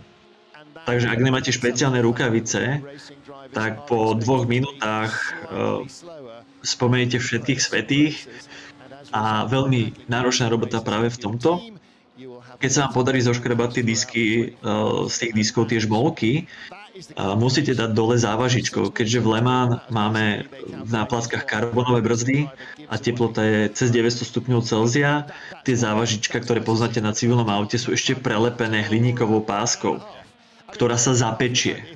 To znamená, že aby ste to demontovali, máte čo robiť, aby ste to dali dole. A všetko je nastavené tak, že tie pneumatiky musia byť čím skôr doma, tie nové, aby ste ich zohriali, lebo to zohrievanie trvá cez 30-40 minút a aby išlo na auto, to znamená, že vám týkajú hodiny. Ako náhle sa to podarí, ide to na vozík a ide to vašemu kolegovi, ktoré to nesie napríklad do toho stanu Dunlop. Musíte prejsť cez tých ľudí, ktorí vám tam zavádzajú celý čas. A keď prídete tam, tak vás tam čaká čakačka. Je tam 60 tímov, z ktorých je uh, 30 placiek, z ktorých, ak ste si vybrali tú väčšinovú pneumatiku, tak máte veľmi rovnaké pneumatiky s väčšinou štartového pola. Takže tá čakačka je tam vždycky minimálne pol až 4 hodinu, kedy vás zoberú na rad. S tým musíte počítať. počkajte tam alebo necháte to tam, oni to prezujú a vy to zoberete do boxov a musíte skontrolovať, či dobre zatiahli ventilčeky, musíte to natlakovať, musíte ich popísať, lebo musíte vedieť vlastne, že čo to je za pneumatiku. Musíte ich dať zohrievať do zohrievacieho stanu a, a po tých 40 minútach tá pneumatika teda musí byť pripravená, že pôjde na auto. To znamená, že ten proces je strašne časovo náročný, je tam strašne veľa úkonov a to som teraz povedal o jednom sete pneumatik. My ich máme mm, paralelne, ich robíme 3-4. Hej? To znamená, že tento proces robíte 24 hodín v kúse a je to veľmi, veľmi náročné, aby ste to stíhali, aby ste vedeli reagovať na tie všetky vstupy. Takže keby som povedal, že v tom najrychlejšom tempe, keď zložíte z auta disk s pneumatikou a chcete to vymeniť za novú pripravenú, tak ten čas sa pohybuje od hodiny do hodiny a pol. Takže to je strašne dlhá doba na to, že chodíte do boxov okolo 40 minút uh, každý stint kde meníte síce pneumatiky, možno každý druhý, tretí, ale môže sa stať, že zmenia sa podmienky a vymeníte, ako chalani hovorili, že skúšali tie prvé stinty na softoch, takže proste potrebujete zmeniť taktiku. Aké zaprší, tak je to ešte náročnejšie. Takže, a to som len ja vzadu, to nehovorím o tom všetkom, čo sa uhráva udiava vpredu a o tomto je to vlastne veľmi náročné v Lema. Samozrejme na iných 24 je to podobné, len v GT máte jednu sa, sadu tvrdostigum, to znamená, že tam neriešite, že máte viaceré pripravené, je to jednoduchšie. Takže asi takto to prebieha u nás vzadu.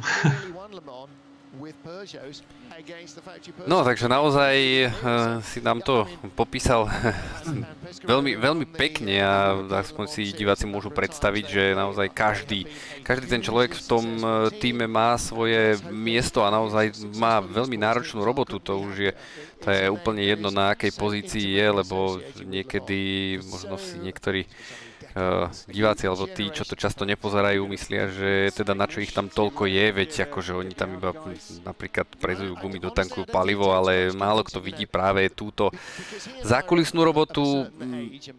Takto v týchto nočných hodinách naozaj veľmi pekné, veľmi pekné rozprávanie. Uh, nám sa pomaličky ale blíži čas uh, ukončenia dnešného vysielania. Budeme samozrejme pokračovať zajtra. Takže Roman, ja ti ďakujem za to, že si nás prišiel pozrieť a že si naozaj nám poskytol naozaj pekné príbehy a veľké množstvo informácií, či už zo sveta toho reálneho motoršportu alebo simulátorového pretekania. Nie a teším sa s vami na zajtra, na vstupy a na ukončenie tej 24 a som zvedavý, že komu sa to podarí v GT a v plackách dotiahnuť do toho zdárneho konca a hlavne komu sa to podarí dotiahnuť celkovo do cieľa. Takže držím všetkým palce a vám všetkým ostatným želám teda peknú, pekné sny. A zajtra sa vidíme evidentne na čete. Ďakujem Michal za pozvanie. Ďakujeme aj my. And then to see the way that everybody else from the real side, of, uh, from, from our side of the fence, if you like, sort of Oh, right, okay. There's an awful lot more involved in this maybe than we gave it credit for. And suddenly everybody just got carried along. And and and, the, and universally, when I started doing sim racing a couple of years back, everybody said, what's it like compared to the real world? And I said, well, actually, it's exactly the same as the real world. Really? Yes, except I have to do all my own engineering, all my audio setup. Everybody uses a different program for this, different program for that, different program for the other. I spend more time panicking as I'm sure a lot of racing drivers do, about not getting connected properly than I do about what's actually going to happen when I am connected. And that's the biggest difference. The biggest difference is I don't have a TV crew to set things up for me. Mm. So I have to do it all myself in my own studio. And that's the biggest difference because what you look at here is so similar. I mean, we've got the same Alpha uh, uh, Alcamel graphics as we have in FIA World Endurance Championship at Le Mans. We have the same many of the same manufacturers, many of the same cars, many of the same team names, a whole bunch of driver names that I recognize and I know. And when you're looking at it, again, you know, you hark back to sort of 15 or 20 years ago when racing games were blocky, polygon ridden things that at the time were fantastic and deeply involving, you know, like the early Gran Turismo games, deeply involving, but now you can't imagine that anybody could ever have thought it was even remotely involving. Now it is so realistic. And actually somebody on, on Twitter a little bit earlier was saying, imagine what the graphics are going to look like in 10 years' time. Yeah. It is going to be indecipherable from 1080i or whatever whatever spec we are then in, in HD because because that is digital imagery. The quote real TV pictures we're seeing are as digital as the digital TV pictures we're seeing. Mm. It, they're generated in exactly the same way by a computer chip in a camera as opposed to a computer chip in a computer. So it is so close and the racing is so similar. All right, there are fractional little bits that are not quite, uh, that, that, tell you it, you're looking, and you see sometimes, don't you, you know, clips on, you know, on YouTube or that, that go viral, and you, get, and you have to look at it a lot of times and going, is, is that, that, actually real or is that CGI? Oh. And, and, that, uh, or, or, or, you know, AI in a game or whatever, and, and you look at it and you, and a lot of time it's really hard to tell the difference. Now, obviously, we know that this is a virtual world race, but it doesn't make it any less enthralling, exciting. Tak po zaujímavom rozhovore sa opäť môžeme pozrieť aj na to, čo sa nám deje na trati a celkovo s blížiacou sa polnocou vyhodnotiť ten doterajší priebeh pretekov, takže začneme tým aktuálnym poradím. V kategórii LMP2 a v celkovom čele pretekov Michal Šmídl a tým Real Team Hydrogen Redline s číslom 70 a majú 42 sekundový náskok na svojich najbližších prenasledovateľov. A nimi sú e, Rebellion GPX Esports číslom 1, takže minuloroční šampióni a aktuálne za volantom Poliak Bžežinský. Na treťom mieste máme uh, tým Velče Esports s číslom 28. Na štvrtom mieste máme Floyd by Koles s číslom 4, takže tento tým predvádza naozaj veľmi peknú stíhaciu jazdu. A na piatom mieste máme 11 Zivela a Red Bull Racing Esports. Poďme ešte nakúknúť do kategórie GTE, kde zúri súboj medzi týmom továrenským Porsche a týmom BMW Redline, ale aktuálne má navrh e, továrenské Porsche, kedy je Američan Karam s číslom 92 v čele hneď pred svojim tímovým kolegom Krenkem s číslom 91 a až za nimi je aktuálne Bonito, ktorý je v BMW Timo Redline s číslom 71 a ten na nich stráca, ale idú tam dosť rozdielnú stratégiu. Aktuálne sa nám tam uh, prepadá jeden odstupivší prototyp. Na štvrtom mieste je tam potom Ferrari Driving Academy aktuálne štolce za volantom. Toto Ferrari už taktiež stráca o niečo výraznejšie, aktuálne 11 sekúnd od uh, auta pred sebou. Na piatom mieste je tam Fandoren s ďalším Porsche, ale tentokrát týmu Proton Competition. Takže takto vyzerá top 5 v oboch kategóriách. My máme ešte 12 minút do konca ďalšej hodiny a pomaličke asi čas e, bilancovať to, čo sme mohli vidieť.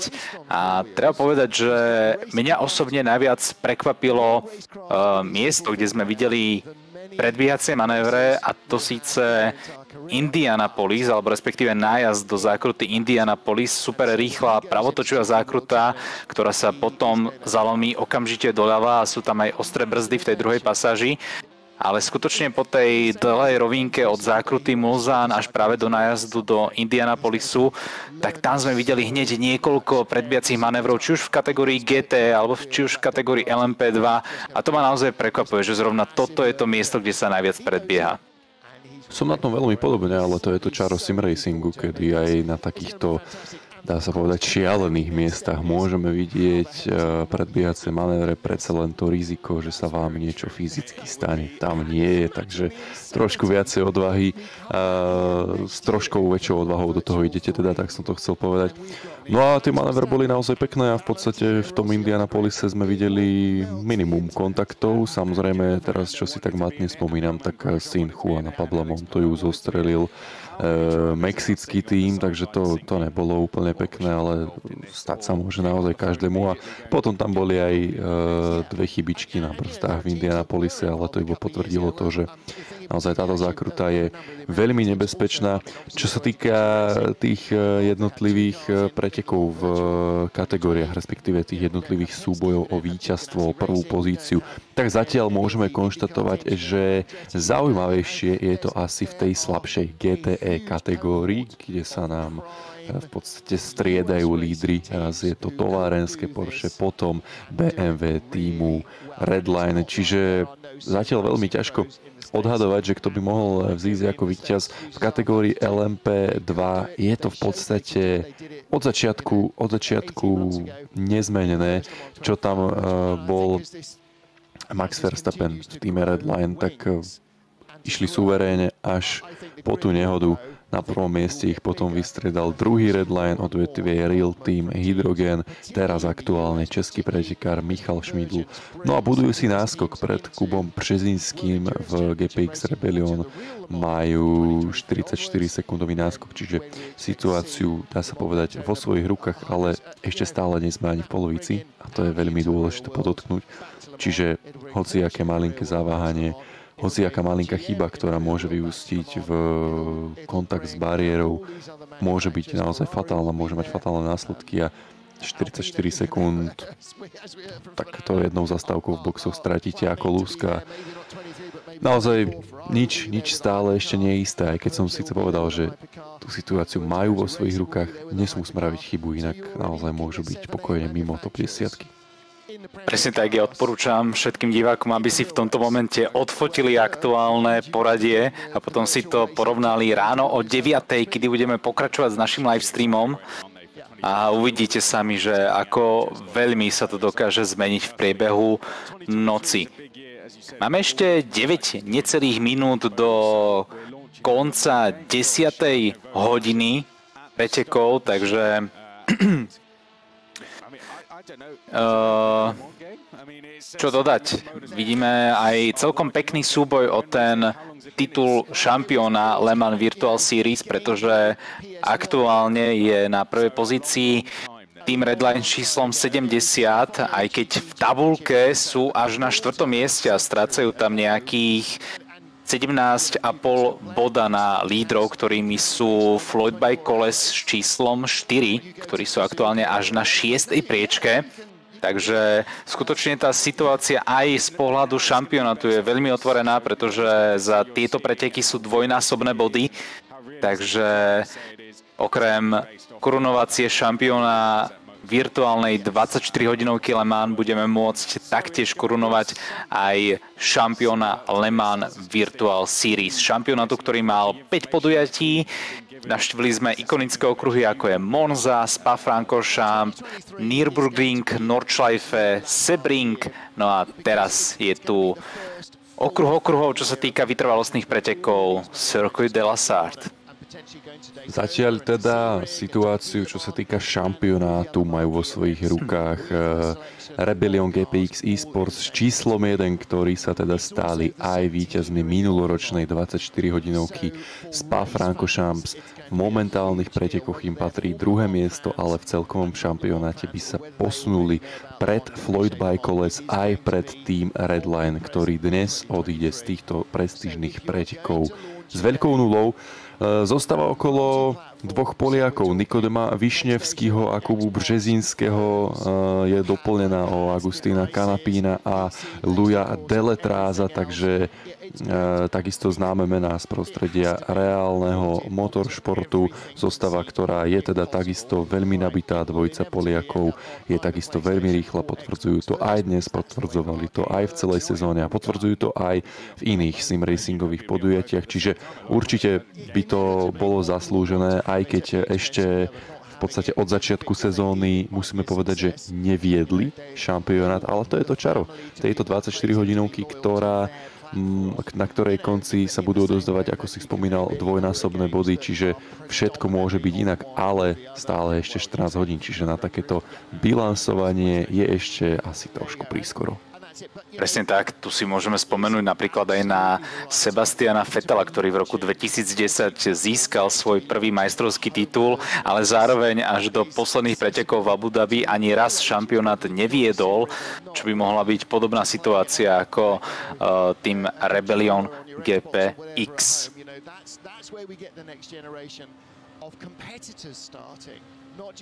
Tak z môjho pohľadu, keby som ja mal niečo v tej, zatiaľ v tejto prvej necelej polovici zhodnotiť, tak bolo trošku prekvapením to, že v GTčkách e, Red Bullácka Corveta, ktorá v doterajšom priebehu šampionátu nejak neukazovala, že by mala nejakú vysokú rýchlosť, ma dokonca pre náš tým ARC Bratislava to bol taký nejaký také nejaké nie veľmi, poviem to tak šťastné auto, najmä v Spa Frankošams tam myslím, že až trikrát boli v kontakte s touto korvetou a naozaj už si chalani aj mysleli, že táto korveta ich dokonca pri, doslova priťahuje problémové situácie.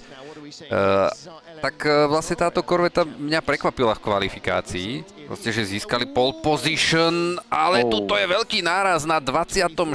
mieste, takže predsa sa nám tu ešte len niečo deje a to je Juan Pablo Montoya, LM Cup champion, takže Montoyovi to takto ustrelilo a pozrite sa, teraz bude mať čo robiť, aby dokrivkal uh, do cieľa, tak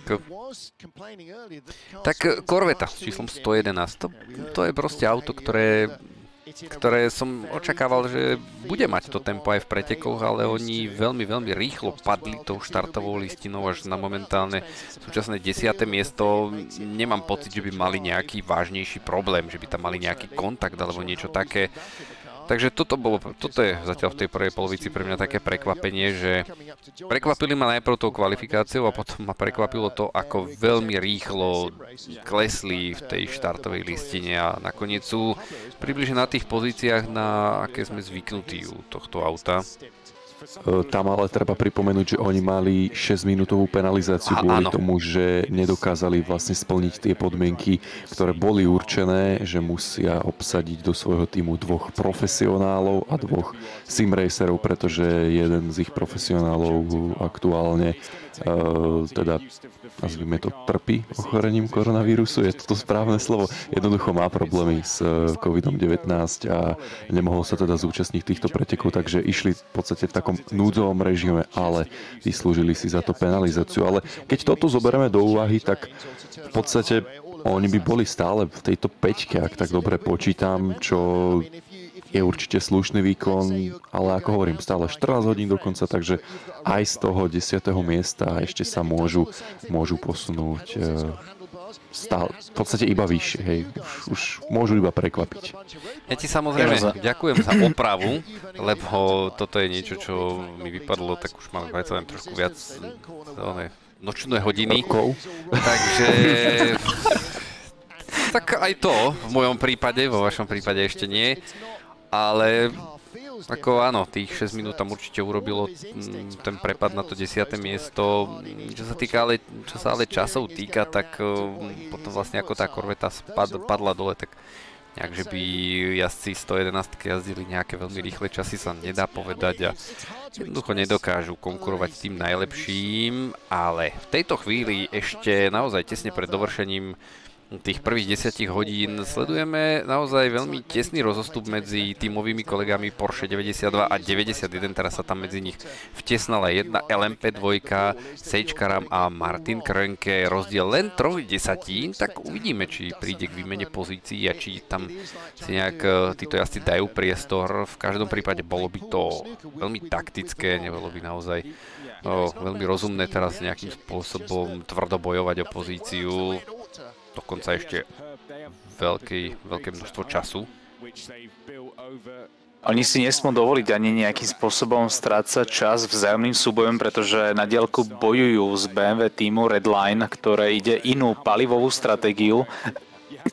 Pardon. A práve na konci by sa mohlo stať, že si dokáže BMW ušetriť jeden celý pit stop voči dvom Porsche, takže oni sa musia sústrediť práve na toto. Tak a nám už tak sa naozaj... hovoríte, uh, i, iné stratégie, v podstate Porsche muselo vymyslieť niečo proti tomu Redlineu, lebo sa stre, stretli na trati a naozaj v tých vytrvalostných pretekoch úplne nechcete bojovať priamo koleso na koleso, väčšinou sa to snažíte obísť nejakou stratégiou, takže toto je prípad aj ich. Uh, treba povedať, že aj tieto dve auta idú rozlišnú stratégiu, pretože Karam má na svojom konte 10 pitstopov a Martin Krönke, čakajte, teraz som sa asi zle... Áno, Martin Krönke 11, čiže aj medzi dvoma tímovými kolegami rozdielne stratégie. Čiže z toho strategického hľadiska veľmi pekne zamotané, veľmi zaujímavé. No a my sa môžeme teda tešiť na to, čo čo prinesú ďalšie hodinky.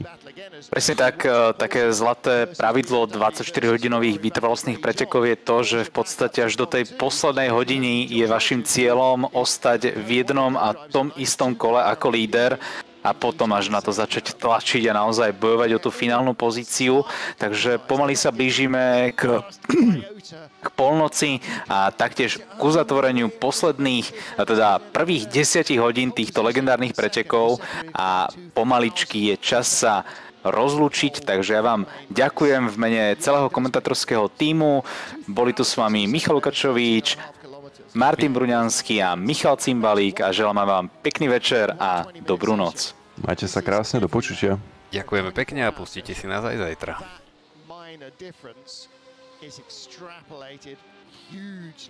You know, we're now 169 laps in. If you're losing a tenth, what's 169 tenths? It's uh, a lot. Yeah, yeah. You know, if you lose a tenth of a second in 13 kilometers just because you're not quite confident enough, if you're not quite confident enough on the brakes and you don't want it to spin, you're going to lose a tenth of a second every single time you hit the brakes. So that's going into the Dunlop chicane, down into the S's, down to Tertre Rouge, first chicane, second chicane, Mulsanne